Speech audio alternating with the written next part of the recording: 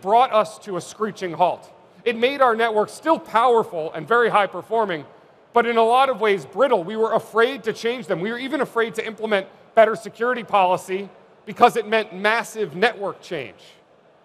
And, and that just can't be. We needed a way, we need a way to be able to adapt and evolve our security policies without complicating the network.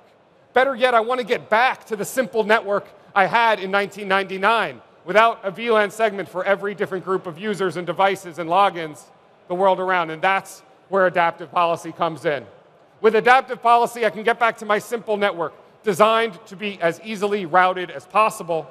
And I can layer on top of that security groups using Cisco's proprietary security group tagging, available only on Cisco switches. And it allows us to do micro segmentation by group to apply different security policies to every group within our sites without complicating the network. We can deliver both power and simplicity. And if you do it uh, in, in the Meraki way by applying your groups globally, once you set up your different groups and group policy in a single site, you can then roll that out across your organization to tens or hundreds or thousands of sites in just a few clicks. And SGT, security group tagging, isn't brand new. We've been doing this at Cisco as part of TrustSec for years. But by making this simple, we can drive the dream of not just delivering this technology simply by using dashboard and making it as easy as possible, but actually simplifying networks back to what they were really designed to be and layer security on top of it. And I really want to take a look at this in a demo. So if we could switch to the demo, and we'll take just a really quick look. My demo team, here we go. My, my demo team has built out this network for us, and he told us, he told me it's, a, it's supposed to be a chain of burger stores. So that's why it has a burger up there. His last name's also Burger, so I don't think that's the real reason uh, it has that. Um, but this is just a simple test network. It has three sites, and the first one is designed as a legacy site. So here's store one in Denver in the US. And if I wanted to set up segmentation here at store one, I could go into my security appliance and very easily I could set up the different VLANs required to segment into the different groups. This is the old way.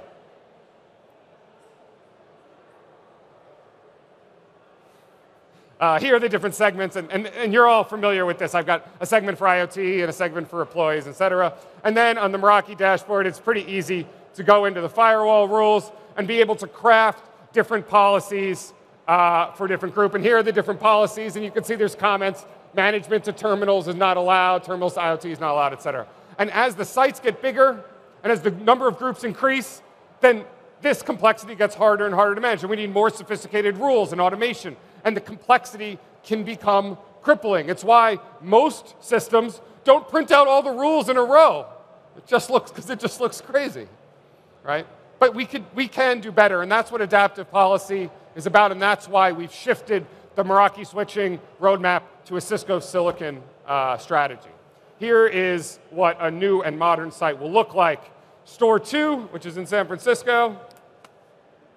Um, of course, all the firewall stuff still works, but we don't have to use that anymore. Instead, we can go to our adaptive policy screen. And you can see adaptive policy isn't held in the individual network, but it's held organization wide. So these groups are, are uh, true across my thousands of sites, or in this case, just three. I have unknown, I have Meraki internal employee. I'm going to just add a group for IoT devices. Oops.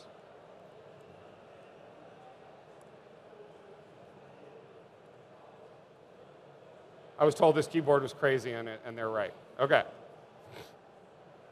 So here I've got a new IoT group. And that group now is able to did it add?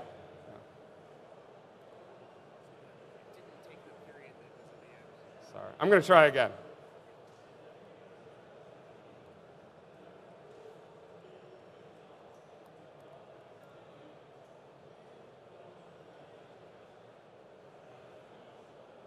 I'm going to learn how to use this keyboard. But anyway, I can add a group. I assure you, I could add a group.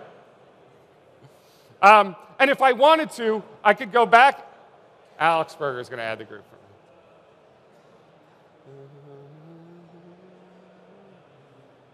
Oh, come on, man. It wasn't just me. All right, anyway, don't worry about it. So I can add groups. I assure you, I could add a group. And then I have to be able to assign that group using you know, authentication. Every device has to be assigned a group, just like we would assign a VLAN. Now, many of you use ISE to assign policies and VLANs in your infrastructure. Of course, you can do that now. You can assign a group, an SGT group, an adaptive policy group using ISE. But if you wanted to, you could also have a VLAN set up for a default adaptive policy or a switch port, and it's just the same way you would have done that assignment in the past. In wireless, I can go to access control. And now, in addition to setting a VLAN, I can also set up an adaptive policy group, and I can pick from one of my groups. I can do the same thing with a switch port. Uh, I can look at every single switch port in this entire site, whether it be 100 or 1,000. I could pick one of these devices like this terminal device, and now I can pick an adaptive policy group to assign to that as well as just having the, um, the VLAN assigned. And that gives me real power, real ability to set not just how the packets are routed, but what tag, what security policy will be applied. And this is the most important part. Organization wide, I can go in and set up microsegmentation. So now, by switching to my policy page, I can see which groups are allowed to communicate with which other groups, and I can set this globally across my entire organization using secure group tagging and the power of Cisco Silicon. So if all of my terminals today, the terminals are only allowed to speak to unknown devices, untagged devices, everything else is blocked. But if I wanted terminals for example, to be able to communicate to other terminals or to employees. I could push that change, and off to the races I would be. And now terminals can speak to other terminals and other employees. And I can control this all globally, and I can do this using adaptive policy, using microsegmentation at a global scale. It, it gives you an incredibly incredible amount of power, and we can use this power to simplify our networks and to use fewer features to do more. And I think that's really the, the dream of Meraki, to simplify powerful technology. And we can go back to the slides for just a minute. So the next thing I want to talk about is the Meraki Gateway, and there's, there's not too many slides here, so oops. Uh, so, so don't worry. This is the new uh, Meraki Gateway, and we've just launched this uh, three months ago, two and a half months ago. And it's a very simple device. It's a square but look how beautiful it is. It's so simple. It's beautiful. And, and I'm, I'm, I am really proud of this product. Uh, and in a lot of ways, it does, it does something that's very simple. It is a, it's a cellular gateway. It runs LTE. You could plug it into any router, whether it be an SD-WAN router from Meraki on our MX platform, or an ISR, or a vEdge appliance from Viptela, or even a competitor's products, which I know none of you would ever use, but you could. And you could turn into a next-gen wireless WAN device using a Meraki gateway, an MG21. It has internal antennas, but there's an external antenna system. It's designed to be the simplest to deploy wireless WAN device in the world. It really is incredibly beautiful. I have it mounted in my house and I love it. But maybe more than that, it's powered by the Meraki dashboard. The real power of this thing isn't that it's a great LTE gateway and a NAT device, and it is. But the power of it is that it gets, uh, it, it inherits 100% functionality from the gateway, from the dashboard rather. And the dashboard gives it real visibility, real historical analysis, real understanding of what's really happening on the cellular network for the first time. And we need that. We have to take this thing to the next level. And we have to make cellular gateways a mission critical part of how we build WAN networks, wireless WAN and, and mobile gateways like this, this is the future of SD-WAN. Every SD-WAN site is going to have a mobile gateway, at least as a backup device, at least as a backup connection, if not for day zero or primary WAN. And we have to make this mission critical. We have to automate it and control it using our regular networking uh, expertise. And we could jump over to the demo for just another minute. This is a site in San Francisco that we've been running for a while using the Meraki Gateway. And you can see there's a ton of devices on it. Uh, we like to test every product at Meraki, so we, we, have a wired fiber connection, you should know. Cisco sprung for it and everything, but, um, but, but we've been running this gateway for a while. And if I pull it up, of course I can, I can set it up, but you'll see in a lot of ways what we've done is leverage the power of Meraki. It looks just like every other Meraki device. I get this historical connectivity graph. I can see that I, I might have had an outage in the last day or the last week here. Uh, cellular devices don't identify themselves with MAC addresses on their network. They identify themselves with IMEI uh, identifiers. So you can find that here. And if you, if you needed to know that in order to order another SIM card or onboard in your service provider network, it's available on dashboard. But maybe more importantly, and this was just added recently, we have full uplink statistics available for this device. You can see the signal strength is not that great on this device today, and I've got, you know, uh, poor signal strength, but I can see what's really happening. I can look at live data across the network on my cellular links, and I could see historical data for the last day or week or month, and I can really understand what's been happening with this cellular connection. Not just the, uh, the bandwidth and the jitter, uh, the, the latency and the loss in the bottom here, but the real RF signal strength on my 4G modem. That's RSRP is signal power and signal quality. And I could see signal power and signal quality over time. I can give real feedback to my service provider, to enterprise service provider who's giving you, you know, real SLA over their wireless WAN. And should that SLA not be met, you can give them real data and show them why, right?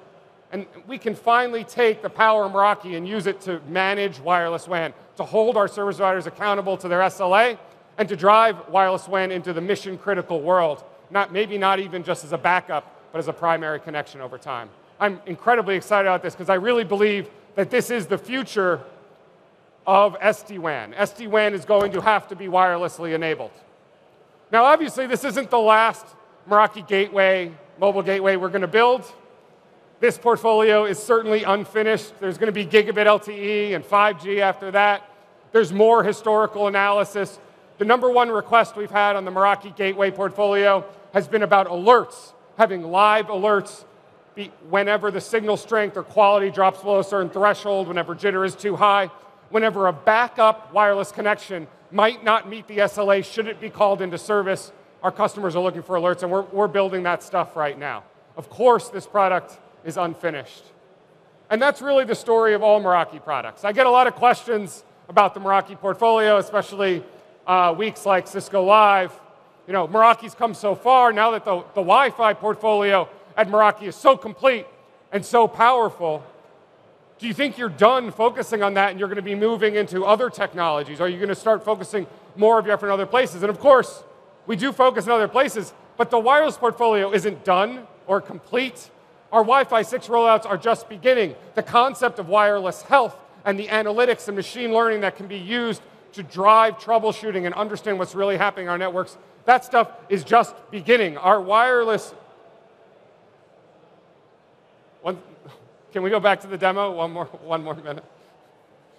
Our wireless portfolio is far, far from complete. And that that's the way it's supposed to be. In fact, the dream of Meraki is that when you buy a Meraki product, as powerful and as great as it, as it is today, that is the worst it will ever be. When you buy that product and install it, that is the worst it will ever be because it will always be improving. We are pushing updates and improvements to this product all the time. And in my last minute, this is, this is the demo I want to show you. This is a very, very long-standing customer, and this is one of our official demo networks at Meraki. And I assure you, this will be the only 802.11n three generations old Wi-Fi demo you get at Cisco Live this year. These are the APs on this network. And the newest of them, the newest of these access points, was deployed in 2011, nine years ago the newest of them. I know because they're noted in the notes, new deployment, 2011. And this, these access points have been automatically upgraded every six months, every nine months for the last decade. In fact, our newest and greatest wireless troubleshooting applications run on these access points. I still get historical data and analysis. I get usage statistics, deep packet inspection showing per application based bandwidth usage, and our wireless health product, the absolute uh, highest end AI-based wireless uh, assurance and wireless troubling, troubleshooting product uh, in the market. Wireless health runs on this, the MR12, that's been shipping, that that we started shipping more than a decade ago. It was up, this one was upgraded just a few months ago on version 25, the newest and greatest Meraki uh, feature. And this MR12, it is still unfinished. We will continue to improve it and roll it out. It's supposed to be unfinished. The portfolio is always getting better, and I can't wait to see what you'll do with what comes next from Meraki. Thank you very much. Good afternoon. How are y'all? Good? Um, it's going to be a fun 30 minutes, let me just say that. Um, and you're going you're gonna enjoy it, I'm pretty sure about this. So, where do I start? Data center innovation. Um, really, the way I want to look is really like this gentleman all day long, and I'm pretty sure you want to do this. Uh, and so, this is more the inspiration where we want to be when we talk about how the network is running. You really want to be in that position and saying, yep, everything is fine. So a lot of the things you're going to see, what, I, what I'm going to talk about today and what I'm going to present, and you're going to hear actually from some of our customers is around how do we get to this state that operating the data center is actually becoming easy um, and pleasant. And this is clearly a task that we need to do across what we're doing on the Nexus switching side, on the controller side, what we do with operations tools, uh, what we do around programmability and APIs to get to that state that it becomes seamless and easy to operate. So with that, um, come back to innovation. You know, innovation is kind of a funny word. Everybody loves to talk about it. Uh, and it's really not about just, oh, I have a cool new idea. It's really about, does the innovation help uh, to get you where you need to be to deliver the outcome? And so that's why what we picked here really is uh, a couple of topics to work through this. But before I dive in, uh, I just want to point back, you know, we have this once a year. There's a lot of things that came out in the last six months from Cisco around data center innovation. I just put a couple of on here, whether this is around the ACI extension into Azure, that I don't know whether most of you know, we actually officially announced this in November, and it's available. We did ship our first 400 switches, which is a little teaser, and I will talk more. And obviously, we do a lot of work on how do we do hybrid cloud and how do we operations around this. So lots of innovation happening. Again, all of this was to focus on how to make it easier to operate cloud infrastructure. So with that, um, let, me, let me set the scene a little bit, besides it needs to be easier. But there's a second very important piece uh, that needs to come together, which is really the infrastructure automation in itself is important but it really needs to connect with the application automation in the front end. Because in the end, whatever we're going to deliver as a network service is driven by what the user in the data center, which is the app, needs to get done. And so what I want to talk about in the next couple minutes is really how these things tie together. What we can do around connecting application automation with infrastructure automation. That's my number one. Number two is what we're doing to help you with the infrastructure automation, in particular the day two around analytics, to make this, instead of trying to figure out what uh, issue is where, to make this much, much easier to deal with. And then obviously, I'm going to end and talk a little bit about infrastructure itself to make sure you see where we're going on that end. Um, with that, let me dive in. Uh, how do we link application automation with infrastructure automation? And I picked some tools here. I'm not saying these are the only tools out there, but I picked some tools. And really the buzzword that everybody's talking about is infrastructure as code.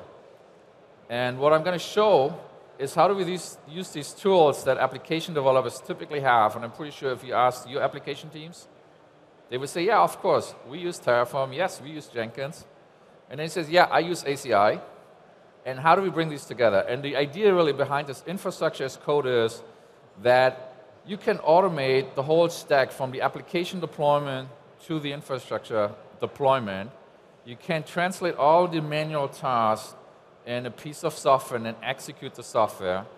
And you can rely on practices that are very, very well known for software developers and application developers, how they manage different versions of code, how they check in and check out code, and actually apply this to how to run the infrastructure. And you're probably looking at me and saying, wow, does Thomas say that I want you to all learn how to code? The answer is absolutely not. What I want you to work out of after this is to see how simple that actually can be when you use tools, actually when the app team uses the tools that they use today, and you actually can plug in with what we have as ACI and seamlessly integrate. And to show you this, I want to actually invite Lionel up to stage. stage. Please join me, Lionel. Uh, Lionel is a technical marketing engineer. Uh, he used to be out of Brussels, but we got lucky. We moved him uh, to San Jose. But Lionel is going to work you through a little example how this whole workflow from the front to the back is actually working. Thank you, Thomas. So first, we have, as Thomas was saying, we need to have an app. So the first thing we have here is the app we are going to work with. It's a very simple app. It's a client and an application. The client needs to talk to the application for the business uh, reasons. And we want to have a zero trust policy. We want to limit as much as we can what it can talk to. So we are only allowing them to communicate with each other and to communicate with our application automation platforms because we need to be able to manage it over time. The things to be able to do that, we are going to need a few tools, the tools that Thomas showed us. We are going to put them inside a workflow. We are going to build a whole pipeline. You will hear that word a lot in the, the CI CD uh, world. We're going to build a pipeline of tools that are ingesting each other. We have here Terraform, GitLab, Jenkins, WebEx team, and then we have the infrastructure piece. We have the VMware, the ACI multi-site orchestrator or ACI Fabric, and your app. So let's start with the number one, the Terraform. So in infrastructure of code, I, have, I had to show you code, right? So here we have the HCL language, the HashiCorp configuration language, which allow you to define infrastructure as code for a whole bunch of elements. ACI is one of them. So in ACI, you can develop your EPGs, your, your whole configuration using that language. When you have written your language, you have to take version of them to be able to roll back and, and go forward. So that's where we go around GitLab and Git repositories, where we will commit our change locally and then push them to the central repository. That gives us one auditing, one element to manage. A good feature around GitLab or Git repositories is that every time somebody push code, it can trigger a workflow. And in this case, it can trigger the next step, which is Jenkins, our pipeline manager. Talking about Jenkins, Jenkins also some code. So you can write your pipeline in JSON, which is itself not really code, but text files. And you can pull that in the same repository, because Jenkins can pull that file out of a repository and just use it. So you have one place of all your configuration for the pipeline, for the application, for everything, is that one repository. Every time you make a change, it triggers the whole pipeline. But the pipeline looks more like this when it's configured. It's a series of steps that Jenkins can measure every step, how long it took, did it go well, did it go wrong, and what happened. So for every one of those steps, you are going to get feedback from it. And feedback is quite important. That's why we have added into the systems a continuous feedback loop. We are using WebExTeam to be able to do some, something that we call chat ops we are using WebExTeam as a feedback loop to users to see how the pipeline went. And if there is an issue, you, are, you receive a notification from WebExTeam, and then you can go see your Jenkins. That's really part of it. Now, the last part is the application itself, right? I have pushed the code, I've modified my, my infrastructure, and now I deploy my application. And my application itself is also very dynamic. It's its own code. On that, on that, on that note, right, so you just work through, I have this application defined, and we know these app developers, they want to change something. What happened? So if you want to change something, it's all code. So you just modify the code, push it back, and restart the whole pipeline. Everything is the same process, which makes it very easy to just retrigger it, ah. retrigger it, retrigger it. Very cool, very cool. So, show, how does it actually look? I think everybody in the room knows how ACI works.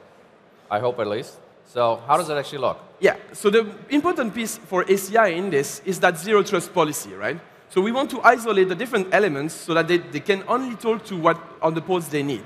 In ACI, we have that whitelist policy model. So we create groups, EPGs, which contain each of the elements, and then we define the only element they can talk to each other. So here you can see the three EPGs we, we are using in this element, the admin and the two uh, web and the client and then we are using contracts to say what they can talk to each other. Each of those elements contain the endpoints that we have defined. And, and you can see each of the endpoints. They can be container, bare metal, or any uh, different system. So it's really the system, uh, the complete application, and zero trust because it's only supporting those ports that we have defined. So when you say zero trust, you really mean what I see most people think is like there's a whole segmentation done. Is that, is that really what this is? Yes. So they, can on, they are segmented in their own little zone, and they can only talk with the other ones on what you have defined that they can talk to. That is very amazing. Thank you. Thanks This a is a cool example. I really appreciate you walking us through. Uh, and yeah, thank you, Lionel. I, I, hope, I hope you took out of this, if, if you look at this, I really kind of take the tooling on the front end that your app development team has, describe what you want to do, and then just roll it in and, and deploy the infrastructure, the configuration that you need for the app automatically. And you literally can, as I said, as a code, and you saw Lionel showing us, you can roll and roll and update. The other good piece about it is, and we didn't show this here, the same will work if whether the application sits in your own data center on an ACI fabric or whether you extend this with ACI anywhere into Azure and AWS. It's the same thing. There's no difference. So that's the link between automation that your application team wants to do and the automation that you probably want to do on the infrastructure. So now let me come to the second piece. Let's assume you got this all done. You're happy that you automated the first part of your day. Now comes the second part and the next day and the next day. How do I make sure that I actually have a good stat on that my infrastructure is running, is running how it should be? And so here's a set of tools that actually we had for a while, which assurance, and we're adding uh, something called the Network Insight Suite or Network Insights capability to make it so much easier to really move from a more reactive to a proactive approach in monitoring the service of the infrastructure. And so what I want to do here is really um, give you a little glimpse. I don't expect you to actually see all the details, but this is like a GUI front end. It's a software extension that is built into your existing ACI APIC controller and as well the DCNM for Nexus Fabrics. It's the first time you're going to see from us a set of tools that's the same. It works across both Nexus and ACI, and that's where we're going to go. It makes your life really, really easy because you can run it either for one or the other or both. It's the same look and feel. Um, one piece I do want to point out, and there's a little bit of a pride, everybody talks about telemetry, everybody talks about analytics. What is special here, what we can do is, you see this, like you have a good view with telemetry, the standard variety, garden variety one. What you really want is what I call better or advanced telemetry. You really actually see what you want to see, which is the ability to correlate flow information that goes to the switch with the status of the switch. That is something where you do need a sensor in the hardware, and then if you have a Nexus 9000, you have this for the last three years. You now can actually turn it on and actually put the amplifier there, and you're going to see it. So with that, uh, I do actually want to uh, introduce a good customer of ours, which is Bosch. Uh, and the reason why I want to introduce them because they're user of assurance. Um, Bosch, as you might know, German company, no coincidence, I'm German, no. Um, leading global supplier of technology, 400,000 people worldwide, has different division, mobility, industrial technology, consumer goods, uh, energy and building technology. Uh, Bosch was looking for a data center solution that really helps them scale out and map better what they want to do from a business strategy, what, what they need to do, uh, and what they need to do on the business strategy to map this to what they need to do on the technology side. And so with that, I do want to invite Jan Holzmann up on stage. Jan is with Bosch for 14 years. Uh, he is now responsible for designing, building, running. Hello, Thomas. The network, the central network, and the global core. So thanks for joining me here, Jan. And let's talk a little about, um, yeah, we can actually just stand here. Yeah. Just talk a little bit about why did you pick, or why did Bosch actually, it was you at that point, why did you pick the Cisco Assurance product? What was the motivation? First of all, Thomas, thanks a lot for inviting me here on stage with you. So, great question. Why did we pick it? So, this was for multiple reasons, to be honest. But the major important reason there is really for day two operations, we want to increase our efficiency in that area. Yeah. But let me elaborate a bit more on that one, what I really mean about it. We are now with ACI since around about three years in a productive state, and we had been very successfully with that one. And the key for it was automation. We, Immediately from day one, we invested in our automation tool suite, and the first part was really having zero-touch deployment scripts available so that we can spin off new ACI fabrics once Rack and Stack from the DC Op team was completed. On the second side, we also invested in a kind of framework with a front end, with a self-service front end, which we handed over to our customers, to the server teams, to the storage teams. And with that self-service framework, they leveraged our code to deploy all of the ACI configurations on the interfaces they required for the daily use. So earlier, they forwarded tickets to us with requests, please do a configuration on the interface. And now they are doing it whenever they require it on their own. So we had really been successful on that topic. Yeah. And we rolled out a lot of fabrics over the years and did a lot of migrations from brownfield into the ACI, spinned up new environments for greenfield topics. But when, when getting more and more business in the data center, it also means that you need to deal with all the events the APIC. But on the other hand side, of course, also we are doing that for business reason. That's, that sounds really interesting. And I think what I really just picked up on is you did actually some of this front-end automation to make it work with the infrastructure yeah. automation. So looking back, I think you were here two years ago when we actually came out with assurance. Two years in, I know you have a bunch of fabrics. So what's the, what's the experience so far? Our experience is so far really good. So we have deployed around about 30 multi-pod fabrics around the globe, scaling from 20 leaves up to 400 leaves oh, right wow. now. Um, when we started now leveraging network assurance engine for our own purpose and at this stage, we wanted to do this also very efficient. So we yep. leveraged the scheduler, which is integrated in the network assurance engine, so we could attach multiple ACI fabrics to one single assurance engine. And that's for two different reasons. It's a great way. First of all, it reduces the amount of web front ends, the yeah. consoles for our operation center. And on the second hand side, it also reduces the infrastructural cost because we only have to deploy it once. Oh, that's awesome. So this is already a great topic on that side. And on the other hand side, we now were able, we have a central network operation center at Bosch, and these guys are dealing with different types of technologies. Yeah, yeah.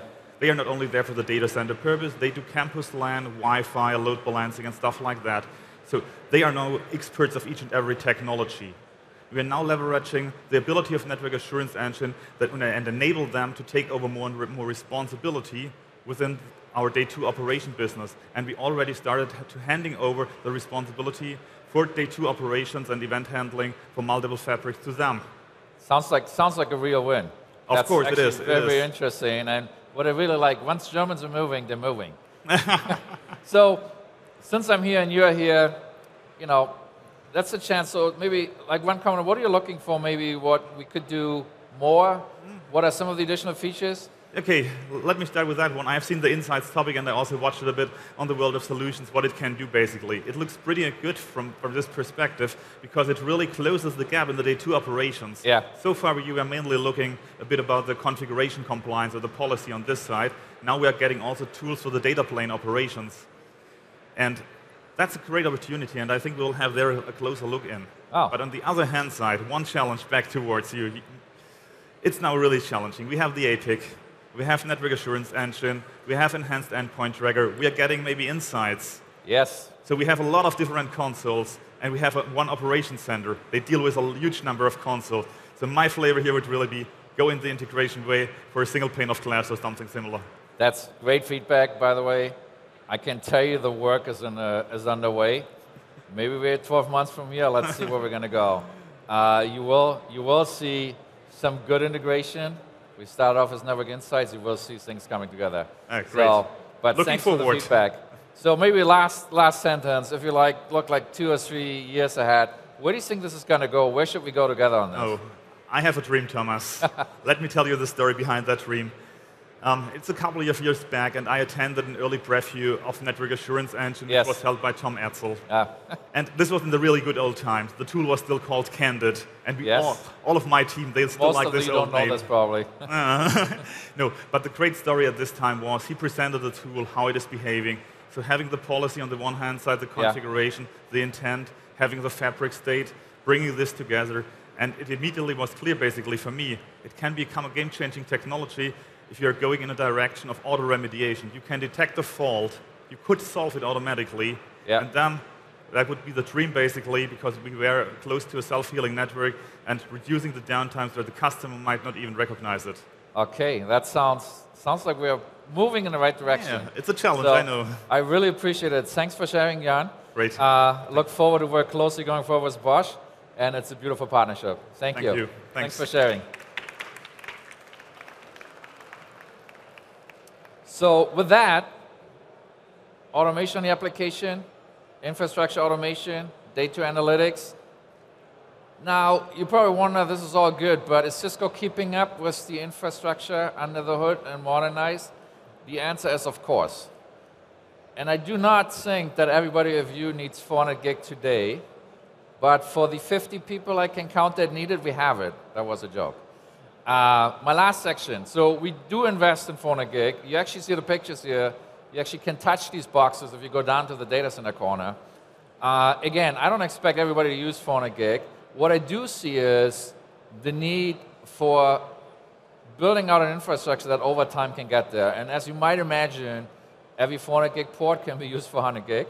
So if you know that you're in the next one or two years or three years need to move there and you don't want to replace, you can actually build with confidence at this point. Um, these are standard Nexus 9000 switches. We have Nexus 3000 switches. You can extend the infrastructure you have today with the same capabilities you have today. Everything you just heard about, how we do automation, will work here the same way. But anyway, I don't want to go really into the switches itself. What I really want to do is actually bring one more customer on stage, which is OVH Cloud. So Alan, uh, join me here. Alain is the, and I'm, I'm, really bad as a German pronouncing French, uh, but Alain Fiocco is the Executive Vice President of Product and CTO of OVH Cloud.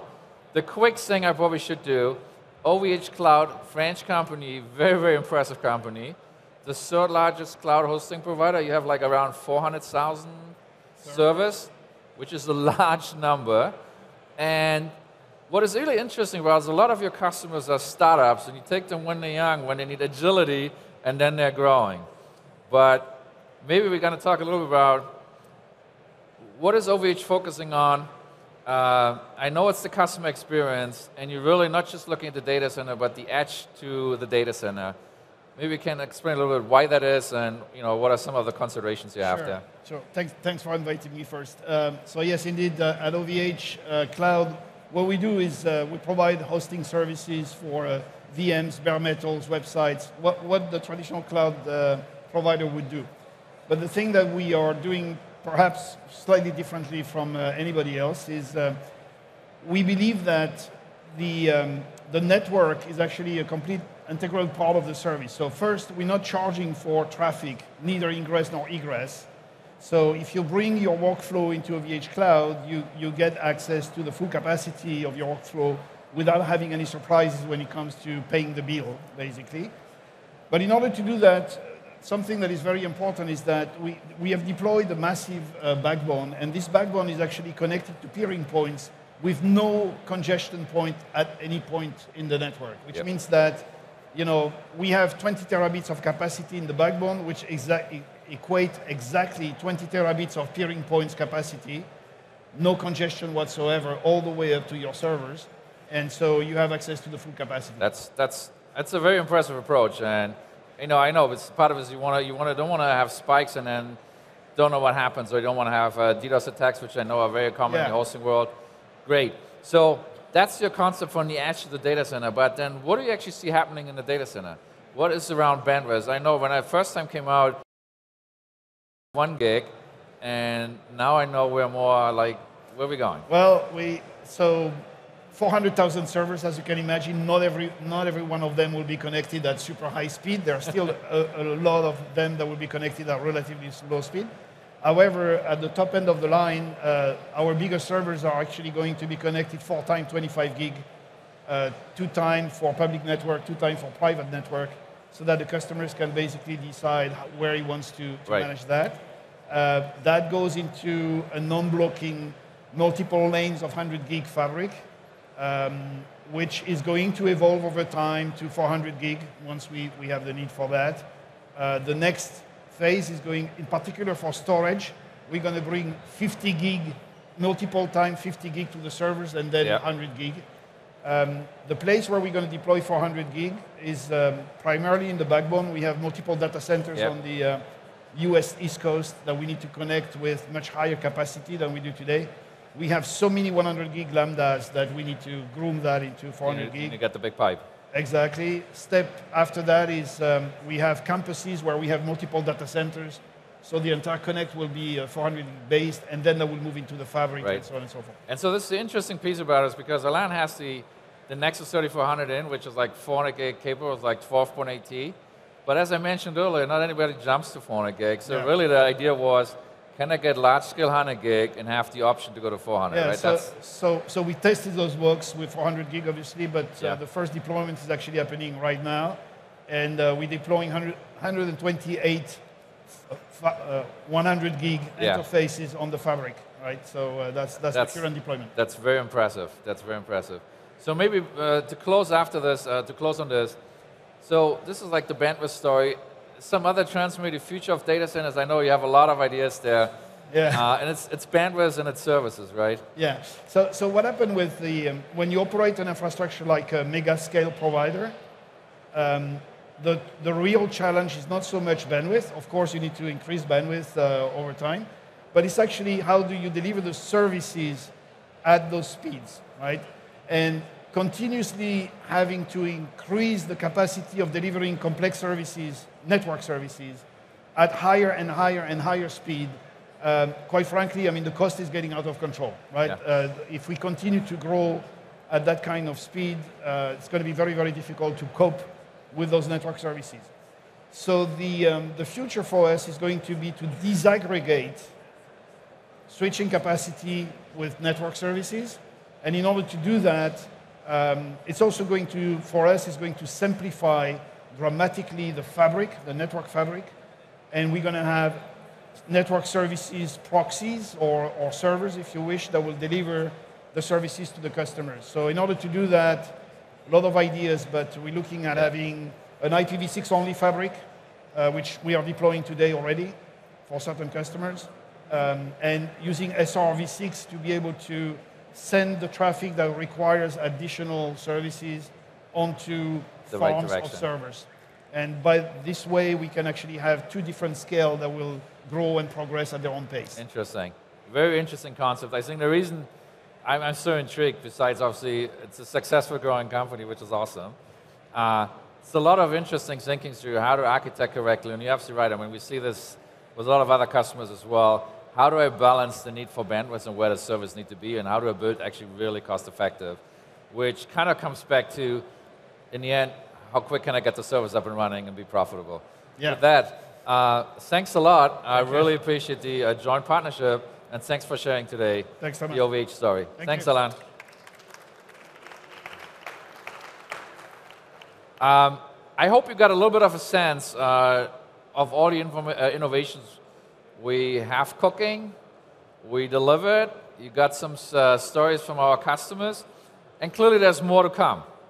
Uh, and I'm not going to be here and pull like the rabbits out of the pocket, so to speak, but there's more to come, right? There are some of the terms, I just put them up here, but that's cloud first. How do we help the networking team if they don't want to deploy the fabric on-prem and just try it on the cloud and then make it easy to port it back? There's things around ultra-low latency. You probably heard a little bit about this company uh, that we have around ultra-low latency NICs and switches. There's a whole story on SD-WAN and how we bring this together with ACI. Uh, there's edge computing. OVH is probably in that bucket, and there are others that have capacity in the edge and how to build data center service there. And then clearly analytics. We brought out these application set. Jan made the comment, make this easy to consume. Uh, and one of a little glimpse, and this is just a teaser for you. You don't have it yet, but you probably saw this Intersight tool that runs as a SaaS. You can log in. Today you can manage your compute and your storage. Imagine there's a little tab popping up and there's networking as well. So that's just an idea what you probably should expect to come from us around analytics as SaaS, analytics as a simple integration. So with that, uh, I do want to say thank you for spending 30 minutes. Um, we're right in the demo floor, the show floor. I think this is a picture from last year, but it's the same thing. The data center demos are all in the corner if you go this way. Everything I talked about, all the products I mentioned, you can actually see and you can get more detail there. So really appreciate the time and I will hand it back to Tony. And welcome back to the studio, coming at you live here in the hub. I am Steve Multer. I'm joined by my friend David Dela Cruz. How are you this afternoon? Hey, Steve. We get to be on set together. I, I think it's the first time this week. I think it's the first time this week. I want to remind you to keep reaching out to us all day tomorrow, the rest of the day today, hashtag CLEUR on all social media. We are paying attention, I promise. Anytime you post, we are going to post right back to you, so keep connecting with us. So David, we just wrapped uh, the last innovation talk of today, Thomas Scheibe. Um, Nish is going to be with Thomas in just a moment. We'll keep an eye on things out front. But his real target is digital transformation. And I, I just keep believing that digital transformation has got to be one of the most powerhouse themes of the show this week, right? Yeah, absolutely, Steve. I mean, digital transformation is one of those things I think that's on the tip of every single customer's and partner's tongues. Um, you know, in, in, in Germany, uh, where, where I'm active, uh, there's so many companies that are trying to improve the pace of digitalization because um, you know, it's uh, the opportunities for growth are there, the opportunities to improve your processes are there, and uh, at the end of the day, our customers' customers are demanding it, so it's got to be there to go. And it's integral to the internet of the future as we continue to talk about what that internet service delivery is going to be. Again, with the rollouts of Wi-Fi 6 and 5G, uh, integrating your network, integrating your operations is going to be a huge part of that. And again, digital transformation, I think, is at the core of that. Wouldn't you agree? Absolutely. I mean, if you, even if you think back three, five, or seven years ago, the pace of change has been incredible. And think about you know how you and I used to work five years ago, it's completely different. We were just talking about our notes before, actually, right. how that has been digitally transformed as well, from old paper cards to you know digital note-taking system that we have now. Ooh, talk about your transitions. Nicely done, my friend. I'm looking out here into the show hall. It looks like we have got Nish Parker out there with us, uh, hopefully in the innovation talk area and with Thomas. Yes, Nish? Yes, I'm here, and I am here with Thomas Scheibe. So Thomas is our VP of Product Management here, covering data center, and he's just finished here at the Innovation uh, Talk Theatre. So Thomas, how are you doing? Good, good. Thank you for asking. You're very welcome. So um, you just talked about NAE, and obviously yes. there's a lot of customer traction. But tell me a little bit more about this topic and what you want people at home to. Absolutely, absolutely. So NAE is one of these acronyms. It's really the Cisco Network Assurance product. Uh, we actually introduced this two years ago here in Barcelona. I just had one of our customers, one of our really great customers on stage, which is Bosch. Uh, the product is actually deployed with more than 300 customers at this point, uh, very well adopted, and customers really like what they can get out of this in terms of assurance function around their intent and what is actually configured in the, in the infrastructure. So yeah, product is well received and clearly a lot of additional development going on. Got it. And I think you were teasing at the end of your presentation there a little bit to, to give people an idea of what to expect next. So tell us a bit more about what, what's up and coming. what's next for us? Yes, there was a little bit of a tease, but I think what I maybe before I go to the tease again, uh, what we basically announced this week is the extension of assurance with Insights, and so we call it the Network Assurance and Insight Suite which is uh, basically bringing out additional capability that will work with the existing fabrics that our customers have to not just look at assurance, but also do uh, better troubleshooting as well as a more proactive approach to guaranteeing service quality. And so that is actually more than a tease, that is actually product available. But yeah, there is a tease, there's clearly more ideas around how can customers actually consume this, how can they use this, and obviously there's some ideas around, could we make it easy on the cloud? Can I actually pull out my phone and just look it up here? So there's some of those ideas, and yes, clearly there's probably more to come. Absolutely. So year after year, Cisco Live, it gets bigger, it gets better. And obviously we've got a data center section here in the world of solutions. Yes. So tell me a bit about the data center presence at the show. Yeah, if you, if you actually want to see and touch these things, everything that we actually talk about in the innovation session is available to see, to, to touch literally, the switches, the hardware, including 400 gig. Those are actually there. You can see all the controllers, you can also the monitoring tools. You can get a really beautiful uh, walkthrough and demo interact with some of the engineers that actually built the products. So I highly recommend it for the people that are actually local. The ones that are online, they're a little bit out of luck, but a lot of these are also available as uh, cloud demos. So I encourage you to take a look. Definitely. So virtual demos online, but also coming to Cisco Live year after year, actually getting the experience, meeting yes. with the engineers and seeing the technology in yes. person. So you had that, guys. Let's take a look at a few videos around data center. We'll be right back. Okay. Intent-based networking has transformed how data center applications are deployed, bridging the gap between business intent and underlying infrastructure. But day two network operations paradigms are still largely reactive. Network failures are often accepted as part of IT operations, costing companies money, time, and even consumer confidence. By providing continuous verification, Network Assurance Engine ensures that the network is doing exactly what it's intended to do. Cisco IT has been at the forefront of software-defined networking and automation.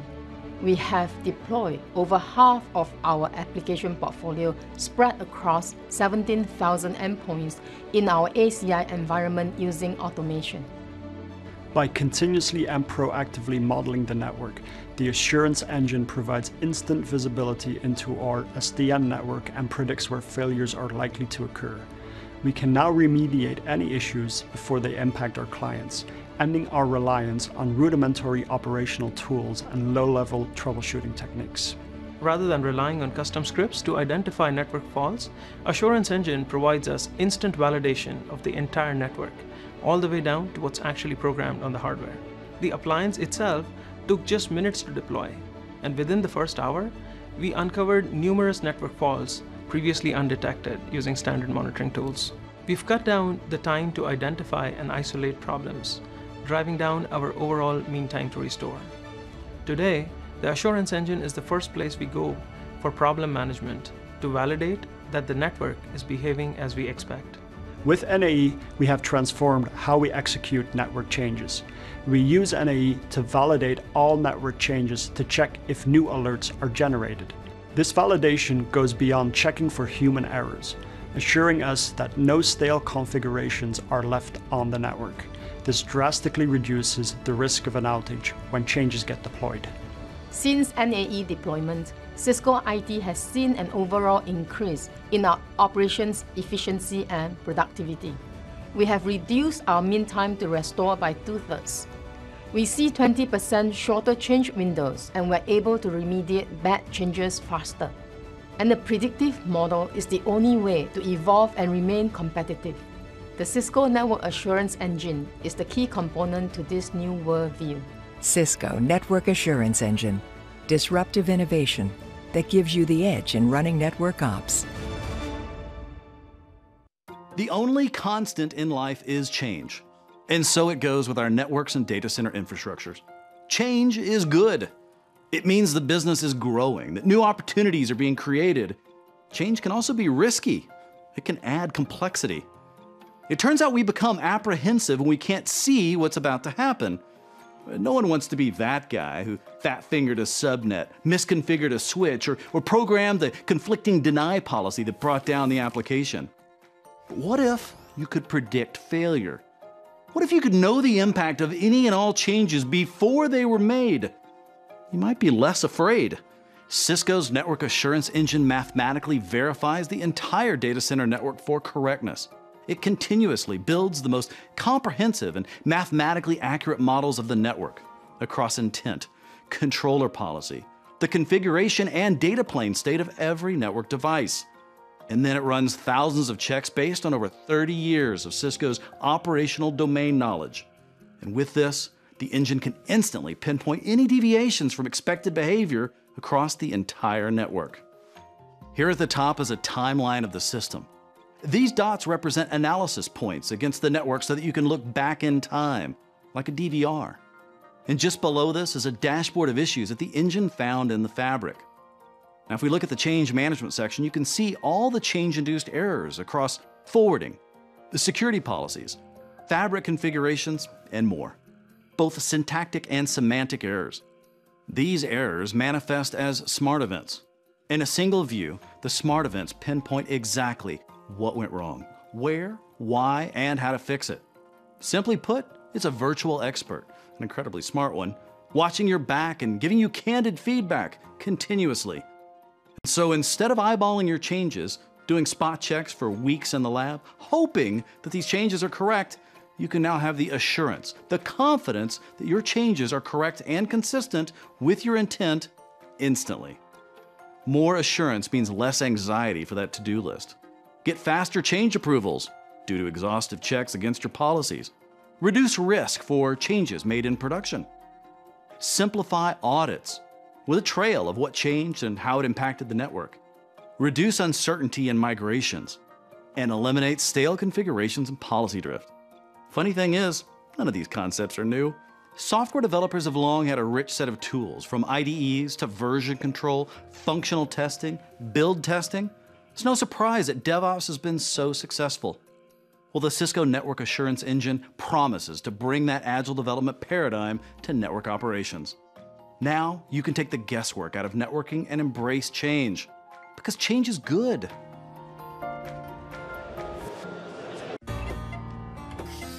Do you need a network for 5G or Wi-Fi 6? Yes. And only one network delivers both.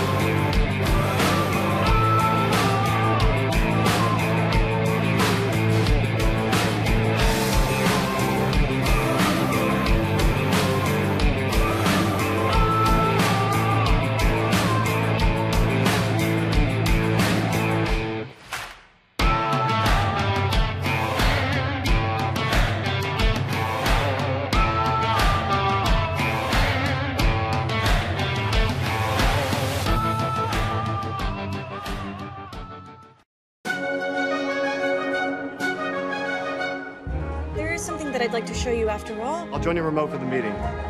Tim, we're on in two minutes. Can you review the client deliverables? Okay, WebEx. Start my meeting. Okay, joining meeting. Hey, Lisa. You ran Asia Pacific. Yep. Do you know Henry? I sure do. Getting to know you, getting to know all about you. Getting to like you getting to hope you like me. Getting to know you, putting it my way, but nicely. That's kind of strange. That's how you do. You are precisely our cup of tea. Getting to know you, getting to feel free and easy. When I am with say. Haven't you noticed? Suddenly I'm bright and breezy. Because of all the beautiful and new things I'm learning about you. Day by day. Introducing Cognitive Collaboration the right information for the right people at just the right time to build stronger human connections and help teams work smarter together. Cisco, the bridge to possible.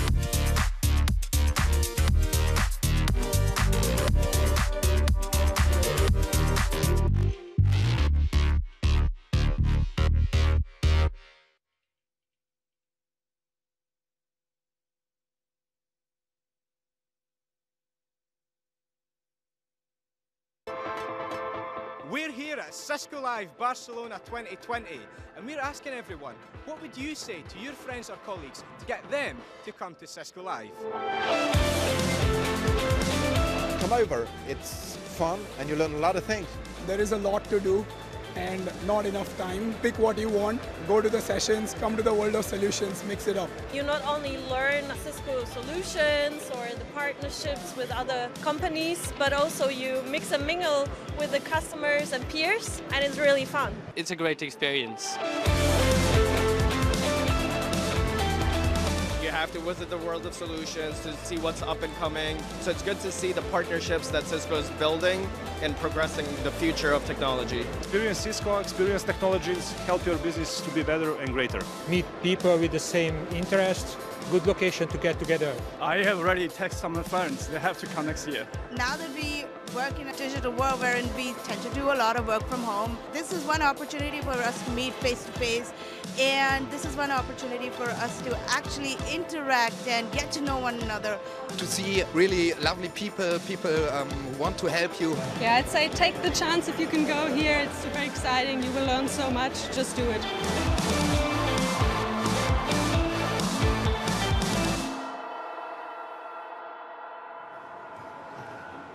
And that really is exactly what it is all about. If you have never been to a Cisco Live before, as you just saw there in that video, come down, be a part of it. We want to have you here in the room with us to experience all the excitement, the people, the noise, the technology, everything that makes Cisco Live truly the greatest event ever, whether it's here in EMEA or in the US, wherever you happen to be, come and be a part of it. Good morning, everyone.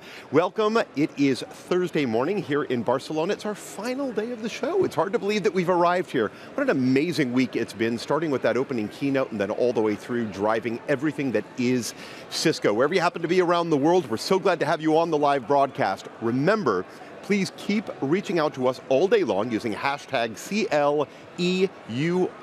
We're going to be with it right up until the end of the closing keynote this afternoon. And for all four of us hosts, uh, myself, Steve Multer, and then also Nish and David and Zane, we want to talk to you guys all day long. So please stay right with us. Right now, though, we're going to kick things off with maybe one of my favorite people here at uh, Cisco, somebody who as far as I'm concerned, we do not have a complete Cisco TV broadcast without having our own Susie Wee here on set. Uh, I don't get to talk to you this time, but we've got the great Chintan Patel here with us in studio, and the two of you get to have a great conversation. I'm just going to stand over here and listen. So, Chintan, go do what you do best. Good morning, and thank you very much. And I know, you know, you talked about the keynote, and we finally got Susie on the show, which is great to see. So, thank you, Susie, for making it. Thank you for You were me. on stage on the first day. It was such a fantastic session, and you shared some exciting updates around DevNet, and and what I would arguably say are some of the biggest changes we've made in certifications for Cisco in our history. So could you tell us a little bit more about that because I'm sure everyone wants to hear. And you're absolutely correct on that, in that we've had Cisco certification program for 26 years, Mm-hmm. and this is the biggest change that we've made in 26 years. And what we have is with the new Cisco certifications, there's a CCNA, a single CCNA that cuts across architectures, brand new. CCNP, CCIEs, the CC, the technology concentrations. Mm. So with all of these, they are entirely new to bring you the newest technologies and make sure we have the engineering skills that we need. But in addition, what we've did was add an entirely new set of software certifications, DevNet certifications. So we have the DevNet Associate, the DevNet Professional, uh, technology concentrations with the DevNet Specialist. And what this is going to do is prepare us for this world of infrastructure expertise and the world of software expertise coming together to drive the network of the future. And there's been a lot of buzz. So have people started to take those exams now? Are people getting immersed in them? The exams are ready for all of these on February 24th. So February 24th, 2020. that's the People are signed up for these. They're ready to go, and it's really exciting. Okay, and, and you shared something at the keynote around perhaps a select few that might be a little bit lucky if they get their exam certifications. Yes, so we know that uh, 500, yes. So, you know, we know that our CCIEs are very proud of the number, and they deserve it. They work Yeah. so hard for that. But we have a new chance with these new DevNet certifications, and what we're going to do is we're going to recognize the first 500 people Okay. who get any DevNet certification, Okay. and they'll be the DevNet 500. Fantastic. So you heard it, folks. It's a great opportunity to be part of this exclusive club, and I think we might have some exciting things in store for those 500. Now, The other thing I noticed here at the show was um, a lot of people actually building things on top of the uh, the platforms that we're providing through DevNet. Um, what are some of the things that people you, you've heard here at the show that people are building, the integrations and Absolutely. the applications? Yeah, so what happens is, once again, now our entire portfolio is programmable. It has APIs, it's an entirely new network, which means that a lot of people have been working on things like automation and struggling with how do I automate my networks? And if you take a look over there in the DevNet zone, then what happens is there's a lot of people who are getting very hands-on with the APIs, who are really thinking about how do I use this in my entire workflow to automate my infrastructure. Hmm. And once I get into that automated infrastructure, then we have another set of people who are looking at what are the applications that I can build and accelerate mm-hmm. by having control into the network. So we have interesting IoT applications, hmm. you know, robotics applications that are using edge routers that can host applications. You know, we have things where we can use the network as a sensor to feed up both security, you know, Yeah. threat intelligence, Yep. use network as a sensor, and then provide more insights. And then people are coupling to their business where they want to know, hey, how can I actually drive my business? You know, so if I uh, bought some infrastructure, Mm-hmm. you know, uh, we have a, a major coffee shop Mm. that has uh, basically bought SD-WAN infrastructure across the globe. They've used wireless, and after we've kind of gotten them connected really well, they said, how can I know my worst problem, which is when someone's waiting in line too long and they walk out of the store? Right. The infrastructure tells you that, and that solves a business problem, and we can solve that with our wireless. Fantastic. And, and I know there's a lot of work going on across EMEA. Uh, you know, Kuhn Jacobs and Julio Gomez have been driving our programmability initiative. Your team's been really supportive of that. So what can people expect uh, in, in the region who are watching the kind of things that are coming out? I am so thankful because the DevNet community is a global community. Mm. So people say, where are all your people? Are they hmm. all in the US? It's like, no. From the start, it's global. But it's because we've partnered. We've partnered with our SEs, we've partnered Yeah. with like every country. And actually, you've been doing a lot of innovation and work for DevNet, so you can talk about what we've been doing together. Well, we love it. It's, it's having such an impact with our customers and our partners. We're seeing a lot of transformation happening. You know, certainly for partners here, the ability to build things for our customers on top of the platforms that we're providing. Exactly the applications you said. Uh, new revenue streams, new opportunities, which is really important. But solving business problems, right? I mean, I think that's what it comes down to. Is is can we give better visibility, telemetry into the things that are going on in our customers' businesses? You know, and what's been fantastic is by working with people like you, with our SCs, with our customers, with our partners, then that's hands-on touching with helping solve their problems, help them give them the skills they need, help them think about the business solutions they can put together. So we'll continue pushing that with our SE Maker movement. One last thing, as you finish this event, there's another big event happening in March. Do you want to share a little bit about that yes. to the audience? so we love our Cisco Lives and the DevNet zones at our Cisco Lives. Hmm. And what we have also is a standalone DevNet venue called DevNet Create. And we're holding DevNet Create in March. And what we do is we hold it in Silicon Valley. It's in Mountain, Mountain View, California, third one. Right. And what we do is we bring together app developers Yeah. and infrastructure developers. Hmm. So this world of like the app dev and the infra dev, they actually come together on here. And what's happening is that the app developers, you're like, do they really need the infrastructure? Do they care about that? They get so excited to meet the Cisco infrastructure developers, like the partners who are out there and say, yeah, I deploy the infrastructure for the city of something. And then an app developer is like, what? My app could actually work in that city because a Cisco partner can get me into there. Exactly. So it's a whole new opportunity, and DevNet Create is where that combination happens. Fantastic. We can't wait to make it there. Thank you so much for being with us. Thank you DevNet Create is going to be awesome. Steve, back to you. Now I feel like our broadcast is complete. we got our Susie in here. DevNet is such a superstar and such a rock star here, always at this show. Thank you for the time, and Chintan, great job as always. We have got an exciting morning of broadcast ahead of you. Right now, we are going to go out to our Cisco advocates with what we call one of our Advo Chats. Uh, Uh, this time, we're going to have an Advo Chat on enterprise networks, and as soon as we're done with that chat, we are going to come right back here into the studio, and we're going to have a great conversation about what's happening in small business. Make sure you stick around for that.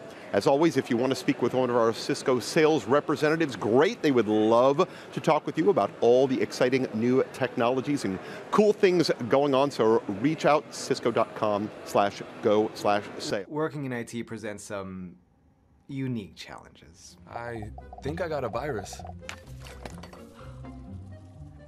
Traditionally, we've needed an IT person on site to deal with any issues, 24 hours a day. But with the Meraki dashboard, we can monitor our networks and troubleshoot issues from anywhere. So the IT team finally got to take a happiness day. We went to the beach. Tracy really took advantage of it. no regrets.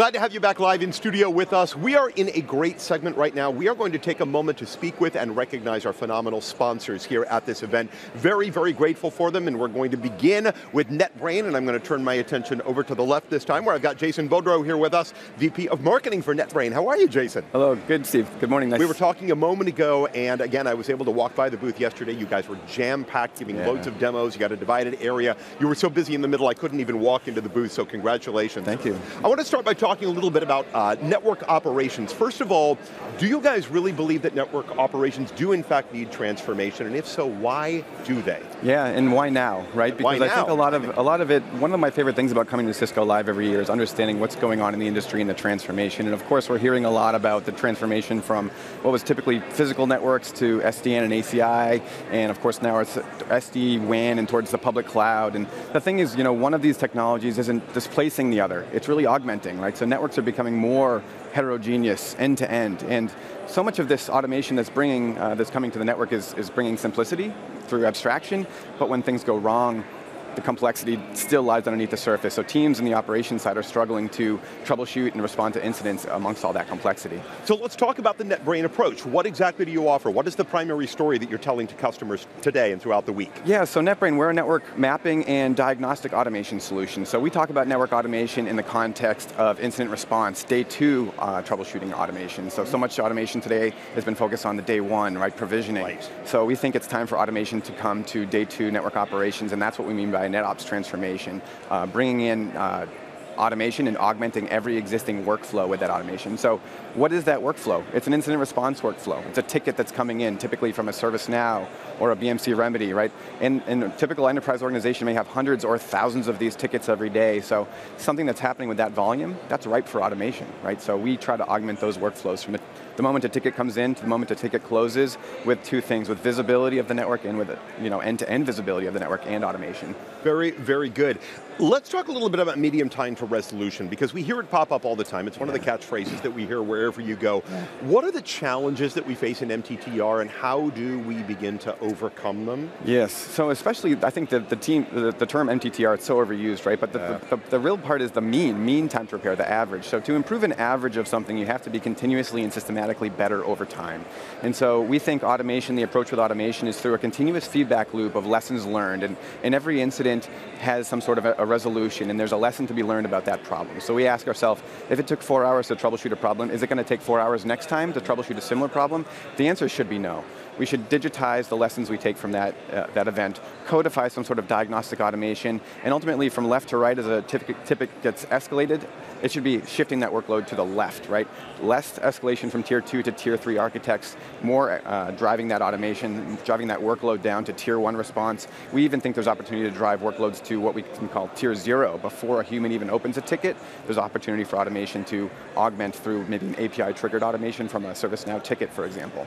Do you see in the future that we may actually reach some level of standardization in terms of the practice and how we do what you're just explaining?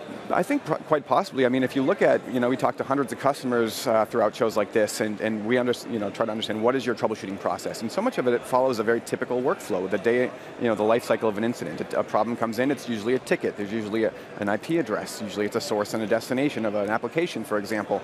So can you, can you standardize the mapping of an application flow? Can you embed that, map, that mapped application flow inside of a ticket? What are the top three to five things that you should be checking for when you troubleshoot? Well, why don't you just automate those and embed the diagnostic response from that inside the ticket? And then, and then there's, a, there's, a, there's a curveball there, which is there's going to be a, a wild card of things that you can never anticipate, right? So how do you how do you automate something so reactive and shoot from the hip like troubleshooting? So it, it has to be absorbing lessons learned continuously and, and, ongoing so that every unknown problem eventually becomes a known problem. And then those known problems have associated known diagnoses and those, those diagnoses can be automated. And this is a deep embed for NetBrain in terms of how you are responsive in this way with your particular customers. Are you just really hand in hand on a daily basis with them to get to these points? Yes and no. I think the thing we try to do is we try to integrate into their existing workflow and we try to augment that with automation, but more importantly, we have to provide a platform to enable the customers to drive that automation themselves. Automation has to be customized uh, to the unique network, to the unique use cases within that network. So ultimately, that's why a platform has to be there, and, and, and a low code or no code way to automate that helps network teams, not DevOps teams, not programmers or scripters, helps network teams create that automation. And, and the part of the network transformation, the NetOps transformation is who is the automation for? It's not for just the people that build the automation, the, for the few. It needs to be for, for every network engineer, it needs to be uh, able to access and use that automation. So an enterprise that has 100 or 1,000 network engineers, they need to have that automation at their fingertips, not just one or two people, but, but everybody. Absolutely. Every day. All right, so for those people who are with us here on the streaming broadcast and not live here in Barcelona, if they want to get more information or they want to get started working with NetBrain, what would you like them to do? Yeah, so certainly if you are here, and we're in booth number seven in the world of solutions, if you're not, uh, if you're not here at the show, so visit us at netbraintech.com and learn more, and if you're interested to see what sort of mapping and visibility automation looks like, uh, you can uh, basically get a, an evaluation version of NetBrain. All right, fantastic. Jason, thank you for taking the time to be here with us today. Thank you so much thank you. Uh, for your sponsorship here. We are really grateful for it and for that partnership that we have with you at NetBrain between you and Cisco. And uh, congratulations on the great work that you've been doing. Great, thank you, Steve. Welcome to AdvoChat. So this is the area within Cisco Live where you can kick back and relax and enjoy hearing from Cisco customers who'll be sharing their experiences on how Cisco technology have helped them tackle challenges that they may have had in their businesses and how it's helped them achieve their business goals. Now it's relaxed and it's chatty and we want to hear from you as well. So at the end of our AdvoChat, we're going to be having some Q&A.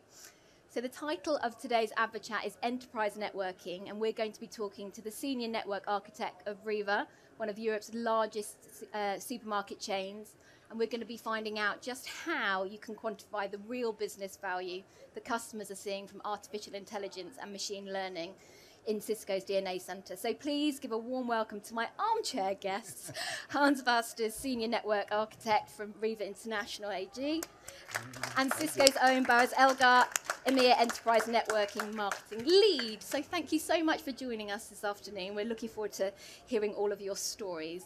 Uh, so Hans, number one spot in Austria. That's pretty impressive, and uh, and leader in food retail. Mm-hmm. So it's pretty good going. So could you please give us a bit of an overview on REWE and your role within it? Yeah, okay. So REWE is a big retailer in Austria. We we are located in uh, 11 countries all over Europe, from Russia to Italy.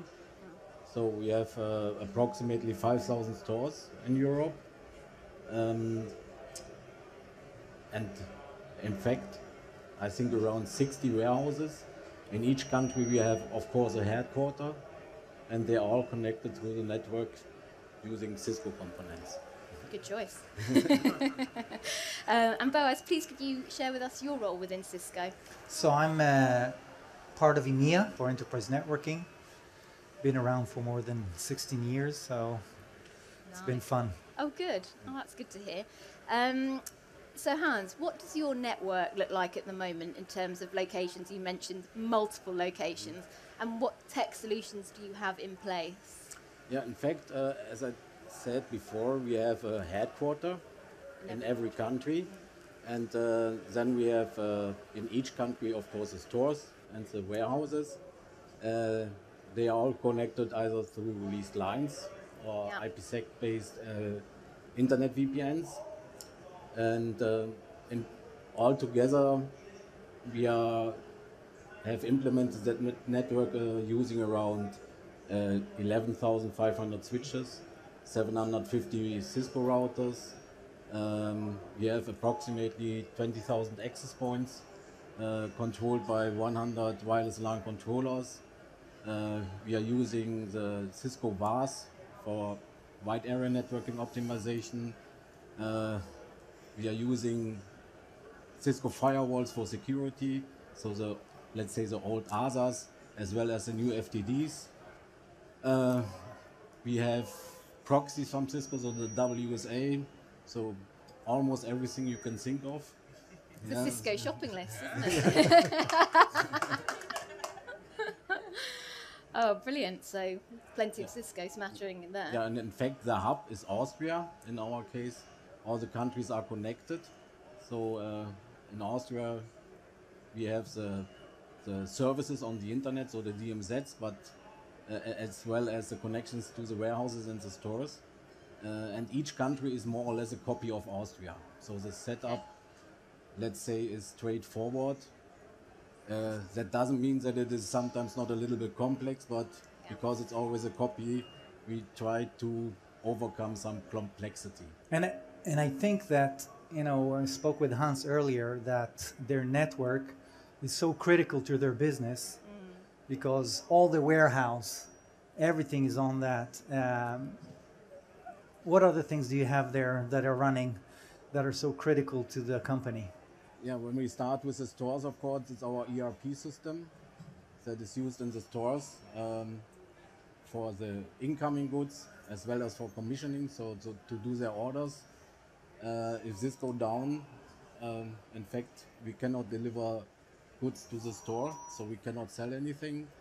Uh, then we have the warehouses. If the stock management, the uh, store management application goes down, we cannot receive goods because they cannot be placed in the warehouse. And, and trucks cannot.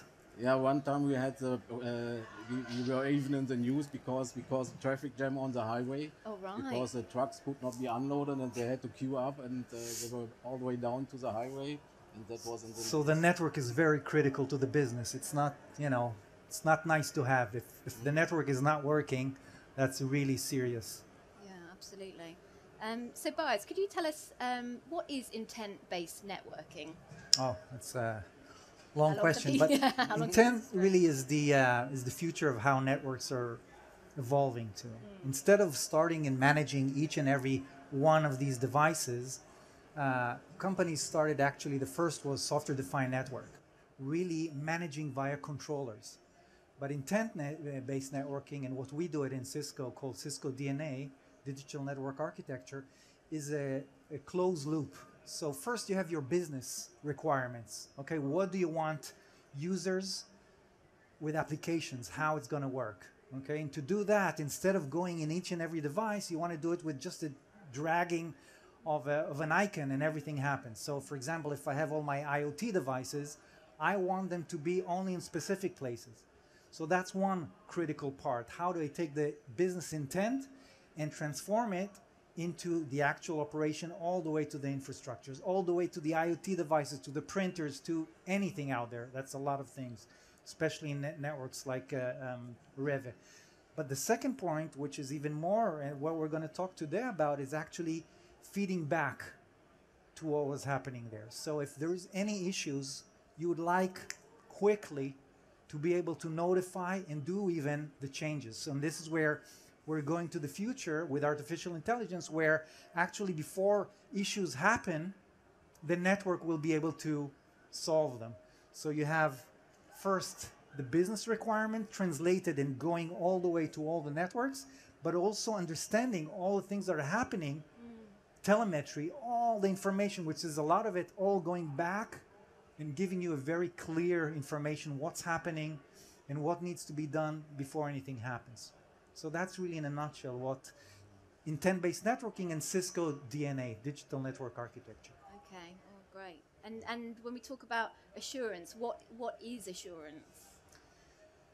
assurance is really taking all the loads of information out there okay all the logs all the snmp everything and really taking all that and making something sense about it and, and i think uh, REWE and Hans can give you some great examples. I'll give you just maybe one. Uh, uh, Yeah. Imagine, yeah, you have a customer who says, um, "Last week I was in the office on Monday and I had a not a great experience uh, with my mobile. Something didn't work uh, nicely. In the old days, what Hans used to do, and correct me if I'm wrong here, is start going to the different logs, to the routers, to the SNMP and everything. It could have taken hours to find out, and going backwards, no chance. Assurance, one clear example is I can just go back in time and really understand if it's the mobile device, if it's the access points, if it's the switch, if it's the router, anything, I'll be able to have a very clear understanding and saying, you know what, user, actually the issue is that you didn't have the latest, uh, um, you know, uh, software or something like that, or the, the Wi-Fi. There were too many people there on that point. We need to fix that. Okay, so that's really a, a- an example of how assurance makes the life easier. Okay. We like an easy life, don't we? um, and so, Hans, what were the reasons that you started working with Cisco DNA Assurance? Yep. Um, we were always in a discussion with Cisco on how to, things, to do things in a better and a smarter way. Yeah. and uh, we always discussed about how can we achieve to get a better all of uh, all over experience for our users. Uh, how can we solve problems faster? And uh, also we, we are only a team of nine people. So uh, it is very because in fact most of the times all the people are pointing at because we are in the middle. And uh, we also have the problems with the workload. So it, we are also looking to get a smarter tool to be able to give some task away to the first line support to the hotline and that before it was not possible but that were three things we were thinking about and with dna center we found a solution or an, an approach for this Yeah. So, so what would you say then that the DNA Center has really solved for, for REWE? Yeah, in fact, um, now we have a better overview of the network. From Mm. my point of view, it's um, uh, we could free up resources in our team. Yeah. Yeah. Because it's not even a problem maybe to get an additional head uh, in our team, an additional head count. Uh, but then you, if you get that approved, you still have the problem to find the knowledge, the knowledge uh, people on the market, and it's very hard to find knowledgeable people on the market. So, and I think that is something we could overcome with the DNA center. Yeah, we now the, the, the hotline, the first line support is better equipped. Yeah, we can explain them in, so, in short sessions what information they can get out of the DNA center, and so they are able to solve problems and uh, on their on their own, and they don't have to call us all the time or to Yeah. pass a ticket through to us. Which makes a difference. Mm, and so we can focus more on projects. We have more times uh, to work on on, on future uh, developments and things like this.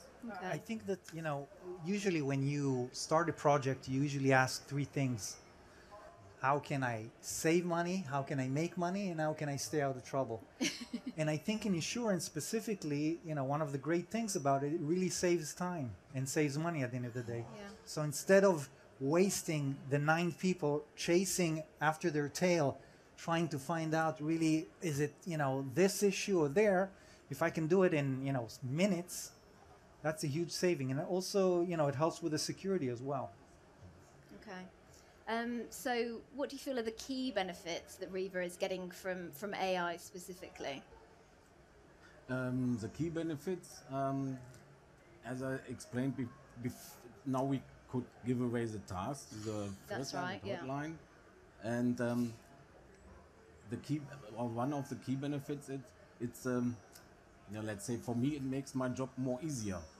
yeah, yeah, it's it's it's a, it's a tool that makes your life easier. Yeah, you, you have all the information on your fingertip. You don't have to look around, um, and it's it's it starts with typically it's a problem if a, if a if a client a customer calls and says he has a problem. Maybe he gives you a wrong explanation, and you start to look at the wrong end, and it takes you one hour to understand what was his real problem to come a conclusion what is the root cause. So, and I think that is a key benefit. Now you have a better overview and it's easier for you even if if the users give you wrong, wrong information. Uh, we we can be more proactive. Yeah that is also one key benefit i think. Um, another important thing for us also the dna center helps us us to do a better capacity planning and all that stuff you can imagine. Yeah because it the dna center is a central point. It has all the information and we can get everything out of, out Yeah. of there And, and I think if I can add, I mean, solving the issues is great, but what artificial intelligence gives you is the way to really have some benchmarking and really understand in a specific place something is wrong. So maybe you can explain about the uh, branches and how, you know, you have yeah, with a with a, um, AI network analytics with a, uh, artificial intelligence, you get additional information. You get additional tools that you can use for different purposes. Yeah? For example, you have the network heat map, and if you look at uh, a particular store, a particular warehouse, you can see, for example, it gives you a K- different KPIs. One KPI is uh, average data rate a client uh, had to connect to the wireless network, and if if it always has a had a low data rate, then you can think, okay, maybe there's really something wrong with the wireless network because if you have a good wireless network, a good quality, then the client should connect to high data rates. So the average should be high. Yeah, another example is maybe we can also use a, the site comparison. So um, not every store is like the other one, but most of the stores on the field look similar. Yeah, or in fact they are definitely the same. They're the same building, and then you can compare sites. You can information. Uh, so once one uh, store is working properly, the other one is not working properly. So what is the difference? What KPIs can I look at to see where might be the problem in that store? And you can. We also use this, for example, not even to solve problems, also for capacity planning. You can use it. If you look at the average throughput in a particular site, yeah, you can say maybe there's really a problem with the number of access points, or you have to think about the design of the Wi-Fi. Yeah. Um, so, what would you say is next in the world of enterprise networking for, for REWE? So if uh, we look at the DNA cen- center, the next steps, uh, or one important step for us would be because if I come back to the first line support, the hotline, Mm. they are using their own tool. So in fact, they still have to look at additional tools. So a DNA center is one tool they have to look at. And what we did before, uh, we they already have when someone from a store calls in, the agent gets information about that particular store and uh, they use a tool called Remedy as a ticketing system. And uh, what we implemented before was very simple. So they get the information about are the cash desks uh, running, are the payment terminals up and running, and we implemented something trivial for the access points. We just did a ping to the access point, and they could see if all the access points are up and running. And what we want to do now, we want to drive this integration into Remedy because you have this uh, uh, this parameter called health score inside the DNA center. Yeah, you uh, and we want to integrate these KPIs into Remedy so that the agent gets a better view of the store. So maybe he immediately can say, okay, it's not a problem Also network. I can see that the network health is 100%. The clients are at 95%. So it must be something else that is not working. I- I'd like to talk about another point, which, you know, when I speak with different customers and we're talking about DNA and specifically assurance, people are worried is this going to be now a major hassle to build this thing? I mean, it sounds like it's doing fantastic jobs, right? It does a lot. It does a lot. it? So you're saying probably now I need to change everything. Well, actually, no. And that's the great thing about it. Um, when you have the um, main device, it actually takes all the information from all the different devices in the network. So in essence, there isn't there is minimal, you know, interference. Actually, there is no interference. Correct me if I'm wrong, Hans. No, you're absolutely right. So the only thing we had to check before we implemented the DNA center assurance was to check that we had the, the controllers with the right images, and that was it. Then we just installed the DNA center, integrated the controllers into the uh, DNA center, and there were, yeah, we, we had to implement the, uh, import the maps of the stores to get an overview of the network, and that was what we did. So basically, it's always good to have the latest uh, versions, uh, uh, operating systems in the devices, and that's it. So you know, I just want to make sure that people are aware when you talk about DNA, uh, Cisco DNA assurance. It's not not a lot of hassle. It's quite easy deployment out there. So um, you know that's something that really made your life much easier instead of uh, reconfiguring and doing all that stuff. I'm enjoying hearing hearing words like "oh, making my life easier," "it's saving me time," "it's saved me money," hopefully keeping you out of trouble as well. Um, and before we open up the floor to uh, to questions, Boaz, is there anything else that you want to um, want to add about uh, Cisco's DNA Center? No, I think that you know we are seeing very successful deployments on these things, and we see um, here we're talking about assurance, but there's also software-defined access. That's another critical, important thing. Um, but um, in essence, you know, that's the future. Uh, any company out there who needs to manage like a company uh, the size of REWE, it's going to be more and more complex, more and more devices. You have even watches connected and, and, and mobile devices and, and IoT devices and everything out there.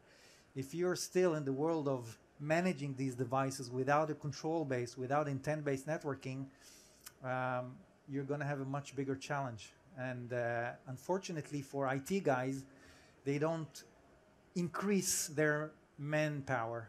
It stays the same, but the amount of devices that you need to uh, uh, solve, uh, to take care of, is, is growing exponentially. So, I think assurance, you know, is one of the easiest way to start with uh, Cisco DNA intent-based networking. And if people want to find out a bit more about that, where where would they go within the show to kind of Well, you can go to the enterprise networking, uh, the campus there. Uh, there you'll see the demos, how it's actually done in real world. Um, definitely worth visit. And you two are going to be reunited. Is it Wednesday?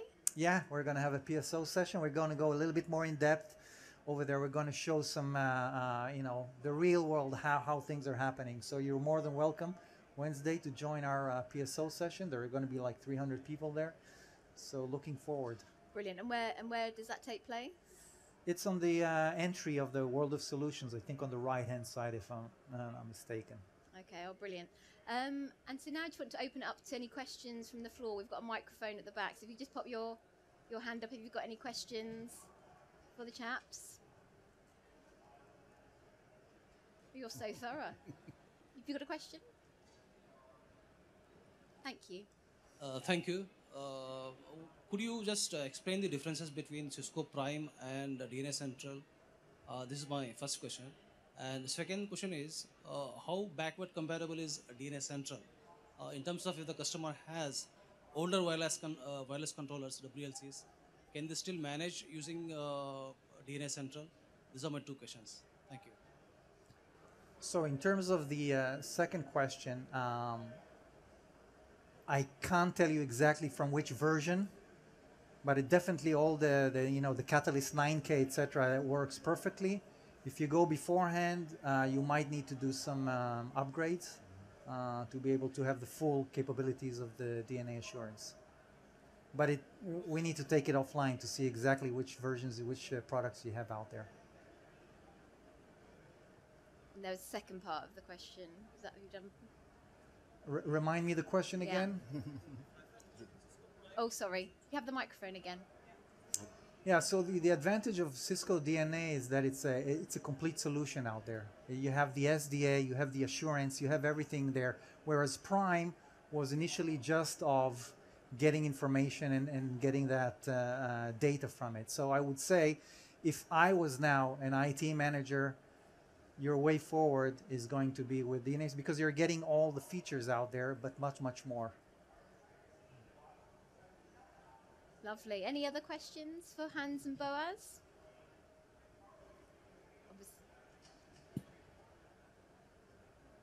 So Hans, are you looking at? Uh, we just came from an NRF where you know we were a lot of the showcasing of some of the um, technologies that people are starting to really use in the retail environment. So from a you know a perspective of, of the people that are actually running the stores, are they looking at doing things like you know what are the things you're looking at doing? Like any dwell time type analytics, any of the stocking analytics or the you know, even even the price changing right? I- in big stores like yours uh, those kind of things are time consuming too where hey can i use this network to do the uh, you know automatically update there's applications now that allow me to update my pricing like instantaneously or change my pricing are, are the people uh, running the stores looking at those kind of future, you know, cost-saving applications? Uh, yes, we are already looking at the DNA spaces. So that's something we can use on top of DNA.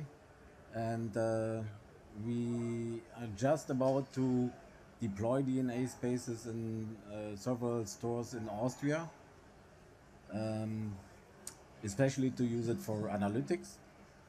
Um, there are some brands who only wants to use it for presence of a customer. Uh, we already had a request from one of our biggest brand because they want to do indoor navigation. So that's for sure harder than to do presence and some analytic stuff. Yeah, uh, but there are requests and we are working on this. Yeah, that's great. So Boaz, now that we heard that, so DNA spaces and how does that relate to DNA center, DNA assurance, and uh, kind of, uh, you know, Hans said you you put it on top. So can you kind of explain how that yeah, works?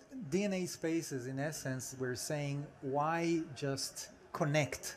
Why not leverage the location of people? So I'll give you an example. If I'm a company who has a retail or even a shopping mall, and I'd like to see exactly where my customers are going, or if I want to, you know, have them connect and then say, hey, there is a, a special prices if you go to a specific location. And this is really what DNA Spaces is all about, is really giving intelligence in that you'll be able to first understand and learn, you know, in manufacturing or even in, in retail and in, in hospitals, all these places, you know, we can get so much more of the network than just connectivity and understanding where people are going. Retail is a very strong thing, especially if you, you know, you want to see what's working and what's not working. And that's exactly what DNA Spaces is all about.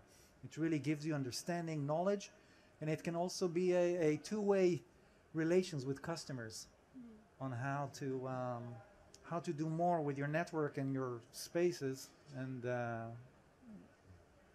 so if, if I go to the part earlier of a company, uh, I want to make money, I want to save money, stay out of trouble. So here, that's also being able to do make more money, to really understand more, to have a better relations with customers, and therefore be able to do more in the business with that. Brilliant. Thank you. Any other questions from the floor? Well, please join me in thanking Hans and Boaz. That was really, really insightful. Thank you for sharing your experiences.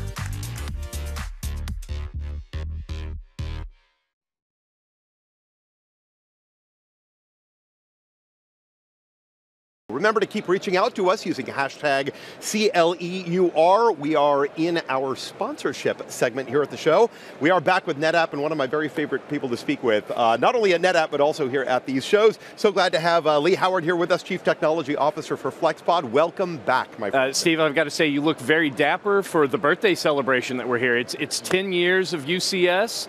Uh, we, have got a, a, decade of FlexPod uh, going forward. That, that's a wonderful uh, birthday suit, we'll call a it. A birthday suit. I think you and I are both in our birthday suits. Absolutely. snazzy as well. This show just took an entirely strange turn. All right, so um, I want to congratulate you first for everything that you've been doing here at the show.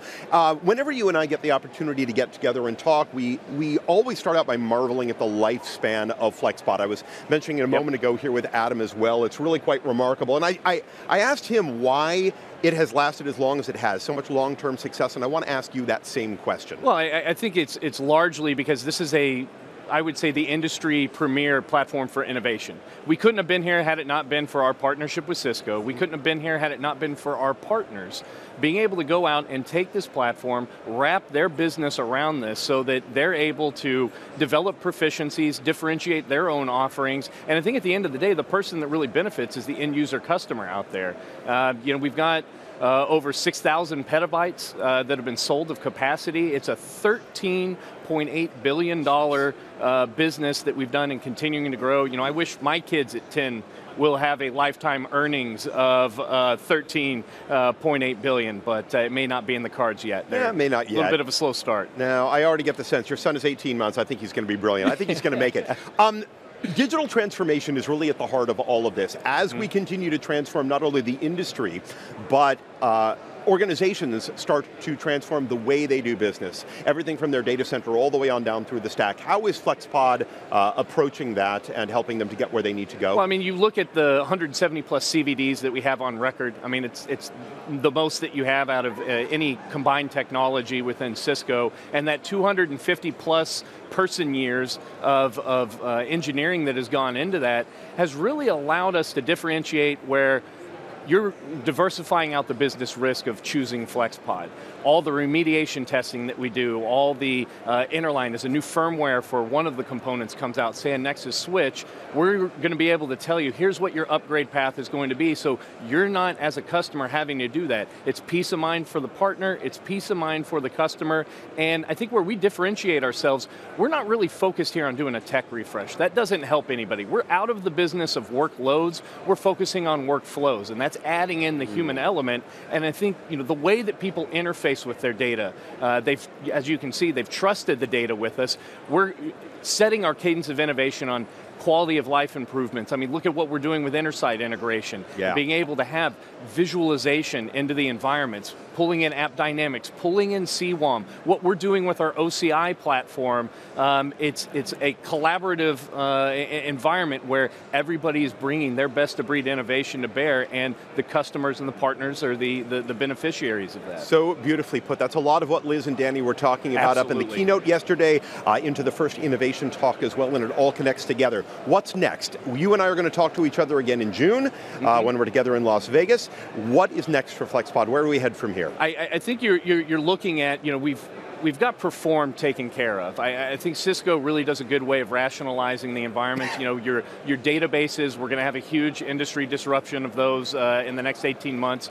47% of, of SQL installs, 40% of Oracle installs, so that core bread and butter workload that FlexPod's always been a, a part of, we're going to have a huge disruptive refresh. But instead of just going in and looking at that specific database, how can we expand beyond that? Genomic workloads, where we're doing life-changing elements, not just on allowing children to be able to come in and have uh, cancer treatments where they couldn't come in because the dye contrast was too radioactive. We're increasing the uh, clarity on lenses uh, within hospitals to do this, and then taking those same genomic lessons, we're applying it to agriculture, drought-resistant wheat, so that we can feed the world. I mean, that's what gets me up in the morning. Is you know designing, uh, architecting is fun, but whenever you see that, that ripple effect, that, that the labor that we're putting in, those engineers that, that are, are, are coming and, and, and building this, this technology for us, that ripple effect is really what, what keeps me thriving and keeps me excited. So a lot of AIML uh, work you're going to see coming forward,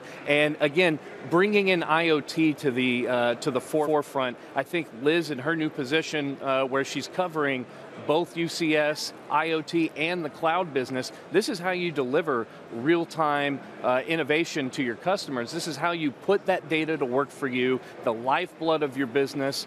That's how you, you, you bring it to bear. So it's a, a innovation center, not a cost center uh, within IT. I just decided while you were talking right there that I need to keep you with me right here on set for the entire rest of the day. You gave me about 30 different things that I want to dive deeper into, and I wish we had the time to do it. Uh, maybe you and I will have to do it offline, and then we'll share it with other people Absolutely. at That different sounds times. great, Steve. Lee, thank you so much. I always love the opportunity to talk with you. I look uh, forward to doing more of it, and congratulations again to NetApp, and thank you again for that platinum sponsorship. Hey, we're, we're here for you, Steve. Really do appreciate it. You are indeed in so many different ways.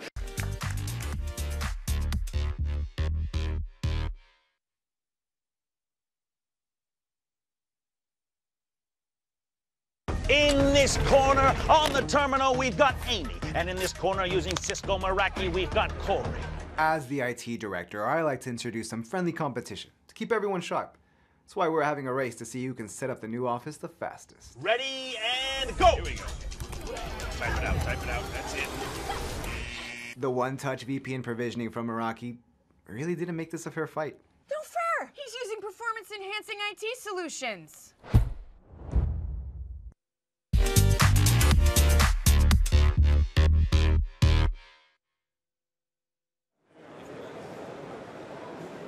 Hi everyone, and welcome back to the Cisco TV studio here at Cisco Live in Barcelona.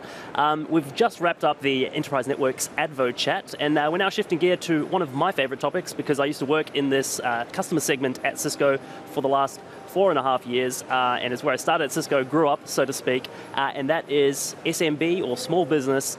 Um, really looking forward to having a chat now. We've got two great panelists who are experts in this field. Uh, I've got Hema Marshall, who heads up uh, small business for UKI at Cisco, and also joined by Richard Oliver, ge- uh, the general manager of IT and managed services portfolio. Sorry, senior manager of IT, SDN, and cloud at British Telecom. Good morning. Welcome to the show, Morning. guys. Um, so we're going to chat a lot about small business today, but um, I want to get straight into your questions because um, we've got a lot to talk about. I think um, we know that small business has been very big this week at Cisco Live.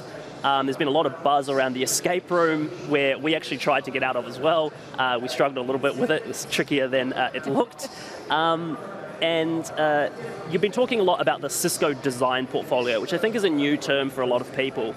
Um, how is Cisco designed changing the game for Cisco in general and also small business as a whole? Yeah, so Cisco Designed is our new brand for small business and actually is a huge game changer. If you think about the world economy, two thirds of the workforce actually are employed by small businesses.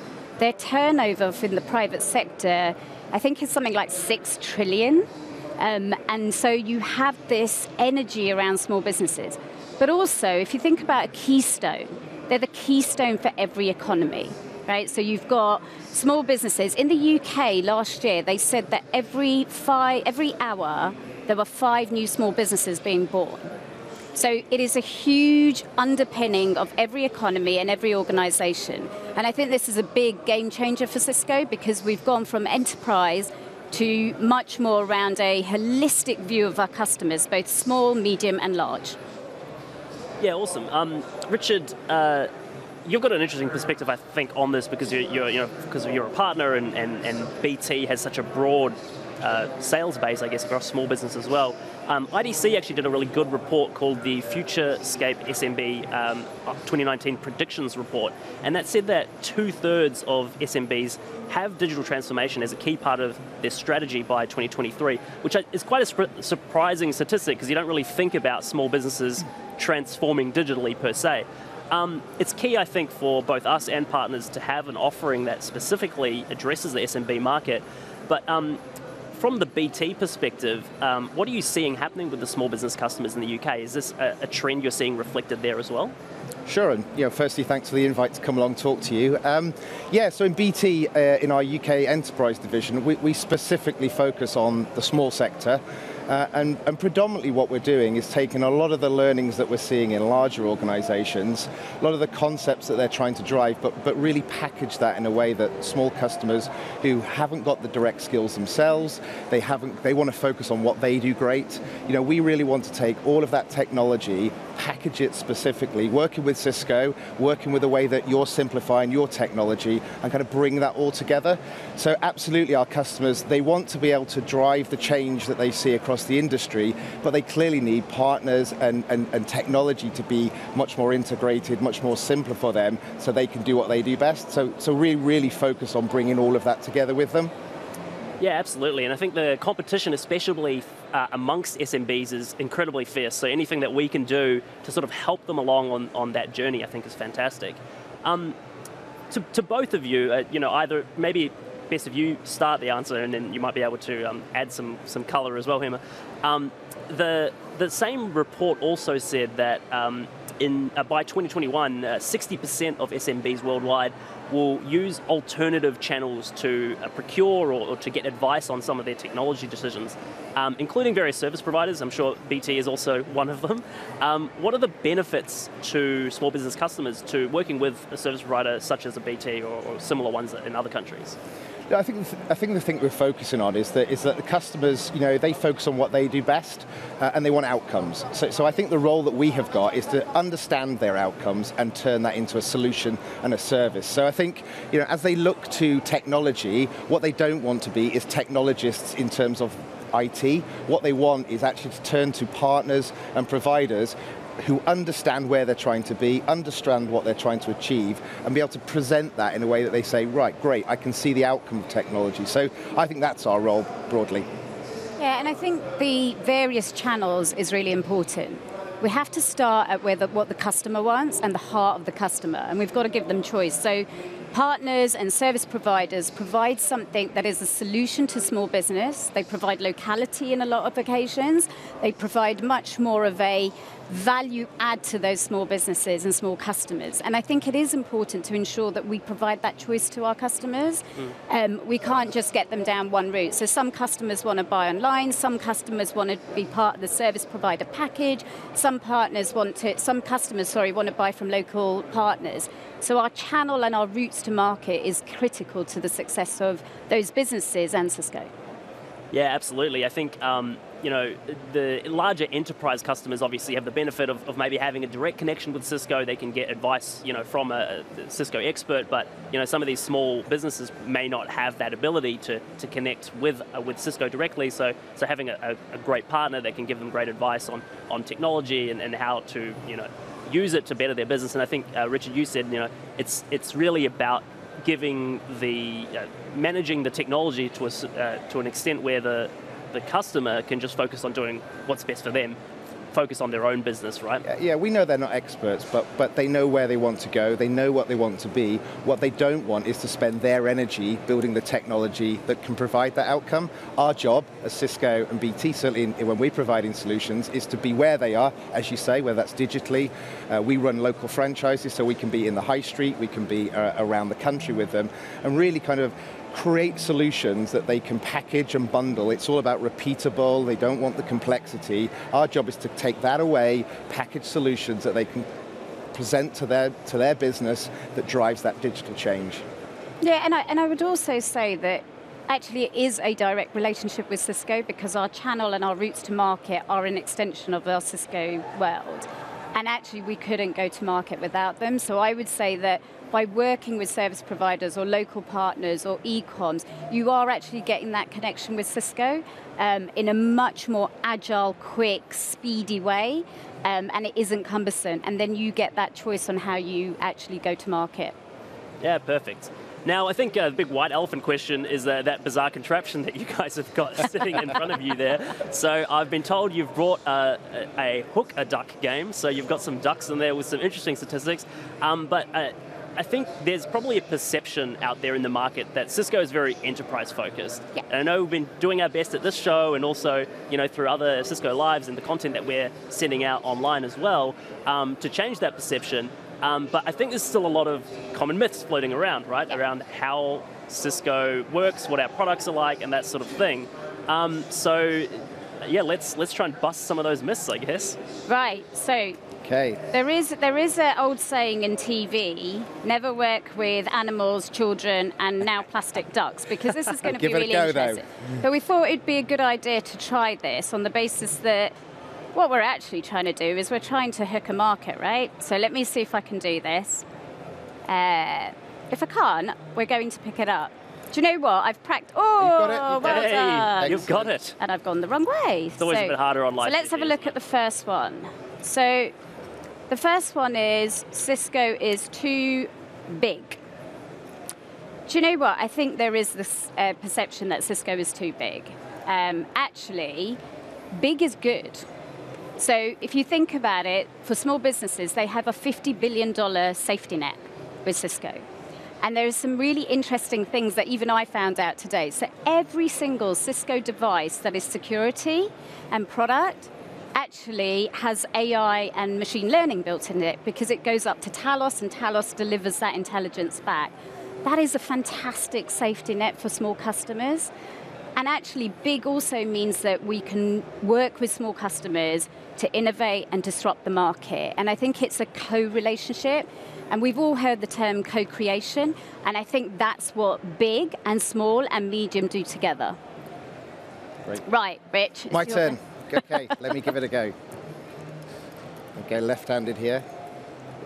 Are you normally left-handed, Richard? No, I'm, I'm right-handed, but I Well, giving you an extra challenge. yeah, give me a challenge here, left-handed. no, I'm going to pick it up. Right. So the second one, complicated. Complicated.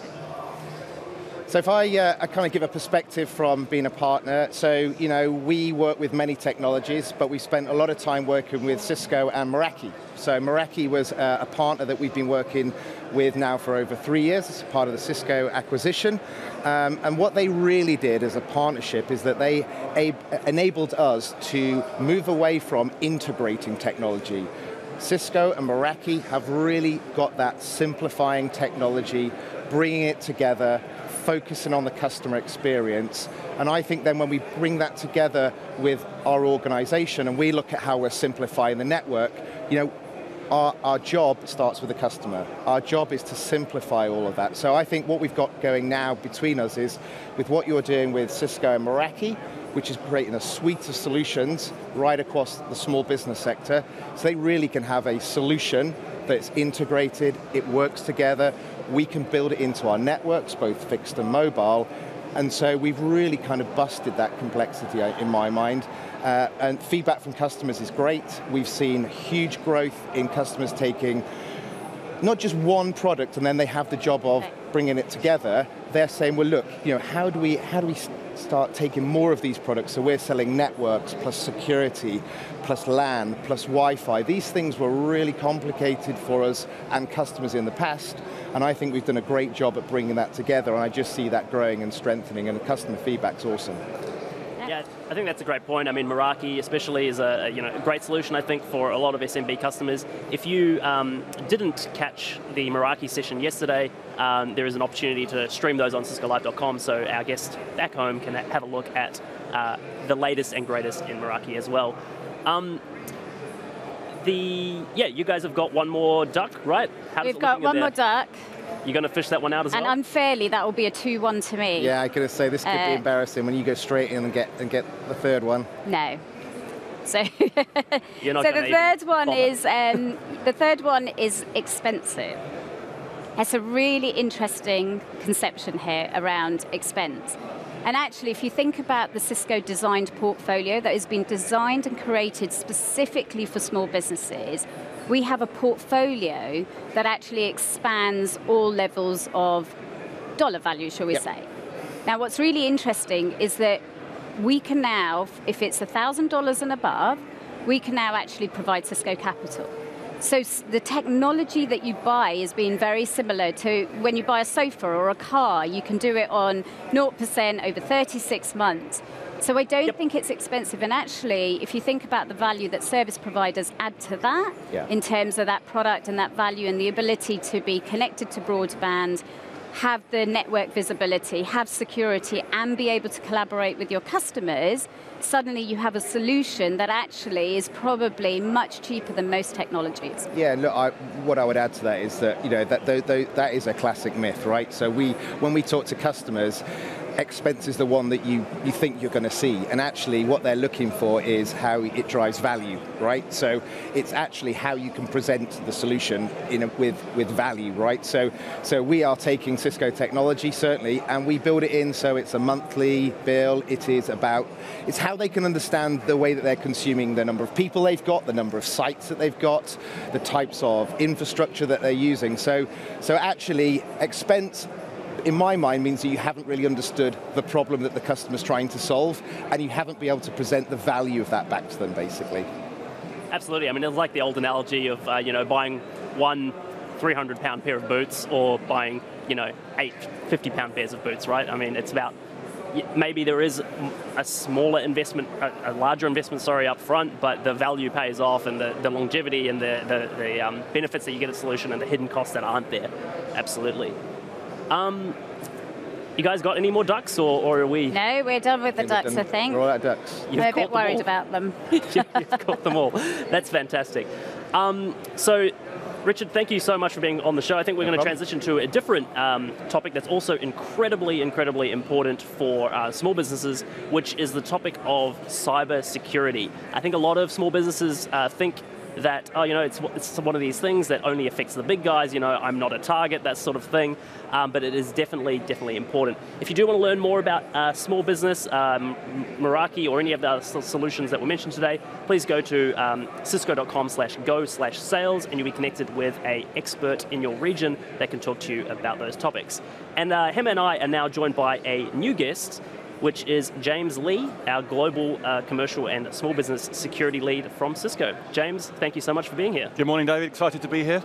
I'm glad you're here because we have more ducks to catch, I believe. I, I, I love this. So phishing is so topical in the security industry right now. This is this is genius. yeah, because we have that great term, don't we, called fish pond, which is exactly what you've got in front of you. And uh, a fish pond uh, is somewhere where you learn about security problems, and uh, that's what we're going to do today. Yeah. Indeed, looking forward It's to it. perfectly on topic. Awesome. So, um, yeah, why don't you guys start trying to fish out these ducks, and we'll uh, have a chat about what's on. What's I noticed that my ducks are significantly smaller than the previous guest ducks. Is there any reason for that, or Yeah, we uh, just thought we'd make it harder just a little because bit harder? security is quite Right. complicated. I'm gonna, I'm gonna, I'm gonna pull that. I'm, I'm just. Do you know what I'm gonna do? I'm just gonna just pull, my duck out. Yeah, Because it's as a like left-hander, it's it's a challenge. so, um, 72%. Now, this is a really interesting data point. So, this is the um, percentage of small business customers that think they've been breached, and that is a that is a staggering data point. But I worry about the 72% that have been breached, but I also worry about the 28% that don't think they've been breached but probably have. We, we talk about two types of customers in Cisco: those that know they've been breached, and know those that and those that think they're secure but but probably have been breached. Just haven't right? discovered the breach yet. Ex- exactly, exactly. Uh, and it's, it's challenging times for these customers, and I think um, Uh, it's interesting. I was, I was reflecting this morning on on my working day and how that had transformed over the last 30 years, and I think that's a metaphor for how challenging it is for small companies to secure themselves. So. When I started working back in 1993, my alarm used to be set at 7.30 in the morning. I'd get up, have breakfast, read the paper, get into the car, go to work, and turn on my computer. And the first time the security person in my company needed to worry about me was at 8.59 when I got into the office. Um, now, I mean, what- what- what's the first thing that you do in the morning? You whip out your phone. You, you get your phone out, right? And, and, and so immediately the security teams have got to create policy that secures you as a user wherever you are, whatever the time of the day you're accessing data, um, whatever application you're connecting to, whatever device you're on. And and the device challenge itself is, is kind of crazy. We think there'll be somewhere between 20 and 30 billion devices connected to the internet this year. And, and simply that's between 20 and 30 billion different ways that the bad guys can can hack into our customers. So so Doesn't it's- sound easy. It's, it's, it's challenging. It's challenging. Yeah, and I think it's really important to understand that, you know, 72% breach, you know, that, that could wipe out small businesses. Absolutely. Right? They, in, in terms of cost, in terms of people, in terms of assets. So I think that that breach is really important to think about how do we then help those customers secure because you want to make sure that they're doing what they're doing best Mhm. and we're kind of at the back end trying to make sure and protect them. Doing what we do best. Exactly. yeah, that's right. Right, I am going to try Go this for it. Go for it. because She was quite successful. You're in the earlier right-handed, you see. This has been designed for right-handed people. Look at that. little hands as well. Absolute expert. 2017. So t- 2017 uh, is is. Uh, I mean, I think what's interesting about uh, about the last two or three years, quite frankly, is that uh, is that the challenges are getting more sophisticated. It's getting more difficult for our customers to to deal with these threats. Um, and, and we, we, we, we, we talked about 72% being the number of customers that have been attacked. I mean, qu- quite frankly, the, um, the industry isn't doing a good enough job in protecting our customers right now. So um, we're at Cisco Live this week. In a couple of weeks' time, we have uh, RSA, which is the world's biggest cybersecurity conference. There will be 600 vendors exhibiting at that conference. There are over a thousand vendors uh, in the cybersecurity industry. Um, and, and the level of fragmentation in this industry is, is kind of crazy. And the reality is that you could deploy every single one of those vendors and you are still going to get breached. Um, and again, if I think back to when I started working, um, and, I, and I was reflecting on the, the antivirus industry, which is an interesting kind of, again, metaphor for the complexity. There were probably four or five different antivirus vendors back in, uh, back in, back in 1993. Now there are 50. Um, and, and securing the endpoint, securing the laptop is still a, a really big priority for our small customers. When we think about securing the enterprise, we talk about application security and workload security and all these kind of big concepts. For, for small customers, it's simply, I need to secure my endpoint and my, and my laptop. And, and how do I do that when there are such a huge number of, uh, of endpoint vendors out there? We, we, have to make things simpler for our customers, and that's something that we're putting a huge amount of focus on inside, uh, inside Cisco. Yeah, yeah. Cool. We're moving on to the next duck then. We are. Provided Again, you can hook it there. Such a better job than I am. than I'm, did. go- I'm going to be the hooker duck expert by the end of the day. What have we got right. there? James, this is an interesting one. 69%. So this is from the uh, Ponemon Institute report, right? Right. 69% of respondents uh, said that cyber attacks were becoming uh, more targeted. Uh, what, what are the top two cyber attacks that, that was, were in the report, and, and how can Cisco technology help prevent these?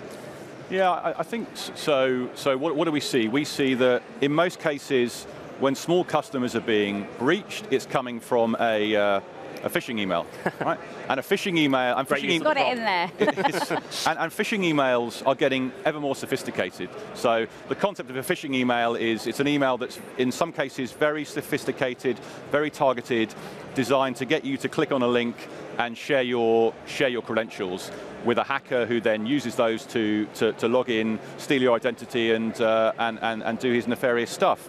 Um, and we, we now talk a lot in the industry about the bad guys are no longer hacking into our customers, they're logging into them using, using stolen credentials. Um, and one of the interesting things about phishing emails is that technology alone can't solve those problems, right? I'm, I'm a big Arsenal fan, right? And, and I can guarantee the, uh, the end of the transfer window is coming up on, on, on tomorrow, Friday.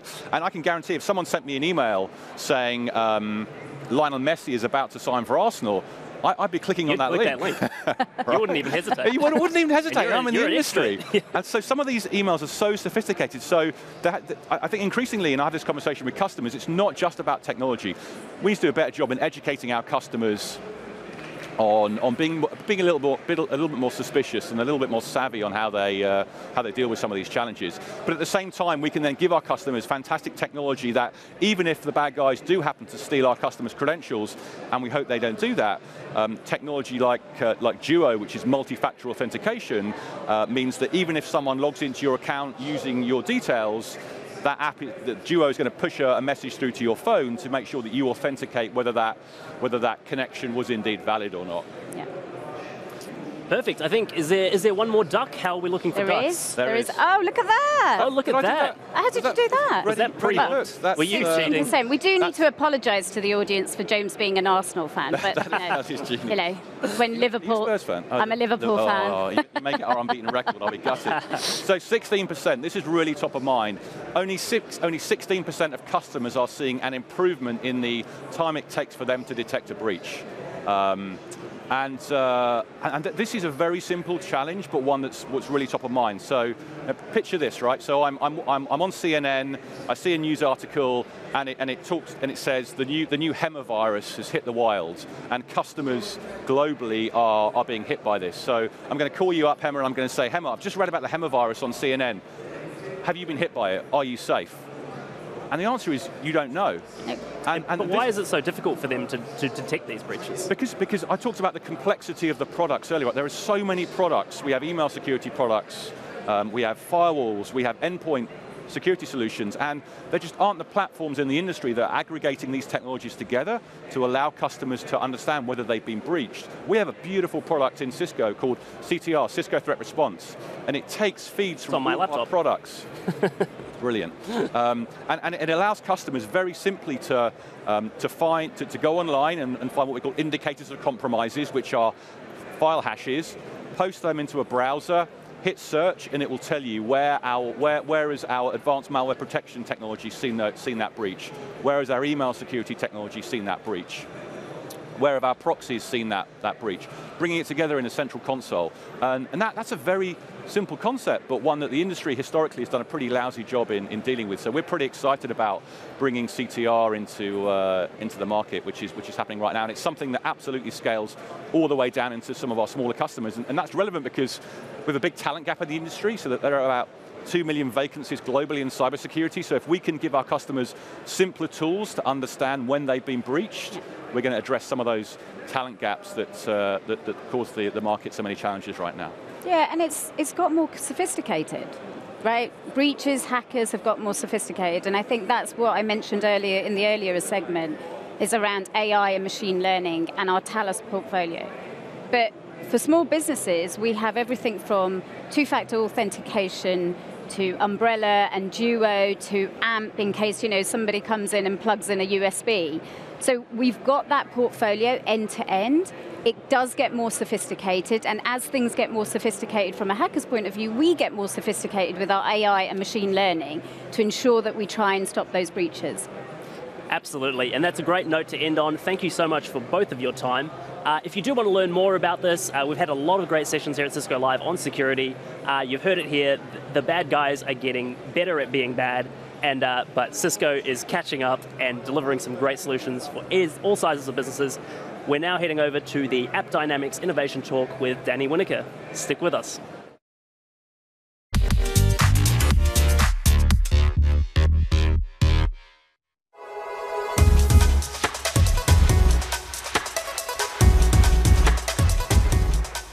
Hello, everyone, and welcome to the Innovation Talks Theater. My name's Toby, and I have the pleasure of being your host today. And it's really nice to see that everyone's made it here to Cisco Live 2020. There's a lot of us here, but together we are building the bridge to make it possible for you to do anything. And at Cisco Live, you'll learn new things, be inspired, and create the path to endless opportunities. Now, we're going to be having 14 innovation talks here in this theater where we will share with you our latest solutions, innovations, and of course, best practices. Now, today, we will be exploring the world of AppDynamics. And to tell us how to compete on user experience and win application visibility and business insights from AppDynamics, please welcome on stage Danny Winokur. Thanks, Toby. All right, good afternoon, everyone. How you doing? People hanging in there post-lunch? Yes? Good.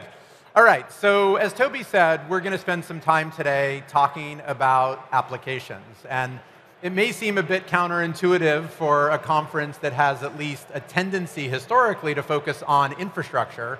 But as we talked about in this morning's keynote, if you had the opportunity to see it, things are now really starting with the application in a world where we have digital business, right? And so I want to come at it from that perspective, and I'll sort of paint a picture of how we understand what's going on in the application world, and by understanding that, we can actually take the infrastructure and make it much more relevant and better connected to serve the needs of the applications and ultimately the business results that drive all of our organizations.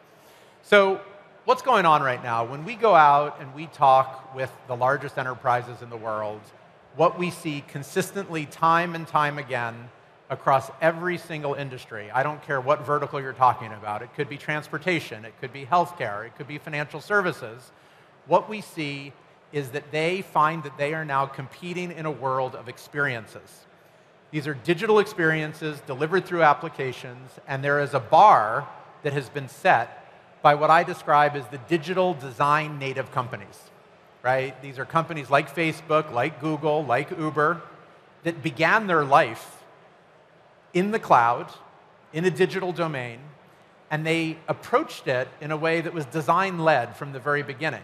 And so they created an expectation among users of simplicity, of speed of update, of agility, and a beautiful design so that things would move quickly, be responsive, and easy to use. And we all have come as individuals to be accustomed to those kinds of experiences. And it doesn't matter whether we're in our role as an employee at a company using an internal application or whether we are a consumer interacting with an organization that might be a vendor or someone that we're working with as a customer. In both cases, we expect those applications to be flawless. And what we see time and time again is the companies that figure out how to do that and do it well are the winners. They steal market share, they steal revenue, they steal market cap in their stock market valuations away from the companies who are failing to keep up and failing to compete in this new world of digital experience. Now, this is a world that is challenging because what you see is that customers are speaking with their wallets and with their feet, right? 84% of consumers are saying that they have experienced problems with their digital services, and half of them would actually be willing to pay more for a product or service that delivers a better experience than their competitors, right? So they actually will just move and go to the other thing. This makes it very, very challenging. And it puts a burden not only on the application layer, but it also places a burden on the infrastructure. Because the infrastructure is what the application depends on in order to run. And so the technologies that are being used increasingly by development and operations organizations in order to deliver these world-class experiences need to not just include application technologies, but it also needs to include all of the layers of the stack that are down the stack and that the application depends on in order to deliver the full experience. So what are we seeing happen with the technology? We're seeing a fourth new generation of technology taking hold across enterprise IT. It's what I'm referring to here as cloud and microservices technologies, but it follows on the heels of what I would say were the three major prior generations of IT technology the mainframe, client server, and web technologies, right? And the question you might ask is, well, why? Like, what is it that has brought about the advent of cloud and microservices? And I would argue that there are a few different things. One, obviously, is that technologies continue to evolve and grow, and there's new innovation and new ideas for how we do, how we do things. But just as importantly is the fact that in order to compete in a world where more and more is being done digitally and where experience is your competitive currency, you need to iterate really, really quickly. Why? Why do you need to iterate quickly? Because a bunch of executives or business planners sitting in a corporate headquarters in a conference room are not going to be able to know what is the winning experience in a digital application. They might think they know, but they're almost always wrong. The companies that have proved this model have done it by actually developing hypotheses based on real user research, implementing their hypotheses very, very quickly into an application, and getting it out fast into production. And then making sure you have instrumentation and telemetry that gives you data back in real time about how the users of the application are using it, where they're succeeding, where they're having trouble, where they're abandoning. Using those learnings to reform updated hypotheses, re-implementing those updates into the application, and again, getting it right back out into production. And then round and round you go in an iterative loop. And the companies that have succeeded in perfecting the technologies and the operating model to iterate quickly through that loop are getting more shots on goal than their competitors. And those shots on goal increase their chances of scoring and their time to success in creating the best experience. That's why we see cloud and microservices. Cloud and microservices takes monolithic application architectures, breaks them down into small bite-sized components that pizza teams can work on, right? Agile DevOps teams, the size of a team that can eat a pizza. Those small groups can now iterate very, very quickly using agile methodologies and they can therefore run that iterative loop that I just described to get the best winning experience out in front of their users. But, so that's the advantage, but there is a dark side, right? The dark side is that you now find application estates within mature enterprises that look something like this, right? What do you notice about this picture? It's really complicated. There's a lot going on. There's a hybrid mix of different technologies things that are spread across a variety of different deployment environments. So all four generations of technology, the mainframe, the client server, the web, the cloud and microservices technologies, all mixed together into a jumble with components using every one of those diverse technology stacks. Some are deployed publicly, some are deployed using cloud technologies privately, some are deployed using traditional architectures on premise. Some are still deployed on mainframe for particular things that involve like back-end data processing you put it all together, and it's not unusual that we see a single application using all of these components, where you have front-end components on something like Lambda, iterating really quickly on the front end, spanning to some client-server components in the middle, in the middleware, going all the way back to a mainframe for core data access on some sort of data processing system. And you put it together in one application, and it has to deliver a flawless, responsive, no downtime experience that you can iterate on quickly to win. That's really, really hard, and it's putting IT under tremendous pressure. So, one of the sources of pressure is what I alluded to at the very beginning, which is not just about the technology, it's also about the fact that most IT organizations have historically been set up with different teams that work in rather siloed ways. So you have your infra team that is really focused on the stacks and the workloads that they've traditionally been focused on. How do you build the racks and how do you get your compute and your storage and your network? How do you create instances and VMs? And now how do we expand that to handle the cloud? But usually done in a way that is not particularly well connected to what is going on up at the application layer. Then conversely, you have your app teams, right? And the app team is focused on a abstracted topology, an application topology that has things that are moving around up and above and on top of that infrastructure. And these two teams don't particularly have the same common language. They certainly don't have the same tools. They don't have, uh, uh, uh they're not accustomed to looking at and using the same data sets and the same vocabulary. And it has historically made it difficult for, for them to work together, which in a world that was moving more slowly and where applications were just internal support for the business, but hadn't yet become the business, that was okay. They could sort of functionally optimize themselves. For this new world, it's not okay, because if they fail to work together, they can't achieve the velocity that is required to win in this experience driven world. So here's, what it, here's how it plays out. Here's what it looks like in action, right? Is we have the IT war room, something goes wrong with an application that is now essential to the delivery of a company's core products and services. You have a war room gets created, and you have all the different functions in the war room that are there representing the different components, and they're pointing fingers at each other, right? Well, my thing looks good. Does your thing look good? Yeah, mine looks good. Well, it must be yours. Nope, nope, mine looks good too, right? And meanwhile, over on the other side of the hall, You've got the business people who are trying to make their way in this new digital world of experiences where they can't execute a business initiative unless it is coded into an application and deployed, pulling their hair out.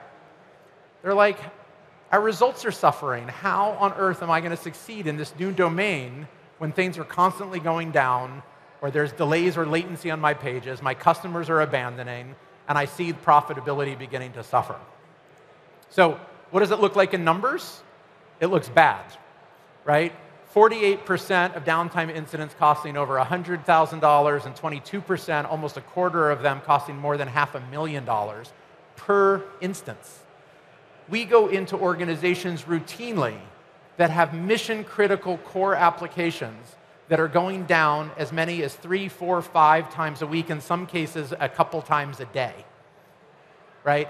And that speaks nothing to the reputational damage that happens when your application is written up in the newspaper. Your users get angry. They can't access core services that they rely upon. And as the earlier data showed, when that happens, those users abandon. Right? And so it's not just the cost and lost revenues at the time, but you actually lose customer goodwill and you get churn, and you now see your business results begin to suffer further. So, what do you do about it inside the organization to solve? Well, the problem is that the traditional organization is designed this way, right? You have a business team, a development team, and an operations team, and they operate pretty separately, pretty siloed. That is a disadvantage in this world of rapid iteration where you need to get to the experience because, as we've discussed, a business initiative must now be implemented in code, and developers are now coding the infrastructure that is run by the operations team. So if your business is encoded in software and your software is encoding your infrastructure that is being deployed by ops, those three teams must work together as at least a virtual team, if not an actual team. And they have to be tightly coordinated with an intimacy of collaboration in a model that we're referring to as biz dev ops, right? So we need to help organizations make this change because there are a couple components to it. One is the human element of it, which is that people have trouble changing. They're used to doing things a certain way, and so you have to overcome that inertia in the human operating model around how the teams actually work with one another. But we can actually help them do that by applying technology. And this is where AppDynamics comes in. Right? So what does AppDynamics do? We monitor these complex hybrid multi-cloud application estates with all of these diverse technologies, and we do it using something that we call the business transaction. So if you saw the keynote this morning, you heard me explain that what a business transaction is is essentially a pathway through the components of the application estate that together accomplish a key outcome for your end user. They sort of create the building blocks of the overall experience. So it could be uh, applying a discount to a quote. It could be checking out or doing a payment processing, right? Those it could be booking a car service, right? Those are actions that together ladder up to create a full application experience, but each one delivers an important outcome for your users. And what the business transaction does is allows us to cut through the noise of monitoring all of these individual components of technology and instead look at the core unit of monitoring as that outcome driven experience that your users are having so that when something does go wrong, it's placed in a context. We understand why it's important, what it is, who it's affecting, and most importantly, how to root cause it and fix it. Right? And so that's what we do in the context of a business transaction. But importantly, one of the other innovations that AppDynamics has brought to market was not only the ability to monitor the technical performance of the application, but also the ability to monitor business performance inside the application because the application has become the business, it now contains within it incredibly valuable business data. What are the dollars and cents, the pounds, the euros that are being transacted with your customers? What are the most popular SKUs or products that are being put into the cart? What's the conversion rate at the different stages of your user funnel? Whatever your relevant business metrics are, you can tell the system, and it will begin to monitor, monitor them in real time, the same way it does technical performance data, and then allow you to build rich visual dashboards that show you how your business is performing and places it in a correlated way against the context of technical performance. So as you can see in this particular dashboard, which I also showed this morning, we actually have the business metrics at the top around insurance quotes and loans approved and bill payments, these are essential to the business leaders of the organization, lined up against what is going on with the business transactions that make up the back end outcome driven building blocks that make up this application. Right? So that we can now begin to understand how the business is related to the technical performance of the application. Now, this morning, we announced a third additional capability on top of the business transaction and on top of the business IQ capabilities that give you the business information monitoring that I just showed you. And this is our new App Dynamics Experience Journey Map. What the Experience Journey Map does is adds that third complementary component, which is a lens through the actual eyes of your end users, the screens they are actually looking at and it builds using AI and ML technology a pathway through the app in the form of the actual front end screens that are seen on the mobile device or in the web browser. And it stitches them together and then actually shows you user abandonment and technical performance on each screen, screen by screen. So now you have an additional lens. You can say, I understand my backend components with the business transaction. I understand overall business performance through the application, and now I can combine them on a screen by screen basis through the lens of the actual user journey itself. And that allows you to now focus on what really matters most because it may well be that you see a problem on the back end that isn't actually affecting your users. And you have different problems that are affecting your users. So you want to prioritize the ones that are affecting your users before you start bothering with more subtle optimizations on the back end that haven't actually had any user experience impact. So this is what allows you to really, really leverage the full breadth of what is possible with App Dynamics, and we're very excited to bring this feature to market.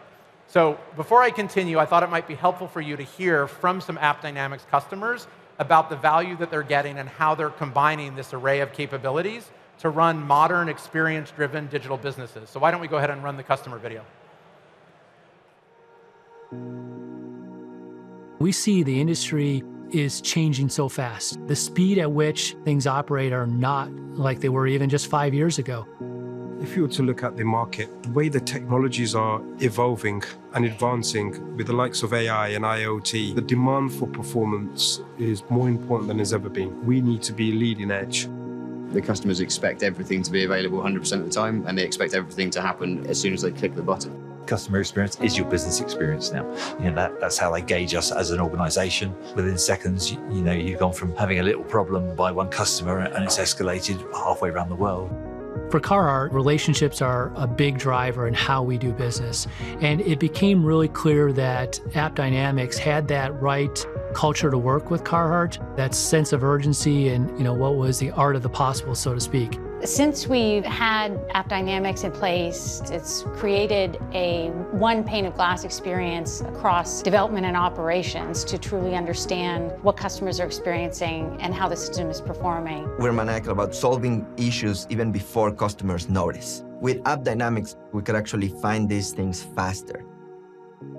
At the technical level, it gives you an MRI of your enterprise where you can see all those corresponding layers. We can see the cloud, we can see these services. I can orchestrate that and roll that into the enterprise so quickly. Our use cases for AppDynamics are not just in IT. We're also using it to create business dashboards and give business business insight. With Business IQ, we were really able to put our data into one platform and one dashboard and unify how we were able to access all of it. When you're talking about AI ops, running a world-class infrastructure and having customers rely on you for everything that they do, you have to have insights. The insights that we can get from AppDynamics is really key to us becoming a world-class product. If we don't have AppDynamics, it would be really like driving a car at 100 miles per hour with your eyes closed. You can't afford not having the visibility that AppDynamics provides to our infrastructure.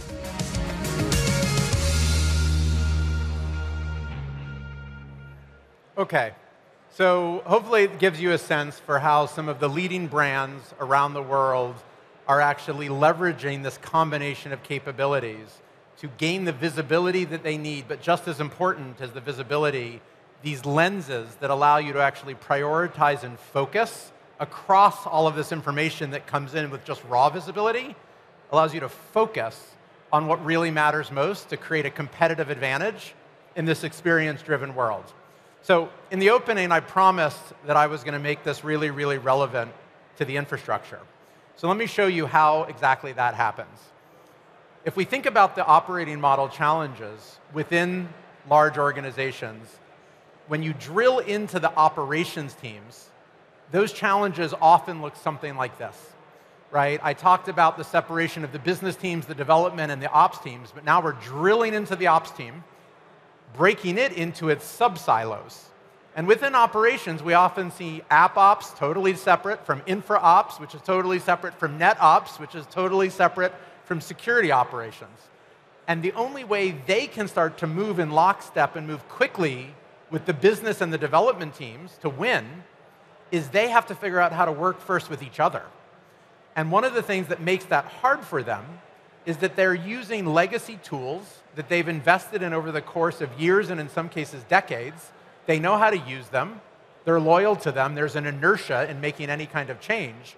And yet those tools are not interconnected. They don't have the same data. They have different perspectives on what is going on. They express them with different vocabulary, different user models. And it becomes therefore very difficult when these teams are forced together into a room for them to have a productive conversation around what is really going on because they don't share a single source of truth or a common data model.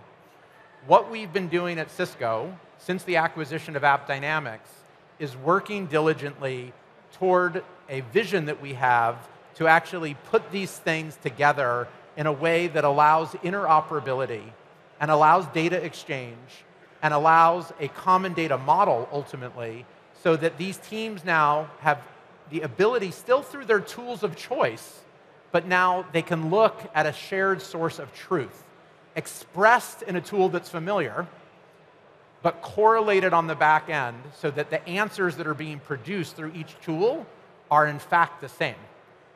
What that does is allows them, the, sorry, the people then that are using those tools, it allows them to come together in a much more collaborative model where they're working together to solve problems based on facts and shared data. So that vision is a vision that ultimately we believe will allow us to bring data in from all of these different domain-specific controllers, not replacing them because we'll continue to have specialized domain controllers for the network that obviously have areas that they go way deep in compared to how you control compute or compared to how you're going to control your application. But they can share data into a correlated system that runs AI and ML technologies to produce valuable insights that you can then access and query for the human user.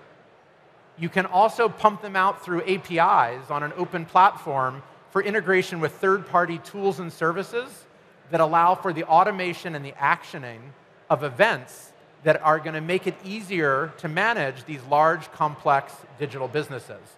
And this is what we refer to as an AI ops operating model, right? Using AI and ML within operations to go beyond simple DevOps or SecOps and actually give you automation across the full operation stack with data that, under, that is understood from each of the historical silos, correlated and turned into something meaningful.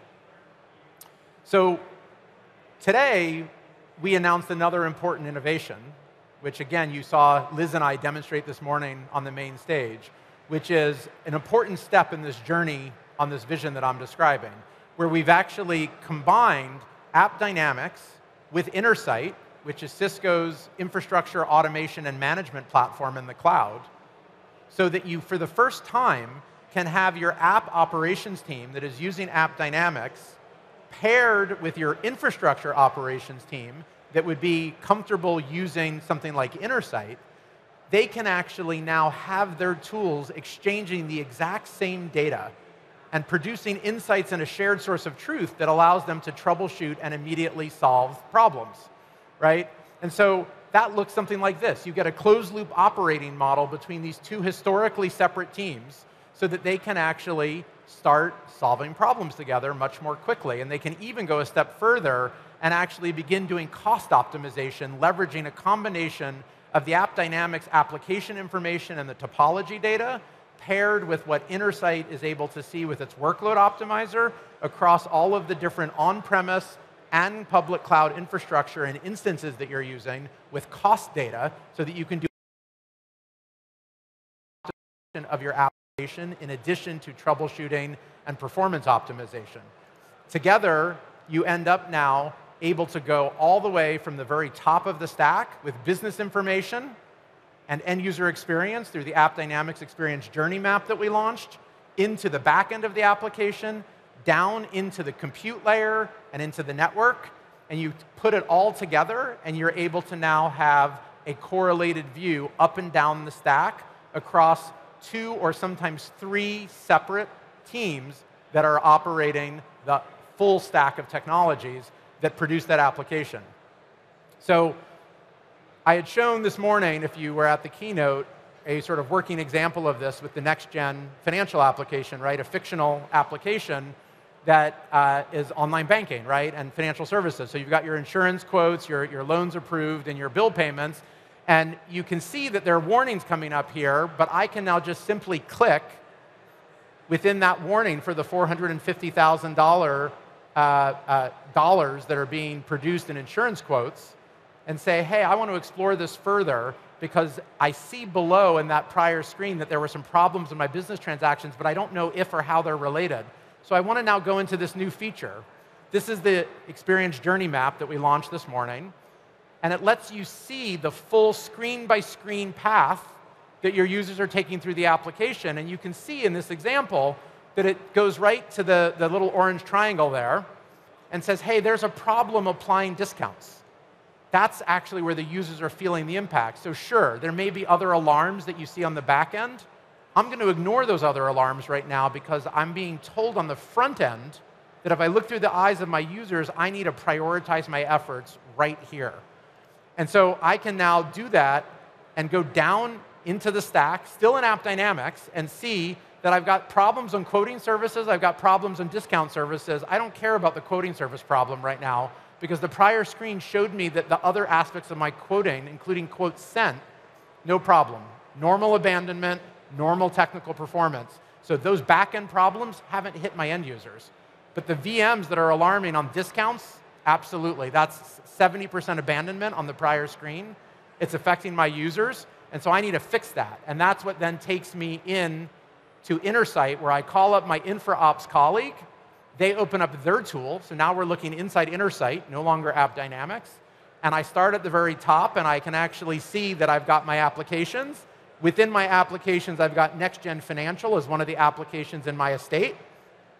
And I can then go and look at the dependency graph specifically for that application and begin to drill down into the VMs. They're the exact same VMs that App Dynamics was showing me.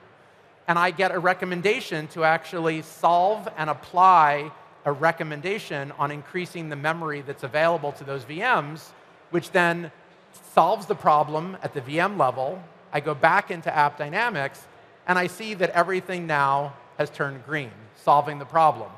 So you see that power of correlated data across the two tools that, are sharing that data on the back end.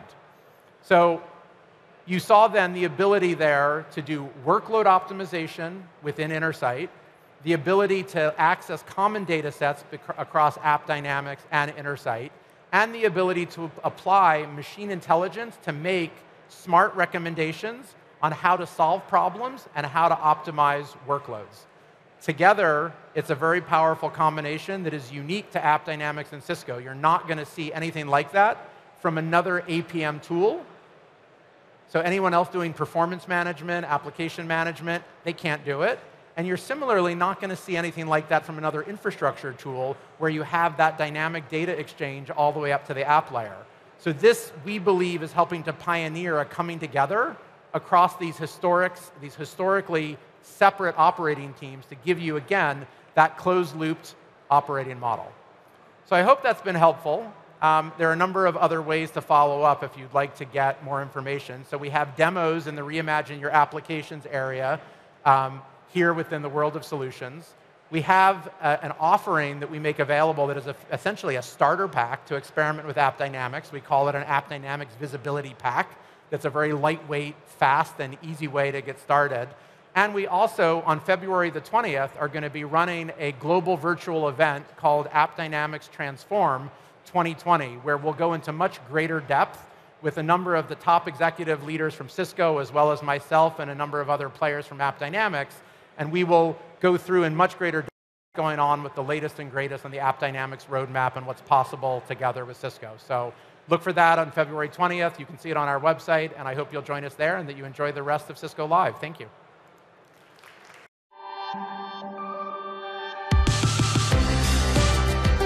For us, trust means taking care of and respecting a customer's most sensitive data. And in order to do that, it means that we have to have world-class security and privacy wrapped with transparency. And at App Dynamics, it's essential to us that we earn that trust every single day by taking the commitment that it requires very, very seriously. Tell me a little bit more about the security team here at App Dynamics. The security team at App Dynamics is a very diverse team built almost 50% security, 50% DevOps so that we could bring these two teams together to really build an advanced practice. We understand that customers rely on us to ensure the confidentiality and the integrity of their data. How does App Dynamics enhance the security and resilience of its products? Through a couple of ways. One is with constant continuous monitoring internally with our operations team. And the second way is we take a secure by design approach where we build security in from the beginning and we're constantly evaluating our code with manual and automated methods to make sure that we're delivering a secure product. What about the combination of App Dynamics and Cisco impacts or supports the approach that we take to security and privacy. Cisco is, is, is, the largest security vendor in the world. We get to leverage all those great tools and technologies that Cisco has to protect our environment, to protect our customers. We partner very closely with them in terms of things like processes and expanding the voice of security and privacy in industry. What do our customers need to do in partnering with us for our SaaS service to make sure that they have a secure environment? There's a lot of options that they have available to them right out of the box. Things like secure configurations, connections to make sure that they have proper logging and access control and authentication and authorization and even encryption. And I would like our customers to think of us as an extension of their team. We know we can't do it alone. When you look at industry and you look at security, that's the way we're all going to win.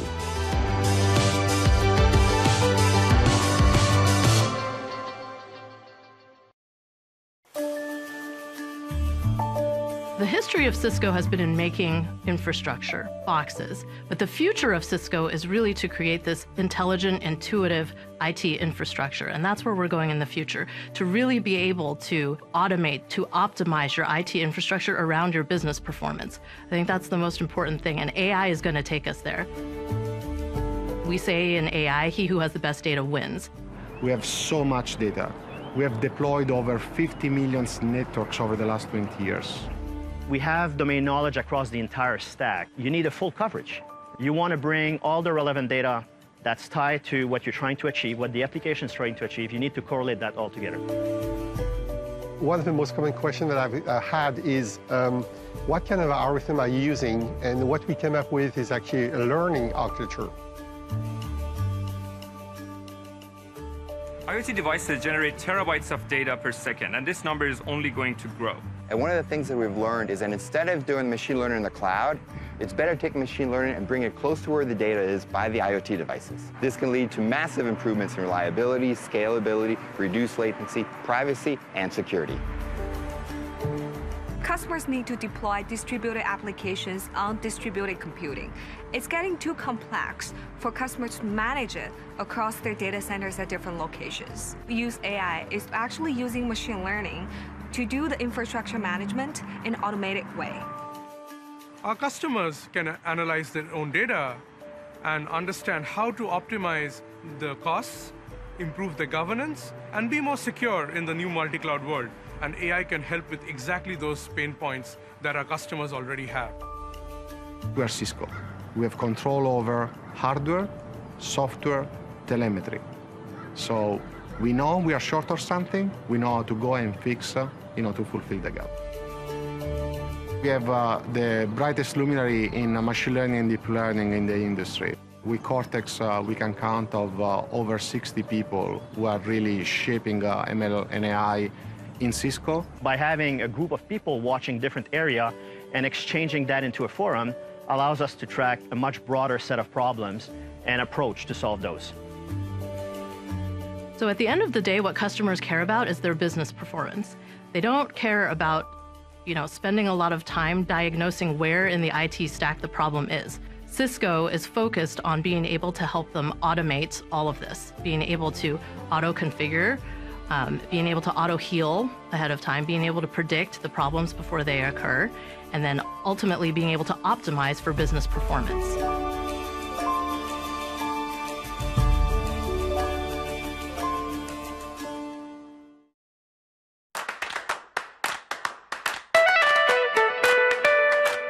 Technology, the world is just exploding in complexity. The modern day application has become the foundation of business. And the relationships that we now have with our customers and that partnership is instrumental for helping them succeed in their digital journey. Right out of the box, AppDynamics is helping provide a visualization of the entire application landscape. We're able to show you everything from the code that's driving the application. We can show you how it's impacting end users on their devices or on their mobile and browser environments. And we can also go deeper into the infrastructure and show how things are performing at a network or infrastructure level. We are a service utilized across every industry. Our customers span fast food restaurants to banks to travel to retail, which means the impact that we can have was massive. Artificial intelligence is fundamental to the approach that we're taking at AppDynamics, and it's really been something that has been built into the product from the very beginning. AI is allowing us to be a lot more proactive and predictive about any potential issues that are occurring in the application environment.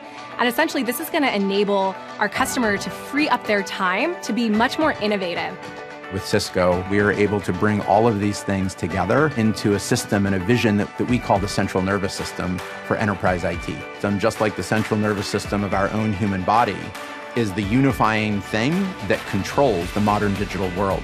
The world has become so digital and it doesn't become digital without the confidence that you can create an incredibly engaging experience between your users and your brand through a digital journey. Think of us as that security blanket to really make that happen. And that's something that I don't think the world could live without. People, services, and machines are more connected than ever before by the code you write and the experience it creates. That's why you can't afford to react to performance problems. You have to proactively solve for them. But how do you do that in today's complex application environment? With Cognition Engine from AppDynamics Cisco, an AI powered solution that drives IT decision making and business forward. Cognition Engine uses machine learning to understand your environment and create dynamic baselines for application health. Issues and anomalies are automatically detected, giving you real time insight into performance problems, while AI surfaces potential resolutions to both accelerate decision making and help you avoid war room conflicts. With Cognition Engine, businesses can finally build a proactive approach to performance monitoring that connects business and outcomes.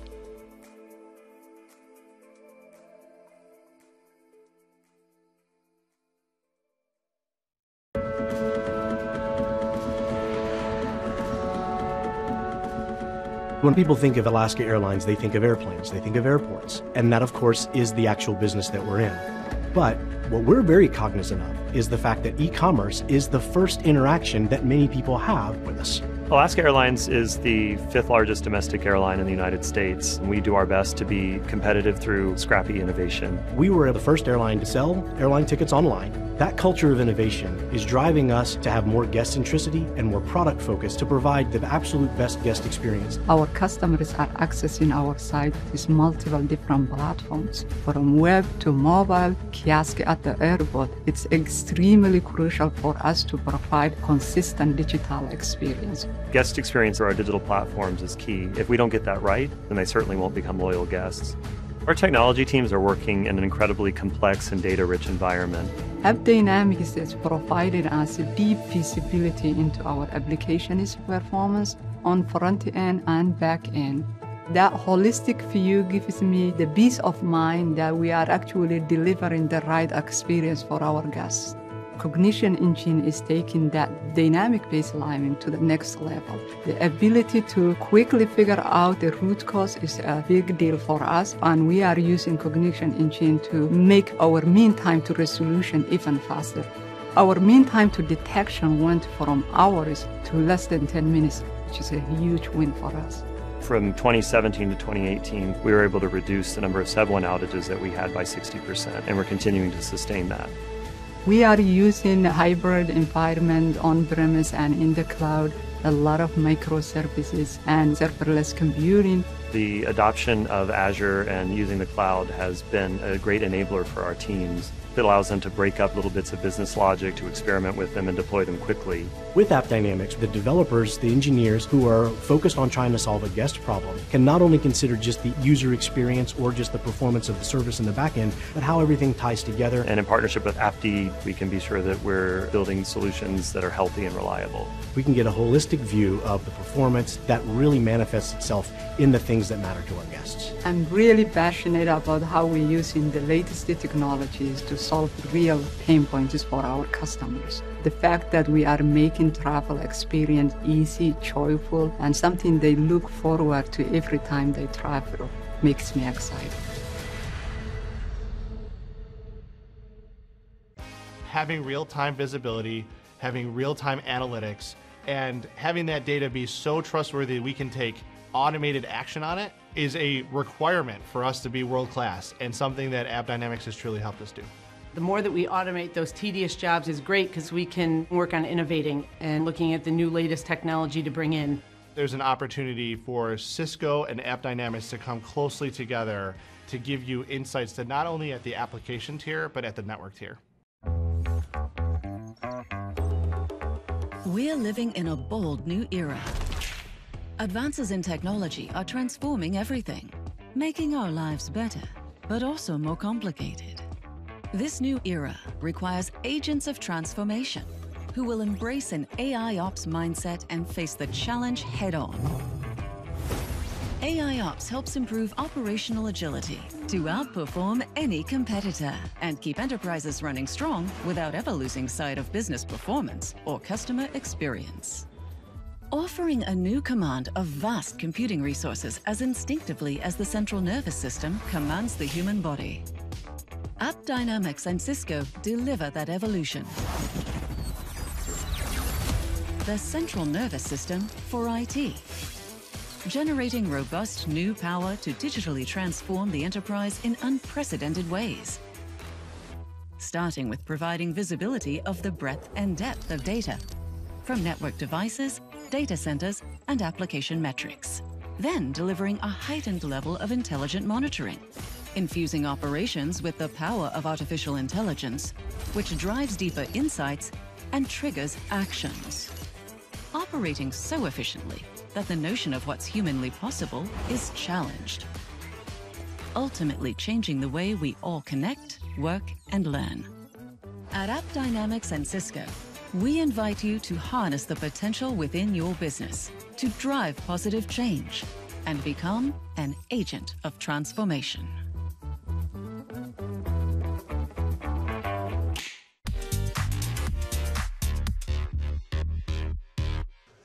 Hello, everybody, and welcome to AdvoChat.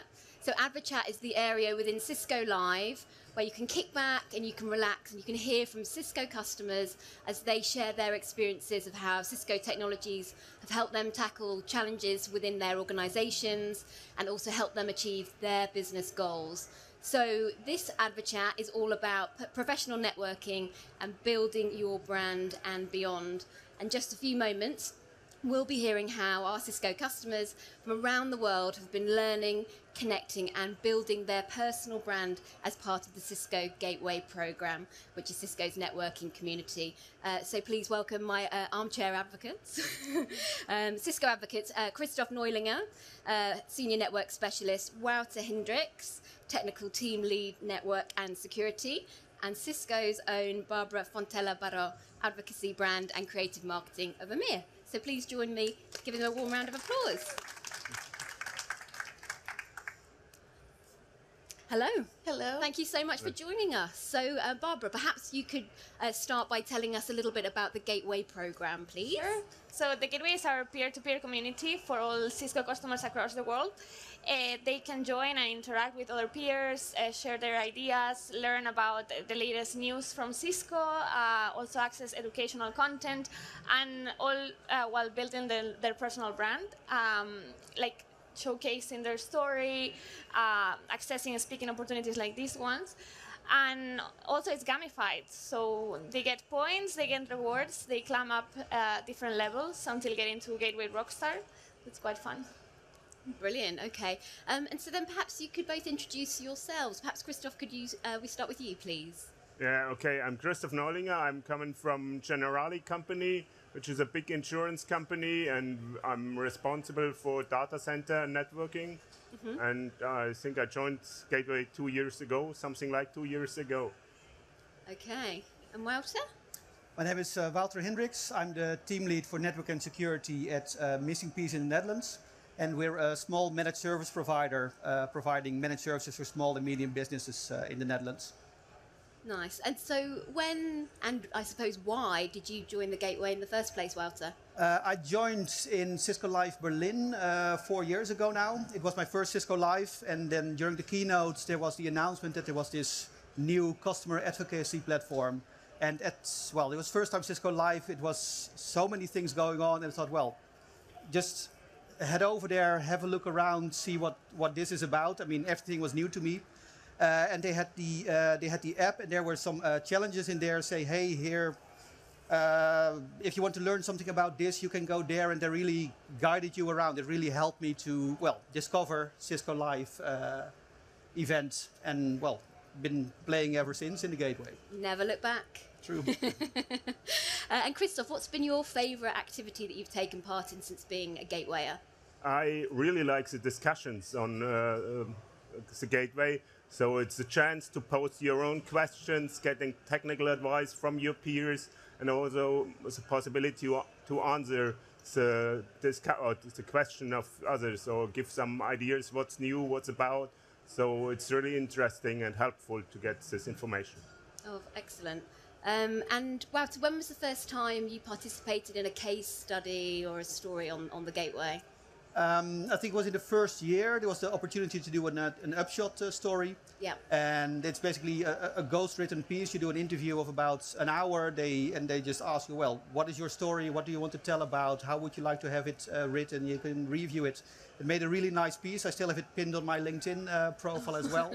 it's a really, yeah, really good written piece, and it's just basically about, well, what do you want to tell about about your work, about what you're doing, your experiences. Okay, brilliant.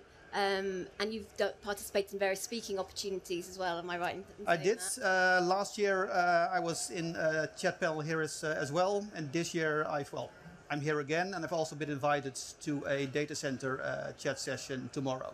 Okay, all right. Um, and uh, Christoph, how would you say that the gateways helped you in, in your career? Okay. Um, I would say, uh, as a networking engineer, it's not my strength to get into uh, to pos- position me to sell myself. So it does help to have a way like the gateway where you get into contact and it's easier like with the challenges Barbara mentioned it's easier to get uh, into activities getting seen from others. So that does help and I think also getting to the level of rock star it sounds like yeah now you're, you're some it's the only way I'm not musician a musician I can't do any music so it's the only way to get a rock star. Jesus properly But maybe we can we can explain what's what's a rockstar. Um, we have different levels in the gateway, so you you get activities that, that you can complete, like sharing something on social or reading a, a news, reading a case study. You can also give us feedback directly to Cisco, and it's like your gateway to Cisco, basically. So they, they start earning the points, and they go through four levels, and I think Wouter has 80,000 points at the moment after four years. So Lots of work. uh, yeah, you have to unlock badges and get points to get to Rockstar. It's a it's a long process, I have to say. Um, and Walter, would you say that the gateways helped you in your career as well? Yeah, absolutely. I mean, everybody has a LinkedIn profile, uh, but basically you put your CV on there, and then what? I mean, if you're in the same job all the time, there's not that much going on. Uh, with the challenges in the gateway, uh, they say, hey, here's an, a nice customer story, here's a new product, here's something interesting going on, and you can choose to say, hey, just with a simple click, I want to share this on my LinkedIn. Hey, I want to send a tweet about it. You, you can edit your own message if you want, but it keeps your uh, your social profile uh, up to date and interesting. I mean, I'm getting a lot more well interaction with other people, more more followers just by well resharing the interesting stuff I see on the gateway. it's it's like positioning uh, our customers as industry thought leaders uh, because they are experts in their in their technology. So that's of course. Yeah. Um, and and Christoph, sort how are you going about building your professional network and interacting with peers? You mentioned the discussion, plenty of in- Yeah, like Wouter as well said, it does help to have this on LinkedIn. I've got Yeah. it's some like when I announce that I'm speaking here, it's like you get people seeing it, clicking it, you get in Right. more uh, presentation to the outside, and the same with the showcases. And uh, this way, uh, you uh, increase your visibility. And uh, the problem in uh, the companies most of the time is the internal experts. They are like, uh, we better hear the outside. And if you uh, say you recognize, okay, he seems to be really the expert, even from outside recognize, it does help even inside of the company. Okay. And h- how would you say that both of your relationships with Cisco itself has changed since being a gatewayer?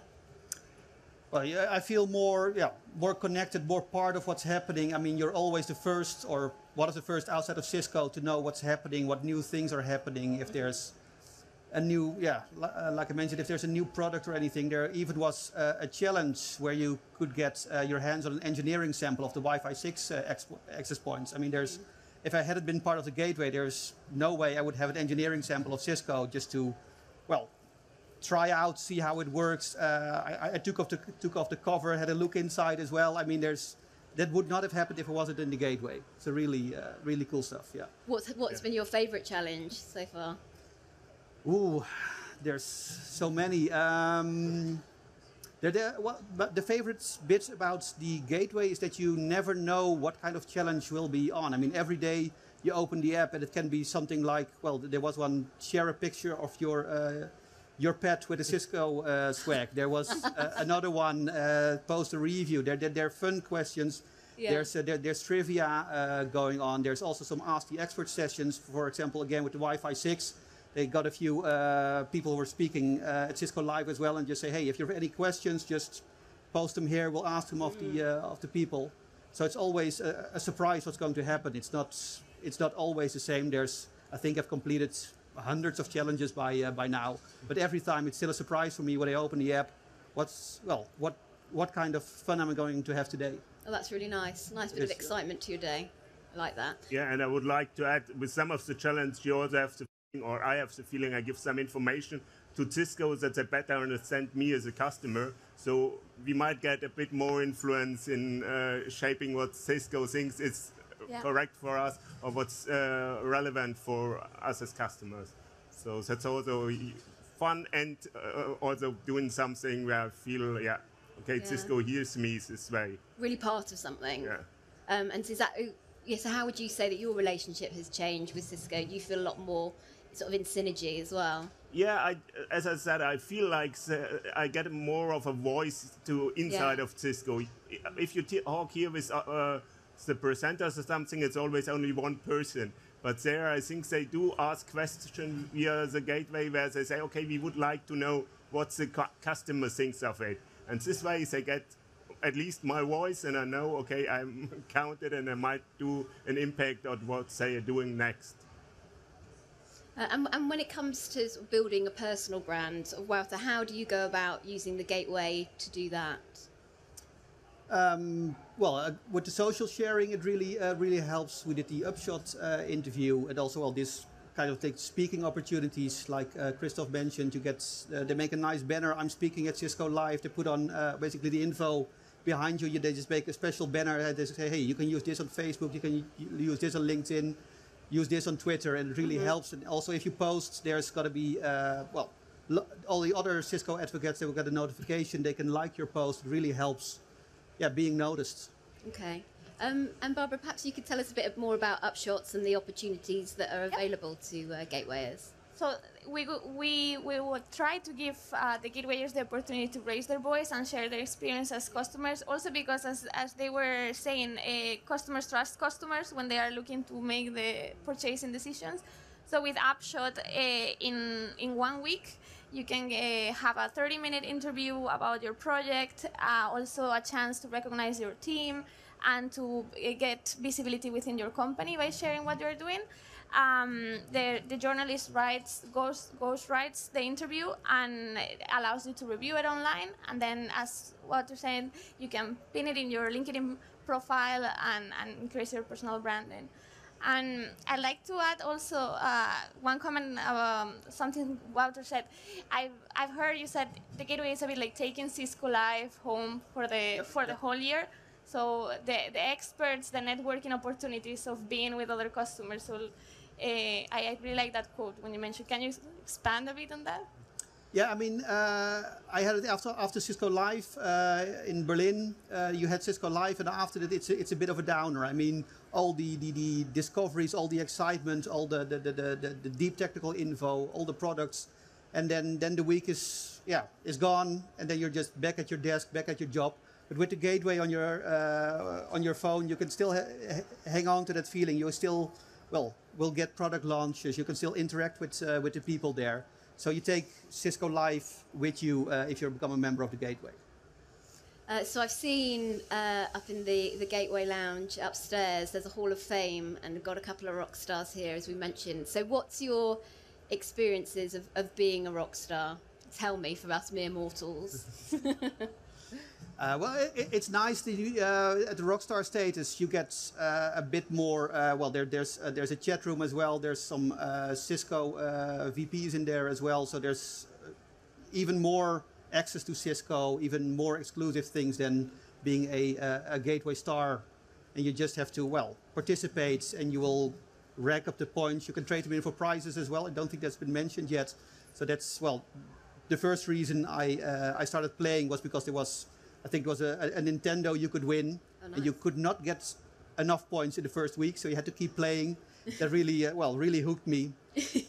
and that's yeah. I mean, you come for the prizes, but you stay for the uh, for the people, for the for the access, for the uh, the information, and yeah, everything you can do uh, with it. Okay, and how about you, Rockstar? Christoph? yeah, first when I, I, reached the rockstar level, it felt a bit surreal to say, okay, I'm even in this group. Yeah, you're on the top part of the group, but as I said before, for me, it's something also to represent. Okay, it's something on my social profile to say, hey, I'm a rock star. I'm connected. I get more information, maybe from Cisco. I'm better connected. Uh, and probably also uh, you recognize people speaking to you on the Cisco Live and hey, I've seen you, yours.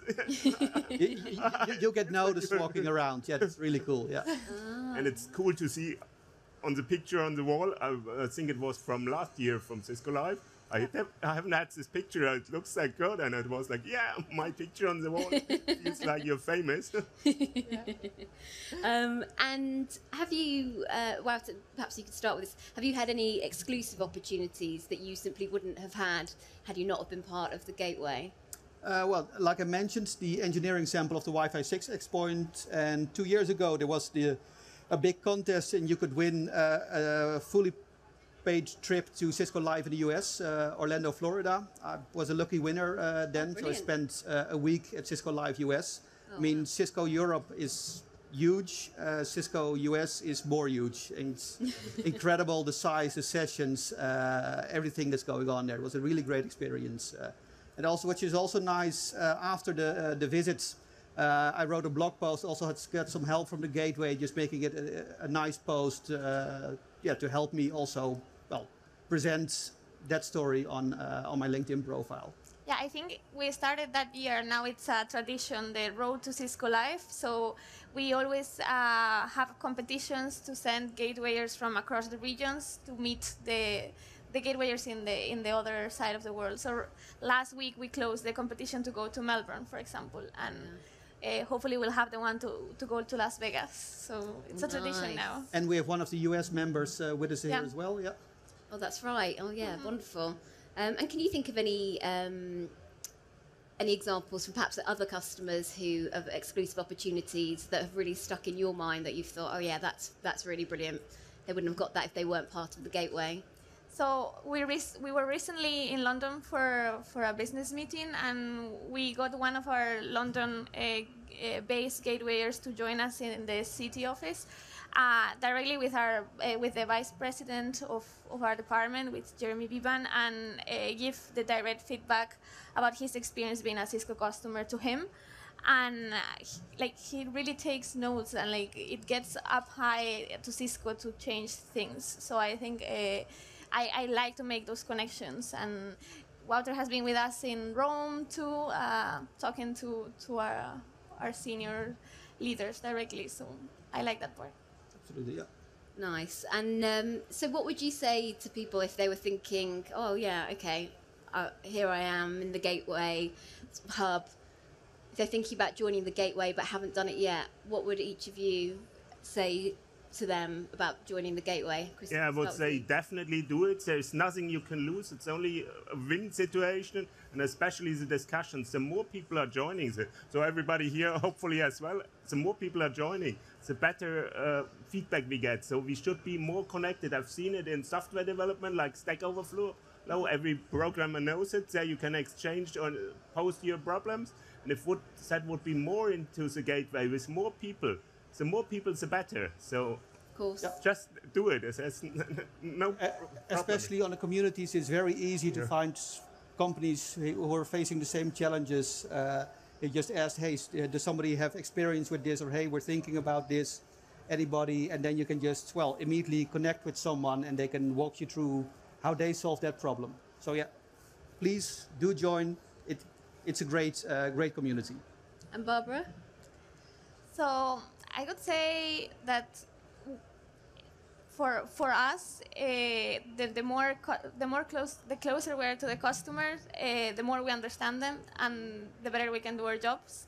So uh, please join us because we, we want to hear from you, and we, we want to focus on your your problems and, and understand you better. So. Lovely. And and do you have any questions for one another whilst whilst we're here? A short one for Barbara.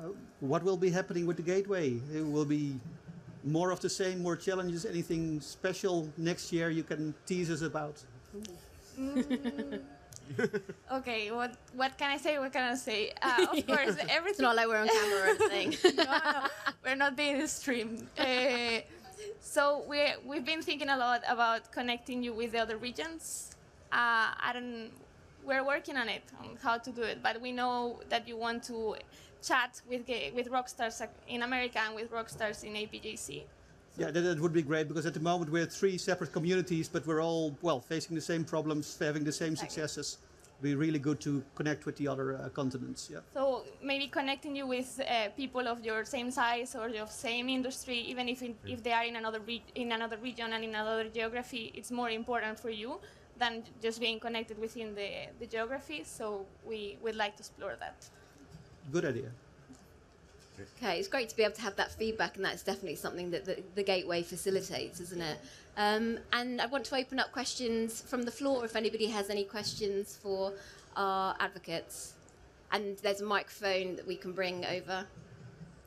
Thank you. Um, I would ask both of you what was the best reward you have gotten so far? Best rewards. Um, yeah, trip to Cisco Live, US. It was the best for me. Yeah. Uh, for me, it's a problem with uh, compliance. So we are very strict in Germany, as you probably know. so I would like to have more of like training opportunities or something like this, where I say, okay, it's not for me, it's for the company, so I won't have a problem with any compliance rules about this. Any other questions from the floor? Over to Ben. Hi. Uh, so you talked a lot about um, you know the rewards you got, but I wondered how's it helped your career to be part of the gateway as well? Uh, well, one of the rewards, I think there were uh, last year, there was some professional training as well. There was presentation training. Uh, there was, um, I forgot the other one. There was one earlier also about uh, how to run an efficient meeting or something. Uh, that really helps as well. So it's also, yeah, professional development. It's not just uh, gadgets or trips. It's also, uh, yeah, becoming better at your job, better in your company. Yeah, for me, like Wouter said before, with this LinkedIn, it's much easier to post something on LinkedIn when you already have uh, most of the. Uh, it, you agree with it, but it's much easier, and then you get more, um, yeah, better seen from other uh, people. So that does help in the career, I think. Are there any other questions in the audience? Well, if anybody is interested in, in joining the Gateway, and there is about a thousand reasons why you should, um, then do go and chat to the people in the navy blue um, polo shirts, and they'll be happy to tell you all about how you can get all these wonderful benefits like first access to news and building your personal brand. Um, and also, if you are a gateway already and you fancy winning 450 points by sharing some of your uh, thoughts on camera, Danny at the back waving her hand uh, would be delighted to chat to you. Um, and then we're going to be doing some more advert chatting at 3.30, but please join me in giving a huge thank you to Christoph, to Wouter and to Barbara. Thank you very much.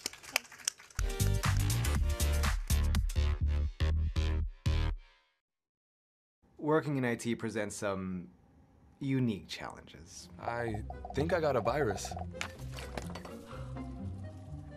Traditionally, we've needed an IT person on site to deal with any issues, 24 hours a day. But with the Meraki dashboard, we can monitor our networks and troubleshoot issues from anywhere. So the IT team finally got to take a happiness day We went to the beach. Tracy really took advantage of it. No regrets.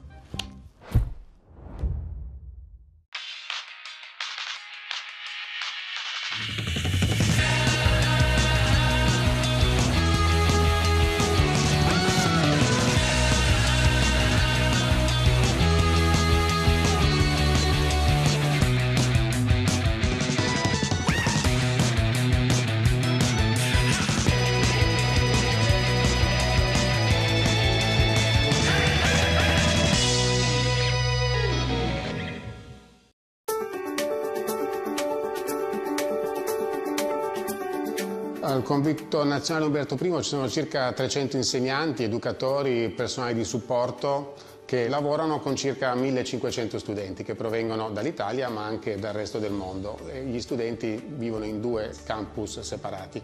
È una grossa comunità che si affida alla rete cablata ma al wireless anche per accedere alle risorse educative e nel caso degli studenti residenziali per connettersi con le proprie famiglie sia in Italia che all'estero. Il mio compito è garantire che gli studenti e il personale dispongano degli strumenti di cui hanno bisogno per collegarsi online. Dal 2014 ci affidiamo all'esperienza del partner NSC che ci aiuta a selezionare, a impostare e a gestire la nostra infrastruttura. Circa tre anni fa è emerso con forza che la nostra infrastruttura di rete esistente non era più adeguata. E se da una parte l'Università di Torino ci garantisce un'ampia larghezza di banda, noi ci siamo resi conto che dall'altra parte il nostro hardware e software di sicurezza erano carenti. Sono stati due i problemi da affrontare. Il primo era la mancanza di uniformità. Il secondo problema era l'inadeguatezza della sicurezza della rete e degli strumenti di gestione delle autorizzazioni. Avevamo bisogno di una soluzione flessibile per poter filtrare i contenuti online, visto che noi abbiamo una popolazione studentesca che spazia dalla scuola primaria fino ai licei. Per risolvere il problema dell'affidabilità e della sicurezza della rete del convitto bisognava prima di tutto lavorare su un'infrastruttura stabile e sicura. Per questo abbiamo proposto subito Firewall Cisco, switch Cisco e access point Cisco su tutta la rete. Una volta predisposta un'infrastruttura stabile e facile da gestire, abbiamo rivolto l'attenzione alla sicurezza della rete e anche in questo caso abbiamo proposto la tecnologia Firepower di Cisco, una solida soluzione di sicurezza che automatizza la gestione delle minacce e fornisce strumenti di configurazione della rete basati su dashboard. E dimostrando che questa soluzione era compatibile con le limitazioni di budget esistenti nel convitto. Possiamo assegnare i profili utente a gruppi specifici per gli studenti in base all'età e al livello scolastico e impostare i privilegi di accesso per contenuto e posizione. Siamo in grado di inserire nelle white list i contenuti educativi appropriati e nella lista nera materiale non idoneo. Gran parte del processo è automatizzato, ma è anche facile modificare le richieste che pervengono da insegnanti e da studenti. Le soluzioni Cisco hanno offerto ai nostri studenti una connettività affidabile e sicura e abbiamo fatto molto affidamento sul partner NSC e continueremo a farlo in futuro. Il nostro compito è fornire ai nostri studenti le migliori opzioni per imparare. Ora possiamo farlo e possiamo stare tranquilli sapendo che sono protetti, concentrati sui contenuti appropriati e utilizzano la tecnologia per ottenere la migliore istruzione possibile. Cisco. Bridge to possible. What does the future hold for transportation? In five years? Ten? How will we continue to move through our communities and around the world? Today, autonomous mobility teases us with the possibility of decreased congestion and heightened safety on the not so distant horizon. However, any system that supports autonomous vehicle technology will not simply manifest overnight. We must adapt for a more user centric, securely connected infrastructure that allows autonomous vehicles to communicate, process data, and collaborate across transportation systems. Machines coupled with artificial intelligence powered technology can mimic humans, automate tasks, and learn dynamically, just as we do. AI in transportation is expected to surge as organizations look to generate more revenue and maintain a competitive edge. As intelligent transportation and volumes of data continue to grow, AI will help us create better and safer experiences for those on the go. A new age of sustainable, accessible, and inclusive mobility is driving the transportation industry. Mobility as a service will require innovations in our existing transportation infrastructure that can transcend the disparate modes of transportation. Mobility as a service is not just a vision for transportation nirvana, it is a lever that can empower networked, livable communities to benefit all people. The Internet of Things has dramatically accelerated the pace of disruption in the transportation industry. IoT coordinated systems can help alleviate traffic congestion and allow emergency service vehicles to reach incidents faster. Even so, as more things become a part of the vast connected web of IoT, transportation organizations must be vigilant in their approach to network security, regulatory compliance, and cyber resilience. Everything you do today and tomorrow, from perfecting the passenger experience for ultra high speed rail travel to laying the foundation for the driverless revolution, depends on a secure, reliable IT infrastructure. It will require a deepened commitment to digital transformation that supports the changing face of transportation. Cisco is here to help.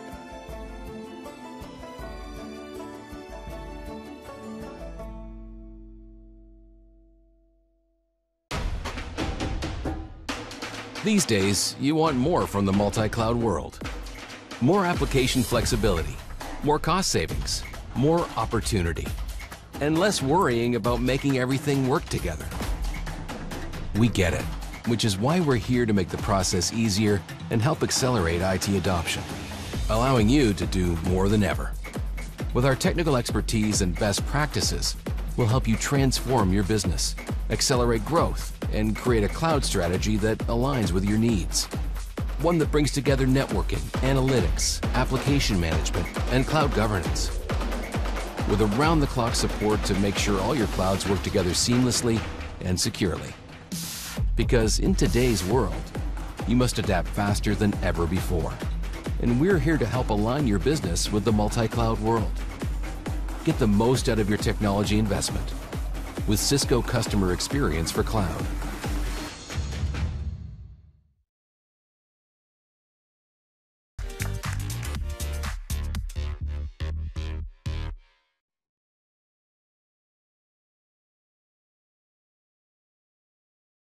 Our next sponsor here during this uh, particular segment is Cisco Customer Experience and Cisco CX has been right out of the gate such a powerful, powerful conversation uh, here at the show. CX is delivering all those outcomes that business really demands in this hyper-connected digital world. It's all about the digital transformation. Uh, there's a lot of challenge and risk in it, but of course what's happening with CX is a life cycle approach. It touches mm. across so many different aspects of our Cisco portfolio, and we're really excited to talk about it right now. So I should introduce who I have with me. Phil Wolfland, didn't hear our VP of Customer Experience experience centers in EMEAR, and I'm especially excited to have Mena Ayad here with us, a consulting engineer for CX EMEAR, and also I need to let all of you know, uh, Mena is the youngest CCIE that we have in Africa, and uh. that's really incredibly so cool. And I wanted to make sure that we got that in. So welcome, guys. Thank you so much, and, and, glad to have you with us. Thank you for having us. So Phil, let's talk about right out of the gate at the keynote yesterday, hmm. CX, a big part of the story, and maybe for the first time at one of our Cisco Lives where CX takes such a front seat at the event.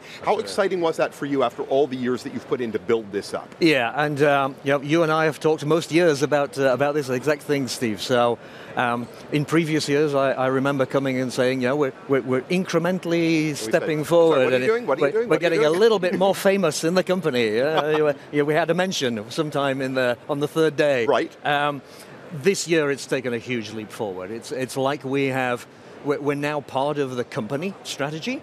And honestly, that's, I've been here longer than I, I care to inform everybody. this is the very first 20 years, time. by the way, I should say, 20 years uh, building this up. Indeed, indeed. And it's, it's the most traction, the most airtime, and the most relevance we've had at a company level ever. It's really incredibly exciting. Um, Mena, you heard Alistair talking yesterday that CX is really a, a, people business. What does he mean by that? What do you mean by that when we talk about this as being a people-focused business? Yeah, so I totally agree with Alistair that CX is a people business and I'm really happy to be part of this organization as it shares the same value as what I value the most, which is caring about people. Uh, so I think that CX, we have a pool of diverse talents which not only bring technical experience to the customers and partners, but also take them through the great customer experience, which aims at achieving the customer success. So what I personally do at CX is that I'm a consulting engineer, so I love to be part of the customer success journey, which starts from gathering the requirements and then putting the design on based on this uh, requirements and then uh, implementing and testing uh, this new design in the uh, environment. At the end, I believe that CX, that we build our CX, CX uh, success portfolio based upon our customers and partners' success which is really so perfectly put. I don't think you could have encapsulated it any better to me, and I always talk about this, this goes to the heart of who we are at Cisco. As much technology as we want to talk about is great. We've got the tech. Everybody can go and check it out for themselves, but it's sometimes very hard for people to understand who we are as a corporate culture, how we feel about our customers. Are they getting it? Do they understand what is available to them through the CX offering? I don't know, is the answer. Okay. I hope they do. I mean, when you walk around a show floor like this, what are the responses that you get? Well, I, I, can, I heard some stats yesterday. So for those who haven't seen it, World of Solutions, you go in, there's the CX stand right there mm-hmm. in front of you, and it's, and it's enormous. Which tells you, the fact that it's right up front, that tells you a lot of what go. you need to know. So go, go visit that. Uh, I was told yesterday, unofficially, that uh, the CX stand was the second busiest in World of Solutions. Uh, we were only beaten by collaboration, but they cheated because they were giving away a device. So we didn't say that uh, live. there we go. No, no, no. So um, uh, on, on, if we're all playing fair, yeah. Uh, then the CX stand was the, was the most popular in World of Solutions, and that's amazing. All right, so that does mean that people are starting to get the story. They know what's available. What about visits to the CX centers? Hmm. So the the the engagement levels that we have are just going off the chart. And the strategy we have now about the, uh, managing people around that life cycle and delivering business value that they define. We don't define what they want from the solution. The customers define what they, they want from the solution. The impact we're having of escorting them, a white glove service, escorting them around that life cycle to those objectives is having tremendous impact. And we're, we're so busy you know, we talked about it being a people business. Honestly, I can't hire people fast enough. Sure. Uh, there, aren't, there aren't that many talent, talented people in the world right now uh, for me to be able to hire them all. So, um, so it's, it's, it's going great. What a, what a wonderful problem to have. And, and Mena, I think that sort of puts you into rarefied air, the fact that you are actually in the door. You're still fairly new to the team here at this point. What has the Cisco experience been like, being a part of this particular organization and what it tries to accomplish? Yeah, so uh, after graduation from university, actually I started in one of the CX centers in Krakow, Poland for six months. And actually I started my network journey from scratch uh, in the CX center and we started there from, with the CCNA, the associate level in routing and switching. And then I wanted to understand things deeper, so I went for the CCNP, which is the professional level, and then the CCIE. And um, all of my studying materials was from the online learning platforms at Cisco. So I think as a graduate within one year and a half to start from scratch at Cisco and then using the CX Services Academy programs and the online learning platforms is a great example and they really encourage uh, every graduate to join this uh, CX graduate programs because he will not only learn the technical knowledge, but he will also like gain the connections and bonds with all of his colleagues from the region that will last along his career. And I believe at Cisco, if you would like to learn, uh, it's not only for young graduates, it's for everyone. And if you want to learn and develop, all of the, like the, everything is available for you. Opportunity, opportunity. By the way, I, I, I don't want to miss mentioning that yesterday, uh, CX posted out one of the coolest videos that I've seen in a while from Newcastle, oh, uh, their implementation of what was happening in CX, and I was just really impressed with it. Um, for those of you who haven't seen it, it's again all about that digital transformation story, uh, finding better outcomes for local residents in Newcastle, better cost savings, um, making sure that the area is known for tech innovation, and to me that speaks to so much of what CX is trying to accomplish. So congratulations on that, and go check out that vi video again from the Newcastle City Council. Um, Phil Mena, thank you. I'm really, really glad to have you guys in here with me. I'm glad to be able to hear this story. Thank you for the sponsorship. Congratulations on the success. And I hope we get a lot more opportunity to talk with one another. Hoping so. Thank, Thank you, you, Steve. so much. Thank you guys, it's been a pleasure. All right, so now we have got a short video, very short video that we are going to play for you that helps sort of take you on that customer journey. Enjoy the video. We're going to see you back here in just a little over 20 seconds. We'll be back shortly. What does it look like when Cisco accelerates your success with the right data, insights, and expertise at the right time? Introducing Cisco Collaborative Intelligence. A digital experience fueled by pervasive telemetry, powerful guidance for your most strategic use cases, proven lifecycle best practices, contextual learning to embrace innovation, all powered by AI, ML, and Cisco's intellectual capital. With Cisco Customer Experience, you'll find a complete view of assets and intelligent recommendations, integrated case management, and use case driven guidance every step of the way. Between human experiences and digital experiences, there's a bridge. Cisco, the bridge to possible. It's now official. Your organization wants to embrace all that the cloud has to offer to accelerate innovation balanced against existing application and infrastructure investments. Your developers are now asking to use Kubernetes to deploy applications both on premises and in the cloud. Well, guess who needs to manage all that? Clustering, configuration, networking, monitoring, security? In the data center you manage and in the cloud, while making sure those two look the same as much as possible. And let's not forget, you still need to support your existing non containerized applications. Hmm, that sounds like a lot of work and having to use many different tools. If only there was one single solution to make things easier. Introducing the Cisco Hybrid Solution for Kubernetes on AWS. One solution that speeds and simplifies Kubernetes deployment and management across on premises and AWS, directly integrating with the Amazon Elastic Kubernetes Service, Amazon EKS for short, to offer a common experience when working with containerized applications. With optional components that support the full lifecycle of not just your Kubernetes based applications, but also your existing on premises investments. Fully extensible to all your clouds, and with first line support from Cisco across all components, including open source and AWS services. There you go. You just made your life and your developers' lives easier. Oh, and your networking and security teams will be happy as well. With Cisco, containers on prem and in the cloud can be easy.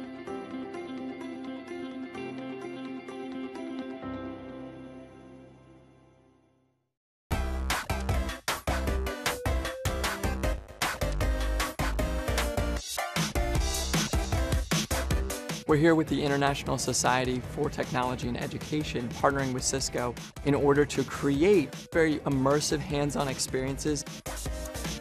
We've created the Mars Classroom Simulator up on the trade show floor. And what this is, is an escape experience where teachers solve challenges to qualify to teach on Mars using Wi-Fi 6 and wireless networks and technologies to be able to communicate back to the Earth base station. They're going to be in there with a group of eight people at a time, working together to see if they have what it takes. Welcome to the Cisco Mars Classroom Simulator. We are currently seeking out the best and brightest teachers.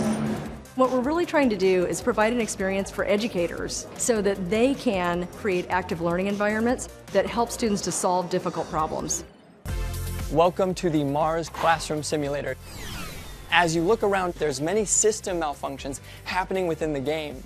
And so you have to put the passcodes into each of these in order to successfully escape. There's bad weather coming through Mars, and so they have to use the emergency alert system to get everyone to safety. Over here we have the WebEx boards with Cisco, and this is actually how they're going to call mission control in order to help collaborate with a team on the outside to solve the challenge.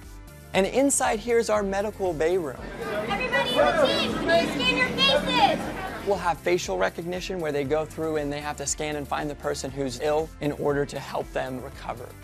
Throughout here, they have to create a solar panel where they have to use light with a flashlight in order to make it spin. They have a radiation box here where they have to decode something. And so there's all sorts of puzzles embedded within the Cisco experience to create that full immersion. This is the Milwaukee station, which is all about device management, but they're also all about safety and security. And so here we've got cameras set up throughout the escape room. And one of the cameras is a fisheye lens that actually puts the user in the room live as if they're one of the players in the escape room. We have VR goggles that are hooked up to Meraki security cameras to help them escape. Now we have the ability to basically replicate this experience, improve upon it at many different shows uh, throughout education. And that is amazing because it's a quick and easy way to really create that emotional connection, create hands-on experiences for Cisco to really showcase the great things they're doing.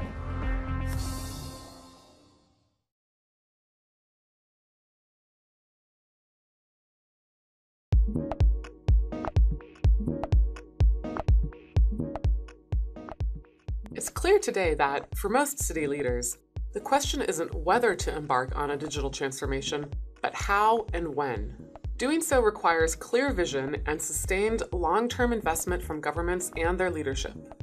To maximize your chances of success, there are three critical components to any smart city and digital transformation initiative municipal, modernized broadband, and Wi Fi networks, an effective end to end cybersecurity approach that underpins everything, and an investment plan that reinvests the savings or revenue generated by each project into the next one. Let's take a closer look at each. Modernized broadband and public Wi Fi lay the true foundation of a connected city. Without broadband and Wi Fi networks, installing remote sensors of any kind can be cost prohibitive. Jesse Berst of the Smart Cities Council said it best. You have to have citywide connectivity, not just for your people, not just for your smartphones, but for your sensors and other devices. And that's what unleashes all of these other opportunities. But helping your city become smart and connected won't mean anything if the city's network isn't secure. Cybersecurity is critical to the success and growth of digital cities, especially considering that government networks, with their wealth of public data and complex systems, are a prime target of hackers and terrorists alike. Cybersecurity is a growth enabler that ensures confidence among city workers and residents and the community as a whole. And of course, nothing in government can happen without the budget and commitment for it. Implementing digital capabilities requires vision, political will, and money. For cities in particular, the costs of adoption tend to be concentrated, but the benefits are often dispersed. While funding is likely to come from the city budget, the biggest benefits may flow to other agencies or even private businesses. That requires careful cultivation of public and private investments and management of disparate government agencies, all of which stand to benefit. There, there is a common thread for each city that hopes to become smart and connected. They must start with a strong foundation of digital infrastructure. They must have the network and core capabilities to connect employees, residents, sensors, and even private vehicles. From this base, they can continue to innovate and grow. Their success shows in their ongoing digital transformations. We'll take a look at how one city started on their journey in Lesson 3.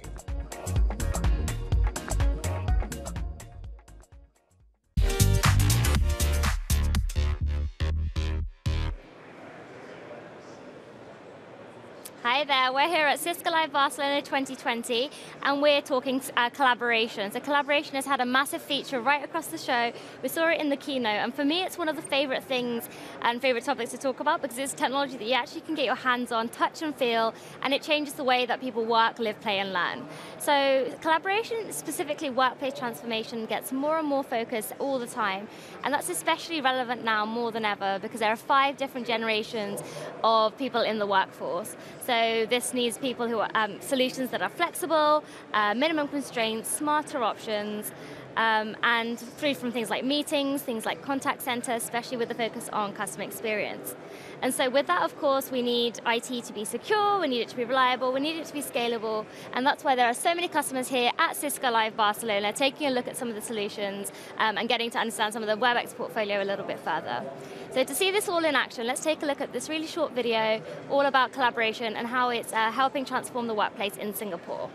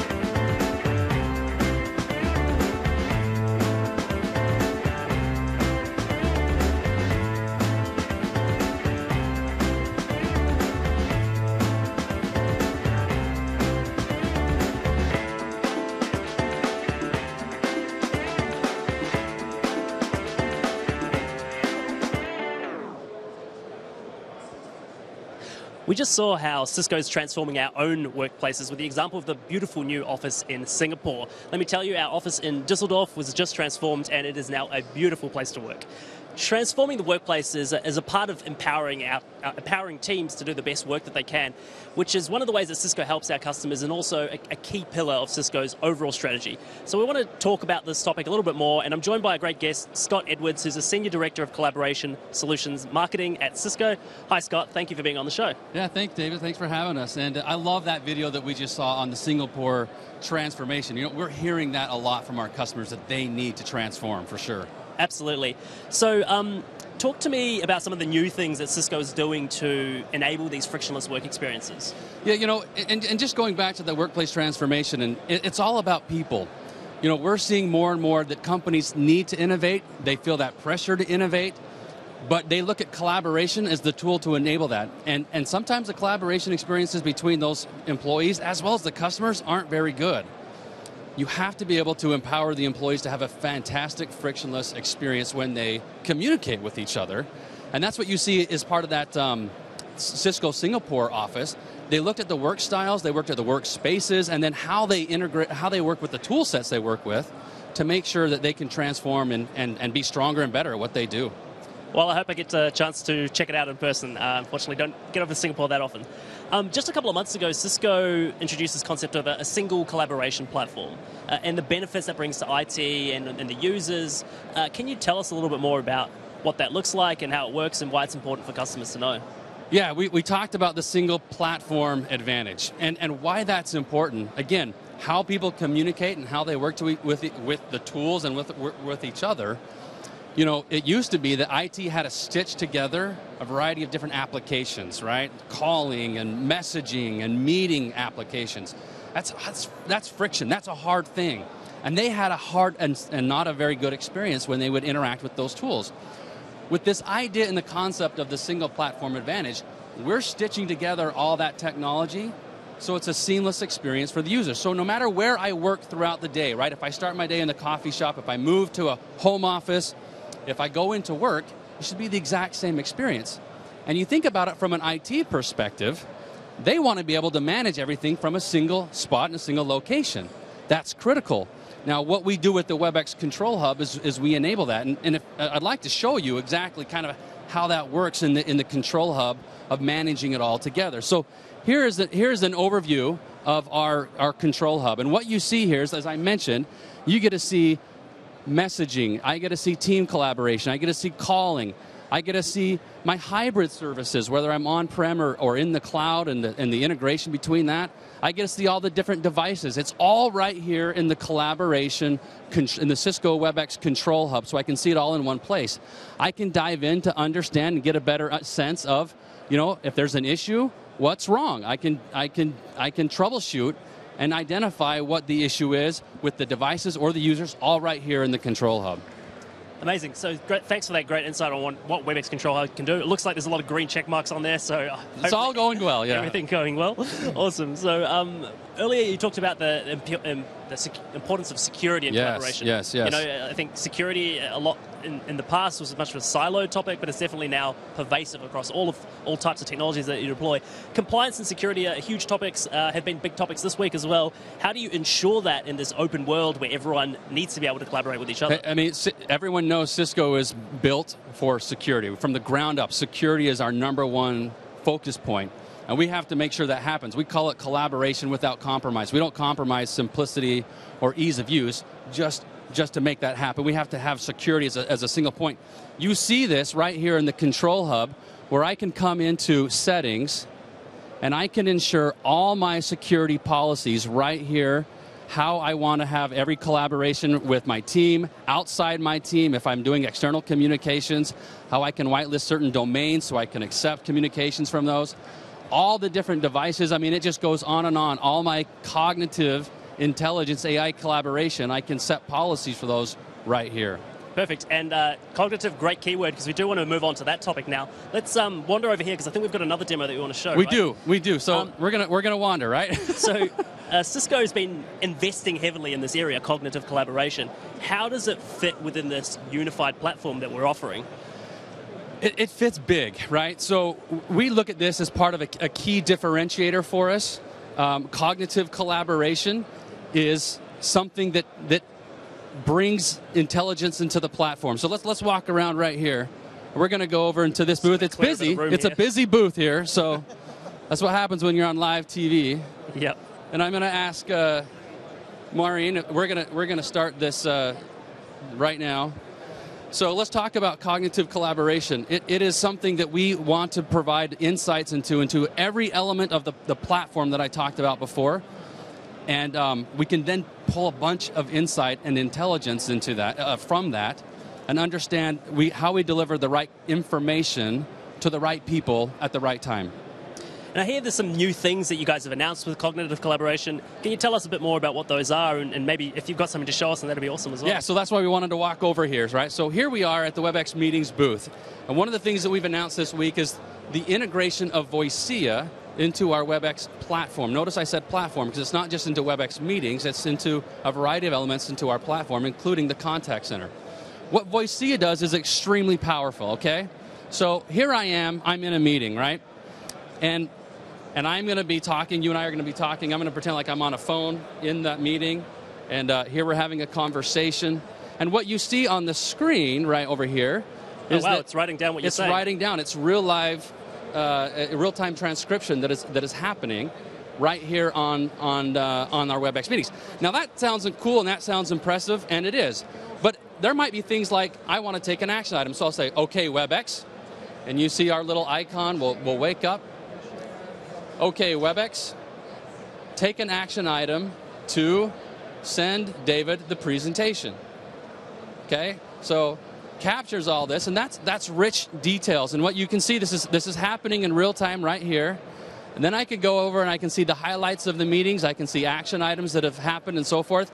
And then after the meeting, I can come over into my uh, personal meeting room, and here I can see all the different highlights that happened, the different action items, and then I can share that with the people afterwards. So it's a pretty powerful tool. Amazing. Uh, it looks like we need that kind of thing for our broadcast, so hard of hearing people can join in as well. Um, I think that's all we've got time for, Yeah. unfortunately, but thank you so much for being on the show. And I think uh, we're heading back over to the studio with Nish. Nish, are you there for us? I'm here for you, David. Thank you so much for that. It was really interesting. So many things stood out to me. I noted one single platform for collaboration and collaboration without compromise. That was really great to hear. Um, and do you know what I find really funny actually is I'm here with a lot of my different teammates. We work in a virtual team, so we're based in all different countries. My manager's in Spain, my colleagues are in the US and Switzerland. We see each other here at Cisco Live a couple of times every year, and it feels like we're always working together. We're never apart. So I love that. The collaboration is that great that you don't even realize that you're collaborating with technology. It feels like you're there in person. Zane, now you're out in the uh, world of solutions. You're going to tell us a little bit more about Contact Center, right? I'm indeed, Nish. Thanks very much. We're back here in the Collaboration Centre, but now we're speaking all about Contact Centre. And I'm here with Kurt May. Kurt is going to tell us a little bit about Contact Centre. But first, Kurt, introduce yourself. Hey, I'm Kurt May. I'm a business development manager with the Contact Center Business Unit. Welcome to Barcelona. Fantastic, Kurt. So, Kurt, look, we know this is an exciting space for Cisco. A lot's happening around Contact Centre at the moment. Can you give us a lowdown? Sure, yeah, really uh, a great, uh, exciting time uh, with Contact Center uh, for Cisco. Um, made a couple announcements this week. Probably the biggest thing is there's been an enormous amount of investments, you know, with Cisco fairly recently. Um, two major uh, announcements around CloudCherry, or what's being called WebEx Experience Management, kind of bridging the gap between customer experience and customer servicing. And then, of course, you probably heard some other things earlier about Voicea. So where it was a WebEx uh, Teams application, there's an enormous amount of applicability in the contact center. That ability to get transcripts, leverage that information, make contact centers uh, more efficient has been absolutely excited. You know, we haven't seen some investments in a while, so we're seeing it now. It's all about the cloud, cloud delivered services, you know, and it's all about business outcomes and the customer experience. So it's it's really really exciting. It is exciting. Now, I heard you mention the cloud there. Tell us more about how Cisco really helping our customers move to the cloud. What are we doing in this area? And that's great. So another announcement this week that we made, you know, of course we have a, uh, a, a multi-tenant public cloud offering, WebEx Contact Center. This week we announced WebEx Contact Center Enterprise. So this is a solution designed for our largest customers um, that have very complex, high security, highly scalable, require an enormous amount of flexibility. It's foundationally the same as our uh, premise based product, Contact Center Enterprise. Um, but it's basically uh, being brought into the cloud inside of Cisco data centers that we own. We operate it for them. So we've taken all the drudgery associated with racking and stacking servers, uh, building applications, uh, building, building, building the information itself, and then really putting the power back into the customers and to our uh, partner communities around delivering on, on applications, business outcomes, and, and, and really you know, meeting the requirements that, that we're being told on a regular basis. They want to be out of the infrastructure business. So it's about moving to the cloud. And then with programs like Flex, we make it extremely easy for customers to start on premise, move to the cloud. It's absolutely fantastic. Fantastic, Kurt. And look, it's really, really exciting. I'm super excited to see what's going to happen next in this space. Last thing before we go, what are you doing tonight? I heard there's a party on. I heard there's a party going on, so I'm going to get my finest on and ready to go. So it should be a lot of fun. I have no idea who's performing, but that's half the fun. I think he's looking good already. What do you think? Thanks very much for your time, Kurt. Thanks. So, guys, look, we're going to head back into the studio where Nish is waiting on us. Thanks, Zane. That was really interesting to hear from you and from David and the people that you're speak, speaking to. Sounds like a really great um, platform that we've launched. Obviously, we're talking about it all being one single platform, but it's great to see it actually in the world of solutions, see all the demos, um, and see people wandering around, actually touching our technology, trying it out. Loved seeing the, the live uh, transcription that we had, and I actually can't wait to get home because I'm excited to try out some of these features myself. So even I'm learning things at the show where I'm here speaking to people, interviewing them, seeing all the demos, which is great. So this morning, actually, Zane and I, uh, we ran over and snuck into the world of solutions a little bit early with our staff badges, and we were speaking to a guy called Brian, and he was showing us the Panorama endpoint. So actually getting to experience that, I think it's one of only a few in the world as we're starting to roll them out. And so actually getting the experience, I know Zane's got some really cool selfies. I'm sure he's going to be sharing those with CLEUR. Remember, hashtag CLEUR. For now, enjoy the Workplace Transformation uh, Innovation Talk. Stay right there. We'll be back.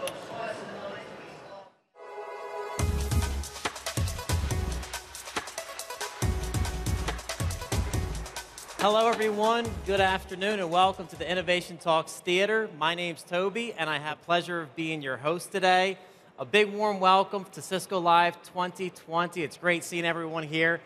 There's a lot of us, but together we're going to build the bridge to get you where you need to go so you can accomplish anything. Now, here at Cisco Live, you're going to learn new things, be inspired, and create a path to endless opportunities.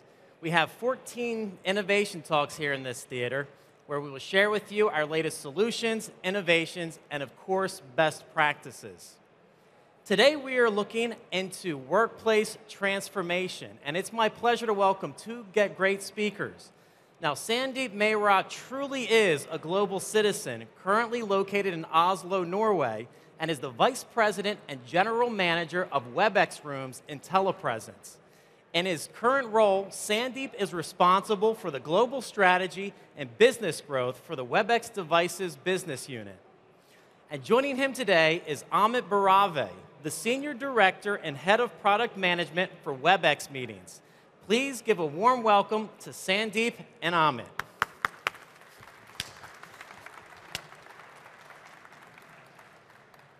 Good afternoon, everybody, and thank you very much for being here. My name is Sandeep. My name is Amit. And in the next 30 minutes, we're going to take you through a little journey of workplace transformation and how we believe this is going to be a massive shift that you can drive in each of your workplaces. So if I can grab the clicker. Now, it goes without saying that the future of work, and you've been hearing about it the last couple of days at this event, well, the future of work isn't out in the future. It is now. And this requires your attention. This requires action right now.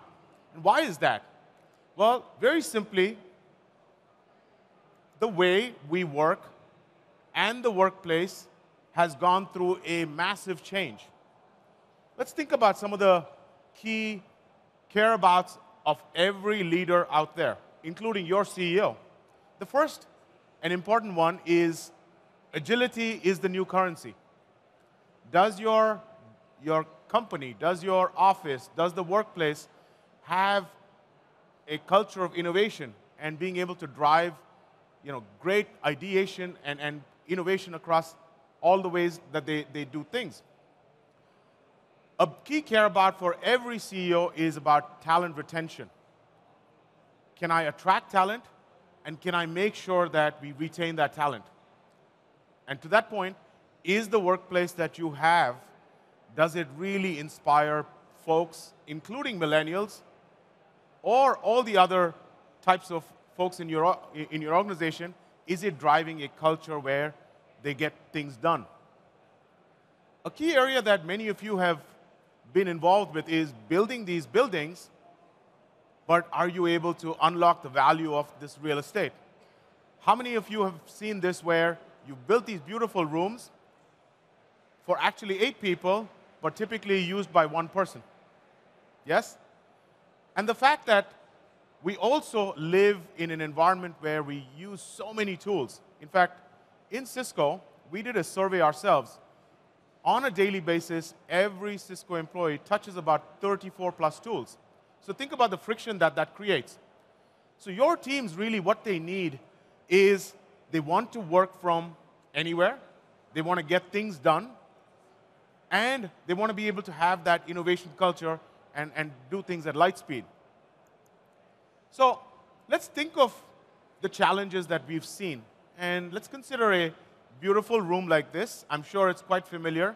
Many of you have a beautiful space like this, or also think about the complexity in that space. To, to just start a simple meeting, the user probably would have had to use three remotes. There's no memory, there's no persistence, and it just created so much friction. So over the last decade, we at Cisco have been very hard at work to really reimagine how you think about the modern workplace, making it at a core team-centric. It has to be intelligent, invisible, where magic and magic moments just happen on the fly. It has to be integrated with how you do things, which is workflows, and most importantly, your customers, your partners, and you have made choices, technology choices. Cisco and all of these technology partners need to come together and provide an open platform. And this is what we've been driving towards. But if you really think to the next level, so it's not just the physical space. Teams need workplaces built for speed and innovation along the physical, the virtual too. I mean, just by show of hands, how many of you, every morning, the first thing which you do when you wake up is reach for the mobile phone? Well, I do that too. In fact, uh, you probably saw that even in the keynote. 64% of us, every, the first thing that we do is reach for that mobile phone. So our journeys start with that. And lastly, I spoke about the 34 plus tools. You probably have in, a, in your environment a similar number which your users are going through. And this is what Cisco has been very hard at work to see how we can really bring all of this together and drive innovation and speed. And then what we're doing is really taking this to the next level. Just by show of hands again, how many of you over here drive a self-driving car or a smart car? Okay, many of you. The reason I put this up here is the fact that the same technologies that you find in a device like this, in this beautiful car, is what we've embedded also at the platform. What that means then is you're having invisible, super intelligent moments in every part of how you think about the collaboration journey. Whether it is as you're starting the meeting, whether it is the fact that when you are in the meeting, or as you exit the meeting, how can you have these magical, invisible moments which drive aha for all your users? So let me take you through a few examples. Let's take a simple example. Your users walk into a meeting space, and what is the first thing they do? They're looking for cables, dongles, things to connect and share content. What if that became just so simple. I didn't need to do even lift a finger. One click, and I'm able to share that content seamlessly from any device and, and be able to pair and share. What about the fact that your users, a lot of times, even have friction? What button do I press? We spent a lot of time bringing the big green button to every one of your experiences in terms of starting meetings. We're now taking it to the next level where the user doesn't even need to press the button. He can just speak to the device and say, hey, WebEx, can you start my meeting? Easy? What about the fact that every meeting that you join, typically there's 15 to 20 minutes of conversation happening where folks are just going around introducing themselves. What if that just went away, where your name, your name label, your title, and even getting inside of who you are is just visually available to everybody? That took 20 minutes of that meeting, but think across your company the productivity gain that you could have. What about the fact that in every meeting, we always have the angry typer, somebody just banging away. I have one, Jason from my team, you know, is, is very, he does this all the time, where he will just bang away at, at his keyboard. Eight seconds later, he is muted. How, good, how good is that? What about the fact that many of you at times will work from home and you have next door your, your neighbor's dog who is barking away? What if the platform was, was, was intelligent where it knew what was the human voice and the dog voice and just suppressed the dog voice? And yes, this is happening. And lastly, as you close out on that meeting, having meeting notes. We always are scrambling around asking each other, hey, did you take notes? Can we compare? What if this happened invisibly? Recording, translation, and transcription, all happening on the fly. And lastly, many of you have built these beautiful rooms and beautiful spaces. How do you get analytics? How do you drive business decisions? How do you start thinking about utilization of these spaces? Again, all something that we've spent a lot of time superpowering through that platform and delivering to your users. So, should I show you what the new WebEx is all about? Let's roll the video.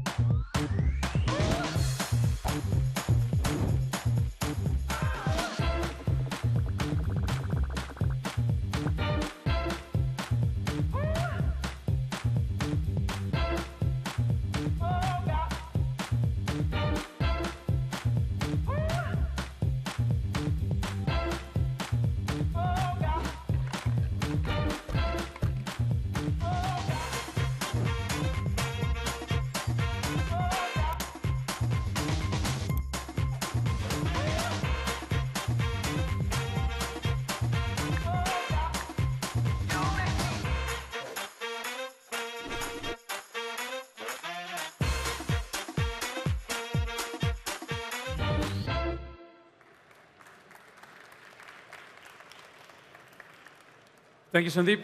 So what you just saw, this is WebEx here and now. If you went to WebEx today and started using it, this is how it looks like. And every single month, it's going to keep getting better from here on in. So I'm going to touch upon some of the key updates that are coming in in the next two to four months, starting with that first meeting of the day. The meeting that we are driving in, we're on our mobile, that has to be way simpler than it is, right? Fumbling for is my video on, where's the mute button? Available now is the simple mode or the car mode. You get in, you just swipe right, a simple mute, unmute, your video is already off, you get out, swipe left, and the normal mode is back. Your second meeting of the day could be even more interesting with what we have as the dual camera support. So we've been keeping up with Apple and iOS, the dual cameras, what this is going to allow people to do is, as you see me as a meeting participant, you're also able to see what the other camera is seeing. So see what I'm seeing. And the kind of use cases this can enable, we haven't even scratched the surface. iOS introduced this, so we've incorporated in the uh, WebEx meetings. So these were quick uh, uh, mobile enhancements, but by far, the most significant thing that we have launched this week is the WebEx Assistant for WebEx meetings. Think of this assistant as it's going to grow, get smarter, and get more and more skills over time. But at the get-go, the four things it's going to be able to do is live transcriptions, closed captioning, meeting summaries, and highlights. Uh, the transcriptions are natively supported in English at the get-go. Spanish, French, and German are the next in line. Uh, same thing for translation. I think we're working on Spanish. The other languages will follow um, in the coming months. The, the transcription itself, you might say, is not new news, right? Have, have any of you used it before in your meetings? No? The, uh, they've, they've, always been uh, third-party options available. So whichever meeting conferencing solution you use, you could use a third-party integration, get closed captioning and transcriptions. But that has always been an experiment. People have toyed with it, but never embraced it really.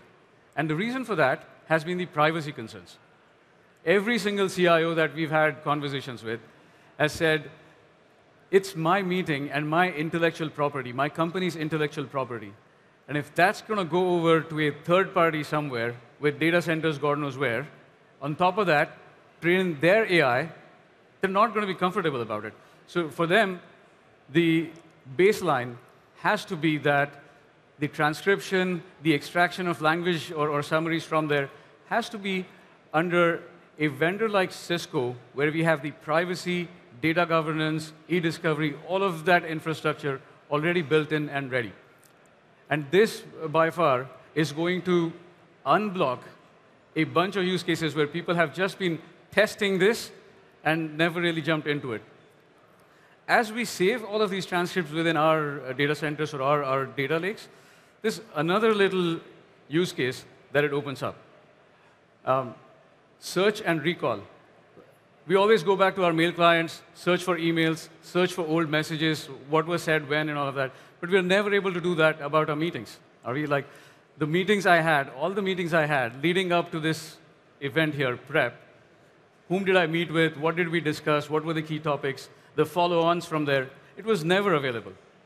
With this, people are able to extract highlights, then edit the, the key points captured by WebEx Assistant, and then share with others, and then search, search through the history. So this almost makes all of our meetings as meetings in the Evernote, if, you, if any of you use uh, Evernote. Um, the skills keep going, growing, and as I said, the interesting scale, Sandeep alluded to it, is the conference room booking problem. How many of you work in open floor plan environments over here? More and more of us are doing that, and the most common scenario, three or four of us get together, we're walking about, can we find a room? Can we find a room? and you find one unoccupied one, and you want to lock it down. You want to get it, right? There's no easy way today to get. You're, you're then going to fumble in your Outlook and try to see the availability and all of that. As opposed to that, talk to the endpoint over there, reserve this room for the next 60 minutes. After you reserve it for 60 minutes, sure enough, there are going to be times when you're running over. You see that you're not wrapping up. Tell the WebEx device to say, extend the booking by another 30 minutes all of these skills uh, that we're talking about, the one common theme you'll notice going forward is whether it's our mobile apps, desktop apps, or the devices, all of these things are showing up concurrently. We're not solving problems differently in all of these uh, different things. And the reason for that is finally all of our infrastructure, whether it's meetings, calling, messaging, intelligence, it ties together in a single WebEx platform. The way the, the way the picture describes, it's very clear. On the one hand, you have the experience centers, the same experience delivered, whether it's web, mobile, desktop, Cisco devices, third-party devices, the same flexibility of deployment. It could be in the cloud. There are cases when it makes sense to go hybrid, or it could be on-prem. And then on the other end, it's as open as open can be every single software tool your workforce might be using, be it Microsoft, Google, Salesforce, and thousands of workflow apps, we integrate with them at a platform level. What that means is if you're using WebEx meetings, you'll benefit there. If you're using WebEx Teams, you'll benefit over there. And this has been uh, uh, fairly uh, involved work for the past 12 to 18 months. We've really, really been conscious about pulling it together as a platform. But the endeavor for 2020 is the unified client. And there's a very good reasoning behind that. Having a single platform um, only solves half the problem. Um, so many times, Cisco and others have tried to solve this as we're going to build that one Uber client, which you're going to uh, use for doing everything. But the problem with that is nobody is going to embrace that one client for doing everything when you've got a platform chosen for messaging, some other platform chosen for maybe calling. And that kind of makes the getting started or adoption difficult. And that's why it's, it's not really unified. Actually, the keyword here is modular. The app is becoming modular in that the same WebEx app could be used in the messaging only mode, in the meetings only mode, calling only mode, and we won't stop there, even in a device companion mode. And the reason for that is uh, everything you do in your apps and you're walking about in your open offices, it only comes to life when you pair it with an intelligent WebEx device. More on that, Sandeep? Thank you very much, uh, Amit. That was fantastic. And you know, no event at Cisco Live will go without us making some incredible announcements of our device portfolio. And I want to talk you now through one of the devices which is my favorite. I call it the Instant Office because it transforms how you think about the modern workplace, bringing intelligence absolutely across every part of how you think about experiences. So let's go ahead and roll with a little video. Can we roll with the video, please?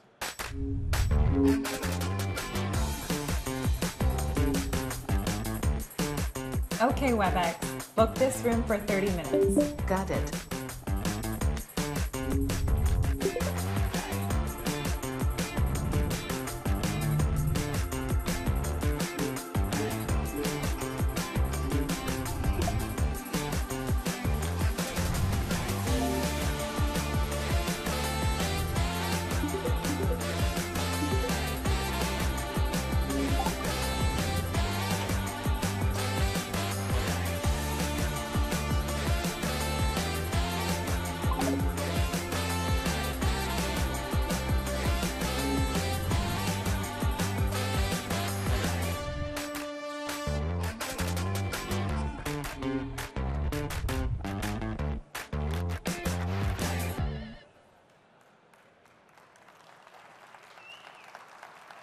The WebEx Desk Pro, 27-inch 4K amazing display, intelligence built, built into every part of the experiences that you have from this device.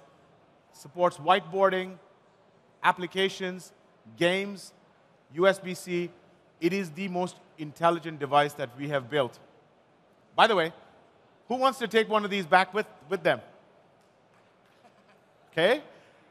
You're in for a surprise. We are actually giving these away. We call it spin it to win it. Go to the world of solutions, spin one of the wheels, and you could actually win one of these and take it back with you. The Instant Office. Next, I want to talk to you about something that you have been pushing us very hard. Thank you very much for really adopting Huddle in your workplace. The RoomKit Mini, it's been a fantastic success. We provide incredible manageability. But you told us you want us to even help you go into those smaller spaces, start small, and then start thinking about going really big. Well, introducing for the first time is the WebEx Room USB. Incredible device because you bring in your laptop, plug it in, and now with any meeting client, have rich, very engaging video. It has a premium sound, wireless sharing. Yes, you can share content. And it also has a remote. So really making it super simple to bring it across, start small and bring it across all those different spaces. And here's the other thing. We are the first in industry to also allow for an upgrade path. So as you start thinking then of bringing it into all the other spaces and have manageability. Very important. When you've got 100 of these devices across your different floor plan, you want to manage them at scale from a single pane of glass. Yes, with the Room, RoomKit Mini and the entire portfolio that we have, we will help you manage it at scale. So industry first in terms of providing this up, easy upgrade path and making this transition. I also want to talk about something that you've been with us on, on this journey the last couple of years. I'm so pleased to talk to you about the WebEx board because we started this journey a few years ago. It is something we are truly delivering in terms of the tablet on the wall. It is for business. It is incredible for communication, for video, whiteboarding, but the same device can have applications, Trello, O365, Jira, and yes, even games. So drive engagement on this particular device across the entire workplace. And in recognition of all the great effort that we've done, you know, we've had industry analysts. Wainhouse just published a report as of yesterday, just talking about the fact that the WebEx board is the most sophisticated, complete solution in terms of driving engagement across the workplace. So I really want you to try the WebEx board, get familiar with it. It is going to drive engagement across your workplace. Lastly, you have been pounding the table and telling us to think, rethink and reimagine immersive in the new, in the new age. How many of you had a chance to take a look at WebEx Room Panorama? Our new immersive for the modern C-suite. This is going to win hearts and minds of every C-suite and every boardroom. Please take a look at it at the World of Solutions. We've got an incredible demo, and I believe that this will really drive in, you know, some amazing moments with all these different board, boardrooms and C-suite. For that matter, we've also provided incredible flexibility, which allows you to start thinking about other types of you know, ways to scale this. And let me go ahead and ask them to play the video.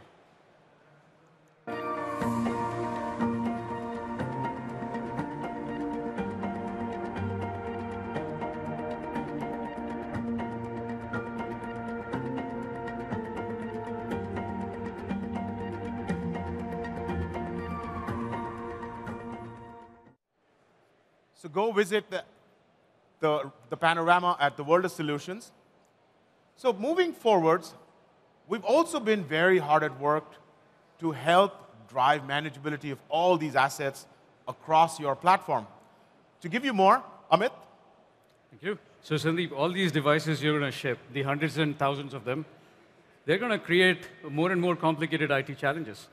And along everything, right? Management, diagnostics, analytics, all of those aspects. Um, about a year ago, this time last year, we didn't really have uh, uh, much of a game in terms of diagnostics or analytics, but we've really, really take, taken big strides in here. I think the key improvements you will see are the live or, or real-time diagnos diagnostics for all of the meetings that might be active at any given point. And to the level, the level at which we are able to uh, manifest that data, every single participant, doesn't matter mobile, um, devices, apps, right down to the packet loss, jitter, all kinds of data that a typical IT support desk would need handy when someone's complaining that a meeting is not going right. This is live, and this actually sets the foundation for how AI will help it get better going forward. Because in the coming months, we're going to have tons and tons of data collected about everywhere, of course, anonymized. But for a given uh, customer or a partner, they now a sense, have a sense for is there a particular location that was running into more reds than others? Is there a particular user or a group of users that is experiencing poor quality than others? And they could build quick correlations to actually get to some proactive steps, as in even avoid that trouble ticket call.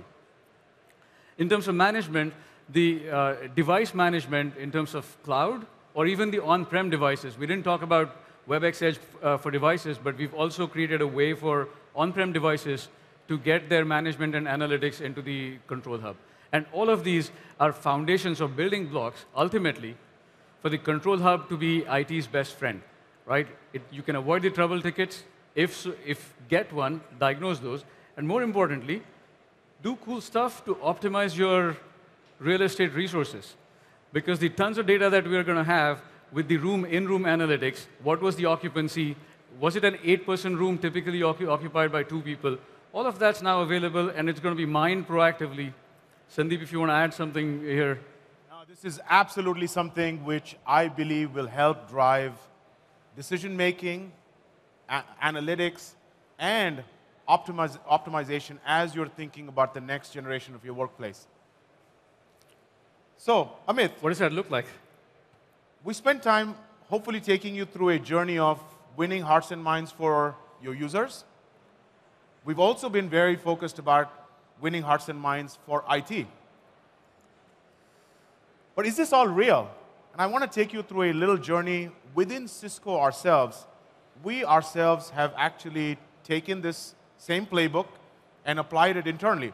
So I want to show you a little video of our office in Singapore. And this is very dear to me because actually, about a year ago, I moved to Oslo. And prior to that, I used to be based out of this office in Singapore. And when I went there to Singapore about four years ago, it wasn't the most inspiring office. It was one which was unengaging.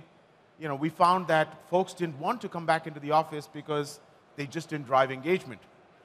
We did certain very unique things to bring back that engagement. Let's go ahead and play the video, please.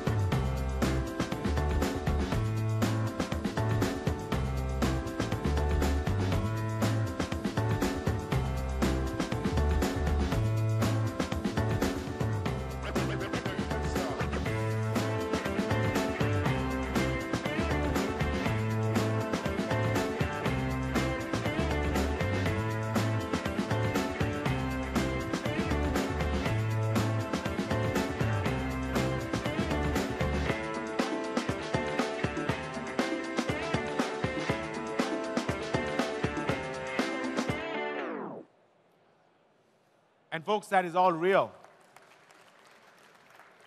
And you know what? Here's how we started tracking engagement. We now have things like we look at badge in rates. 40% increase in badge in. The people in that office, they love coming into work. We're in fact also finding that while talent retention in the past used to be a challenge, we're now getting a flurry of resumes from companies, even our competitors, they want to come and work for Cisco. And lastly, this big exercise that was done, it actually gave a massive cost saving to, uh, to the company, 12.5 million over five years. And that actually gave the opportunity to go transform that office. So a hugely powerful story.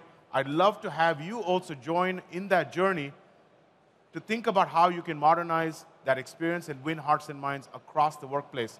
So, as I end along with Amit, whether your users are working from home, on their mobile phone, in huddle spaces, large spaces, the boardroom, we at Cisco have you covered with the most incredible capabilities to drive uh, engagement and win hearts and minds of all of those users.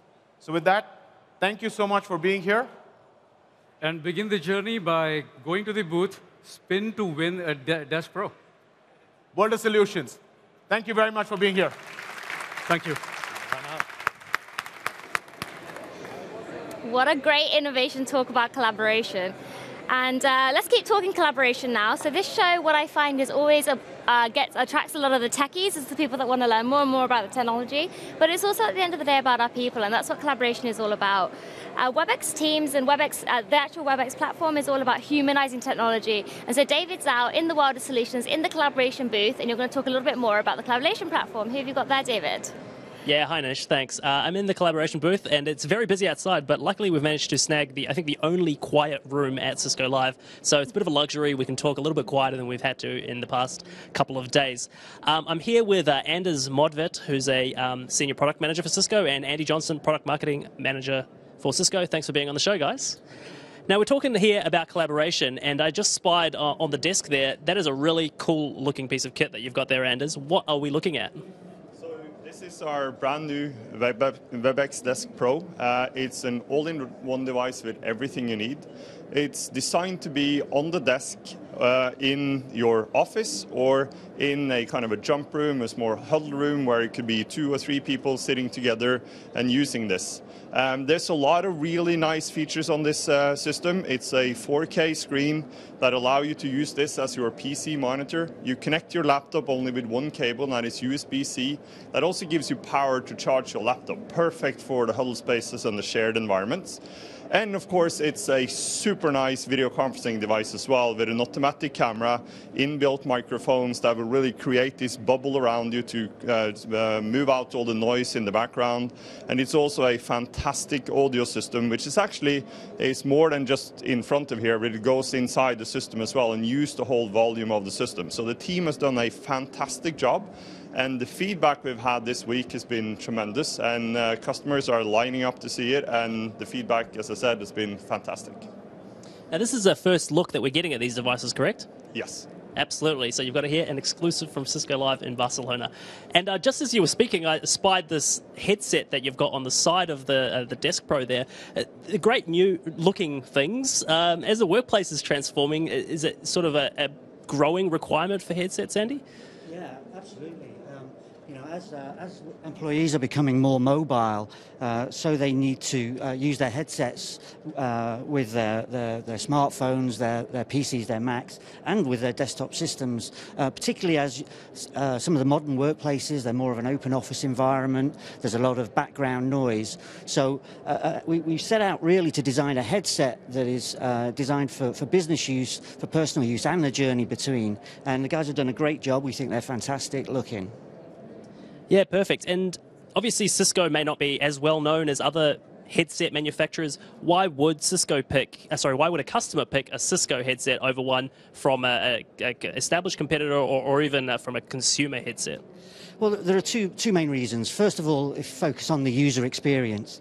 As you can see, it's a, it's a really convenient and comfortable uh, boomless design, and we've put a lot of work into the, the audio systems here uh, with uh, fantastic high-quality 40 millimeter speakers and uh, uh, a lot of um, voice honing, uh, noise cancelling, and background noise suppression in the microphone arrays on both sides here, so that you as the user of these headsets gets an amazing audio experience, but also the person you're speaking to uh, uh, gets crystal clear audio on the, on the other end of the call as well.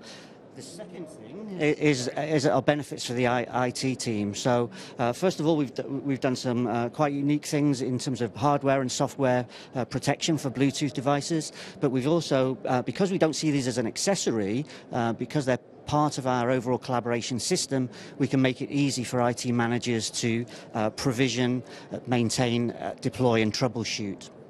Perfect. And this is all very good for the individual worker, but what have we got for the boardroom? Yes, the, uh, the good thing is that we have some fantastic news from uh, for the boardroom as well. Uh, so we're in this uh, WebEx room, panorama room here, which is actually a meeting room for the executives. It's actually solving the meeting room, allowing the people sitting here in the room to have a really good dialogue in between themselves, having a great local meeting, but at the same time be able to speak to any location around the world and get the feeling of actually being in the same room. And in the past, these kind of experiences have been kind of locked into you have to build a dedicated studio, it's dedicated furniture. So the new thing about this is that we're now bringing this super experience into the actual meeting room where people meet and sit and work. And you can have your local meeting, you can have your video meeting, or you can have your immersive video seeing all the participants on the other side at any given time at the same time and also have the presentation there. So feedback on this product here as well has been fantastic and our existing customers just love it. Perfect. So you've heard it here. A couple of great new, uh, brand new devices uh, to enable some really amazing new collaboration experiences from the collaboration team here. Um, unfortunately, it's hard to describe what these look like over video, but you definitely have to try and uh, get down to a Cisco Live to see them in person, or alternatively, you know, get in touch with your Cisco account management team, organize a demo or a tour in one of our centers. And I think uh, we're heading back to the studio with Nish. Yes, that's right, Thanks, Nish. Thank you, David. So I was taking a look at the hashtag CLEUR on Twitter, and I saw as well that the collaboration booth are giving away WebEx Pros, uh, Desk Pros, if you do take a look. So make sure you go down to the collaboration booth. But I'm here in the studio at the moment. I'm with Johan. Johan, you're our collaboration technology leader uh, here at Cisco in EMEA. How are you doing? That's right. Thank you very much for having us. I'm doing fine, thank you. Thank you for joining us. So obviously collaboration seems to have a lot of excitement around the show. We saw it in the keynote, we, we saw some demos as well. Um, and we've heard about some of the great exciting things that are coming up here, obviously from Sandeep and from Amit as well in the Innovation uh, Showcase. So how much are you seeing customers trying to transform and, and change their workplace? What are you seeing when you meet customers? We see an tremendous amount of requests coming in. You know, many of the companies, the budgets are not going up, they're rather going down, and mm -hmm. people are trying to look to productivity. How can we do more efficient operation um, in, in the business we're in? So we do see um, the, the era of knowledge is power has gone away it's now sharing is caring. So yes. if you want to do sharing is caring, obviously you need the right tools to be able to do that, to work together, either remotely or in the same office. So we see a lot of this, uh, I'd say modernize the workforce is, is a, good, uh, a good theme to summarize it in.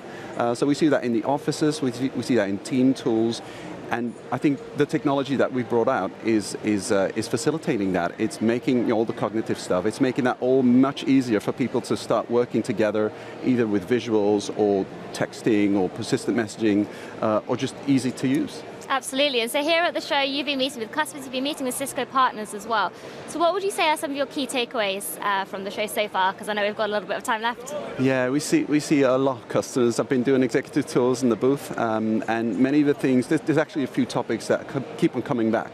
So I'd say the number one request is like, hey, this modernize, help me modernize the workforce experience, right? So with the new launch of the endpoints, the products, the Room Panorama, the Desk Pro, the RoomKit USB, that's num the number one topic I'm being asked for. And then number two, obviously, is, is our announcements with Microsoft and the CVI, the cloud uh, uh, you know, interoperability, the validation uh, with Microsoft, because pretty much every, every of our customers has got some way or form of Microsoft in their, in their workforce. And then the third one is very specific to Europe, and it's, it's really down to privacy, compliance, yes it, we're a US-based company, obviously, but you know we do have a lot of data centers, and you know, there's Brexit, and there's a, there's a few other things happening. So people just ask questions like, "Hey, how is this working with privacy, compliance? Where are your data centers, and, and how's the operation actually running?" And I heard a phrase earlier, it was collaboration without compromise, right? And I love that phrase, specifically around like the security piece of there's no compromise when you get this great single meeting platform. Um, so talking about the single collaboration platform, we're talking about calling, meeting, man, um, and device management as well. What value do customers see in all of this coming together into this single WebEx platform? So when, when I talk to the multinational customers, many of them go like, listen, we're, we're global. So we need to have a platform, one single platform that allows us to see everything. So that's, that's, a, that's a number one ask. You know, that's one of the main advantages of having one platform. Obviously having all of the workloads on this platform allows you to migrate seamlessly and we have this mantra that goes like this, cloud first, but not cloud only. So it allows us to migrate from on-prem into the cloud, so like the typical hybrid solutions. Um, obviously, as I mentioned before, the security is crucial. Absolutely. You cannot afford to be non-secure as a cloud vendor. Um, and the interoperability key uh, is, is obviously a key. Now, the last one, and that is really the ace card, is, is you, if, if you have one platform, you obviously have a lot of data. So we, have, we collect about more than 200 million QoS, quality of service, data endpoints per day on all the meetings. Wow. Imagine you could start linking that into other solutions like, hey, there's something wrong with your flow, there's some delay or some jitter or some, something not right how about automating that into your LAN, into your WAN, and making sure there's no IT ticket opened Well, that's what the, the single platform allows you to do. That's amazing. It's coming in phase, obviously, but that's the, that's the promise of a single platform. So, and also the, leveraging the power of all that data that's collecting, right? So we've talked a little bit about small business here at the show as well, um, and obviously Cisco's launched Design for Business. So obviously, I think, I mean, you can tell us a little bit more maybe about how that collaboration platform is suitable for small businesses as well, right, with the WebEx platform. So we, we, we want to make um, a, a, platform and a product and a service that is very intuitive and is, is going to be optimized from the biggest enterprise as well down to the, uh, the small and medium business. So we try and make it very intuitive, very easy to sign up, um, and, and then very easy to use, obviously. Um, so it's, it's right there from the top enterprise with all the compliance and you know, data privacy, data loss prevention, all their systems and demands, as well as down to the individual user where they can actually easily sign up and get things done. So it really is a one for all with the, That's the customization goal. as well. So uh, for those customers that are here at the show, or maybe they're taking a look and joining us online, what's the first step that they can take towards really kind of starting to learn more about the, the Cisco collaboration platform? Nish, thank you for that question. I, I love that question because I get a lot like, yeah, I'm sold. Now where, what? Where, now what? Where do we go? So it's just it's super easy. Go on, on webex.com and sign up for a WebEx Teams account. It comes with a lot of free, uh, we call this uh, the freemium model, right? A lot of features. You don't need to pay for anything. It just, it's just there for you to use.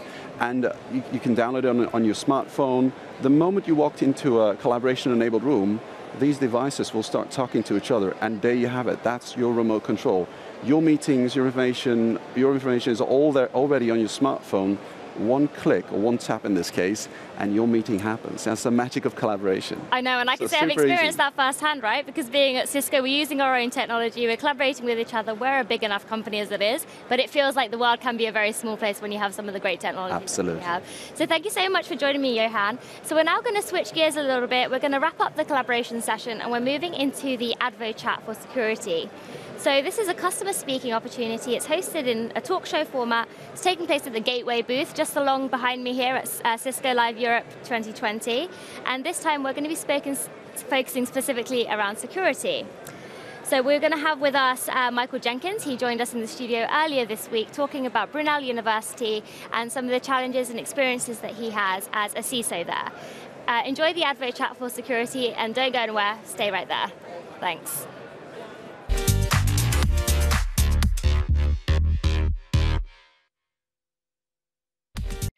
Fire.